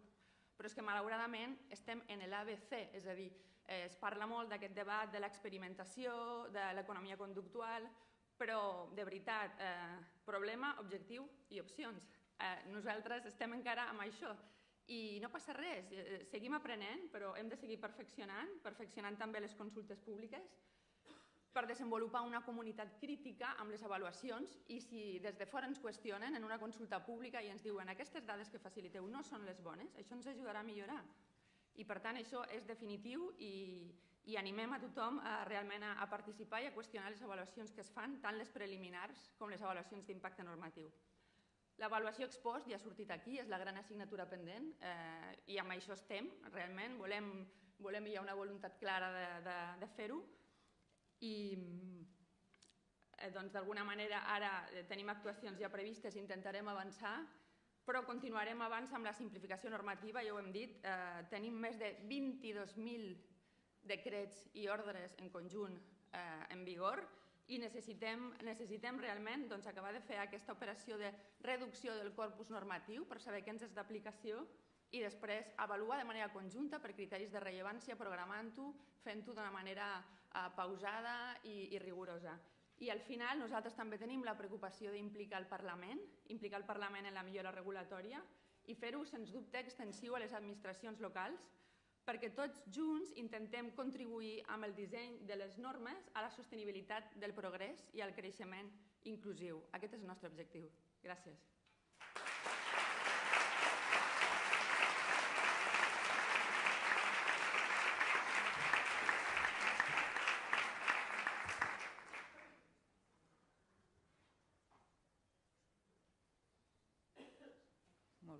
Doncs ara, eh, per cloure l'acte, el senyor Víctor Collell, secretari del Govern, doncs, eh, farà la clausura. Molt bé, moltes gràcies. Des del Departament de la Presidència, encara que no ho sembli, impulsem el tema de la reforma horària entre altres coses, sempre eh, ens proposem que el conjunt d'actes i jornades que es fan aquí al Palau no acabin més enllà de dos quarts o tres quarts de dues. Crec que avui eh, ens posaran semàfor, en semàfor taronja, però vaja, en qualsevol cas, crec que ha, valgut, ha valgut la pena. Eh, primer de tot, eh, agrair, com no, doncs, eh, la presència de tots, de tots vosaltres en aquesta jornada, d'una manera especial doncs, a la gent de l'OCDE, el senyor, el senyor Malixef i el senyor Manuel Flores eh, i a la resta de ponents i col·laboradors que, que ens han pogut acompanyar avui. També d'una manera molt especial doncs, a, a la Laia Bonet, eh, que com a secretària de govern doncs, és una de les principals eh, responsables doncs, de que això en l'any 2008 eh, doncs, eh, es comencés a impulsar i que la feina posterior dels secretaris de govern que, que m'han precedit, des d'en Germà Gordó, en Jordi Baget o en Joan Vidal, en Joan Vidal doncs, hagi continuat. I per tant doncs, també doncs, un agraïment especial no només per haver començat aquesta feina, sinó també avui que ens hagis eh, pogut i volgut acompanyar. I, i també mm, a la Paula, eh? la, la Paula, que, que posa, està, està rient, m'encanta quan riu, perquè sempre li dic que va molt sèria. No? Llavors el dia que va entrar al despatx, no? sembla el seu posat seriós, eh, explicar doncs, eh, la idea eh, amb l'Ester de jornada i tot plegat, vaig, vaig intuir que, que jo aniria bé perquè la vaig veure, diguéssim, que quan m'ho explicava eh, somreia i vaja, i va sortir, diguéssim, eh, amb, amb 10 quilos de més del despatx, eh, perquè va sortir amb la sensació de dir, escolta, això ho podem fer, ens ho creiem, i a part, doncs, insistim doncs, eh, amb la col·laboració de la, de la gent de l'OCDE, que per nosaltres, òbviament, doncs, és referència, però sobretot ens honora també que ens referenciïn a, a nosaltres en aquest sentit per la feina que es va fent d'aquests anys. Jo em toca un punt, diguéssim, la part avorrida en el sentit d'intentar fer una mica de recull del, del que hem anat explicant. Eh, des, de, des del director de la Divisió de Política Regulatòria de l'OCDE s'ha intentat eh, d'alguna manera sintetitzar les, les principals eh, recomanacions internacionals eh, que, hi ha, que hi ha en aquesta, manera, en aquesta matèria, d'una manera especial doncs, eh, amb, fer efectiu amb, amb instruments eh, reals i estructures organitzatives doncs, eh, la bona regulació. Hem conegut també doncs, una visió o una opinió crítica de com s'està implantant aquest, procediment, aquest procediment d'elaboració de normes eh, pel conjunt de les diferents eh, administracions públiques i també hem tingut eh, la visió de primera mà del funcionament de les unitats eh, administratives que impulsen i supervisen l'aplicació d'aquests eh, instruments. Per tant, en qualsevol cas, hem fet un, petit repàs del que s'està fent, però també hem volgut eh, marcar doncs, el, algunes fites d'allà on es vol anar. Sens dubte cal apostar per una regulació intel·ligent que alliberi eh, recursos cap a la societat i generi condicions eh, de, creixement, eh, de creixement econòmic És a dir, que el marc jurídic sigui de qualitat i que, per tant, doncs, aquesta regulació no busqui posar obstacles, com el que es deia abans, sinó que eh, busqui ser eh, més eficients i simplificar eh, processos i reduir càrregues administratives. Eh, de fet, la consellera crec que s'hi ha referit aquest matí i aquí ve, ve la part, diguéssim, política que abans reclamava d'alguna manera el, el senyor Jordana, en el sentit de jo no sé si anem amb un 850 i hem d'anar amb un Ferrari, però el que sí que vull que quedi clar és que tenim uns bons conductors, eh? perquè mentre hi hagi bons conductors com, com tu mateix o, o, la Paula o la gent de la Direcció General de Coordinació Interdepartamental o la gent de l'Oficina de Govern o de totes les unitats administratives que d'alguna manera hi participeu, doncs la veritat és que els, eh, bueno, anem un punt, un punt tranquils si podem canviar de cotxe o de xassis, eh, sempre serà millor. Eh? Tampoc eh, cal anar a buscar el Ferrari, però en qualsevol cas sí que és una reflexió que l'he trobat, trobat oportuna i també ho volia apuntar. En qualsevol cas, eh, ja dic, com, com segurament ha apuntat la consellera aquest matí, necessitem dissenyar esquemes eh, reguladors que siguin suficientment resistents eh, per protegir la societat dels danys i també prou flexibles per facilitar el desenvolupament de nous eh, models eh, econòmics, eh, nous models de negoci perdó, que, que d'alguna manera ajudin doncs, al, al, al context eh, econòmic. Tot plegat, el, el repte ara mateix que tenim eh, com a govern de la Generalitat, nosaltres ens proposem, diguéssim, tres grans fites o tres grans objectius eh, en relació a la qualitat normativa i que ja hem recollit, ja hem recollit en, el, en el pla de govern que es va aprovar recentment a finals de setembre. Eh, per una banda, eh, una nova llei per actualitzar el procediment d'elaboració de normes i incorporar totes les novetats eh, que s'han vingut produint durant aquest temps per clarificar l'exigència de dur a terme una avaluació d'impacte integrada eh, i també que et serveixi també per racionalitzar els tràmits de procediment i adaptar-se sobretot a, la tramitació, a la tramitació electrònica. També hem de fer una actualització normativa pel que fa, diguéssim, el que nosaltres diem els, els, els entorns o el context que acompanyen aquestes normatives, que en aquest cas, en el cas de la Generalitat, és l'EADOP i el propi eh, diari oficial de la Generalitat, que són eh, els mitjans de publicació oficial més eficients que tenim en el nostre, en el nostre entorn administratiu. El segon element és eh, un nou pla de simplificació normativa.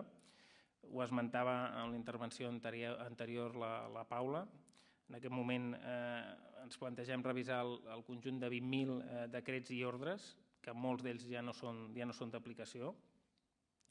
Eh, ella m'explicava no, que històricament eh, aquí eh, la tendència és anar, és anar acumulant, no? és a dir, eh, prioritzar la creació de noves lleis, eh? per tant anem acumulant, anem acumulant carpetes, eh, sobre la, sobre, i no, no, no ens centrem diguéssim a revisar la legislació obsoleta o que ja no ens serveix i que segurament doncs, és, és del tot innecessària. No? Per tant, doncs, aquest pla de simplificació normativa d'alguna manera ens ha d'ajudar a reduir aquestes carpetes, aquestes piles. Eh, ens hem posat una xifra eh, que mirarem d'assolir, eh, que és de, en el conjunt de decrets i ordres, en el conjunt de normes, doncs, intentar reduir un, al voltant d'un 40%, per tant ho situaríem al voltant d'una xifra de, de 10.000. I finalment un pla d'avaluació ex post que ens permeti programar de forma sistemàtica la seva revisió de la normativa vigent, eh, centrant-nos eh, en aquelles que produeixen uns impactes eh, més rellevants i que en aquests moments eh, tenim la sensació que estan produint uns efectes eh, no, no desitjats. En aquest sentit, el, el, el portal jurídic de l'EADOP, que abans l'esmentaven, doncs, eh, s'està treballant perquè acabi sent eh, d'alguna manera l'espai, el lloc centralitzat on es pugui recollir la majoria d'informació eh, en relació als expedients normatius que es van treballant i, per tant, sigui el lloc on la ciutadania pugui, eh, acollir eh, pugui acudir d'una manera doncs, eh, pràctica eh, en el el procés d'elaboració i d'avaluació d'aquestes normes. I per acabar, eh, doncs, tornar a insistir en la idea clau del que ha estat d'alguna manera flotant en aquesta jornada, de, de, de continuar treballant per tenir una, una, bona, una bona regulació i que aquesta feina doncs, sigui acompanyada per tots vosaltres, per, des de la vessant tècnica, des de la vessant més acadèmica, des de la vessant eh, política, però que en qualsevol cas eh, tingui el compromís de tots nosaltres de que sigui pel, pel bon fer i per la qualitat de la normativa. Eh, moltes gràcies i bona feina i a disposar.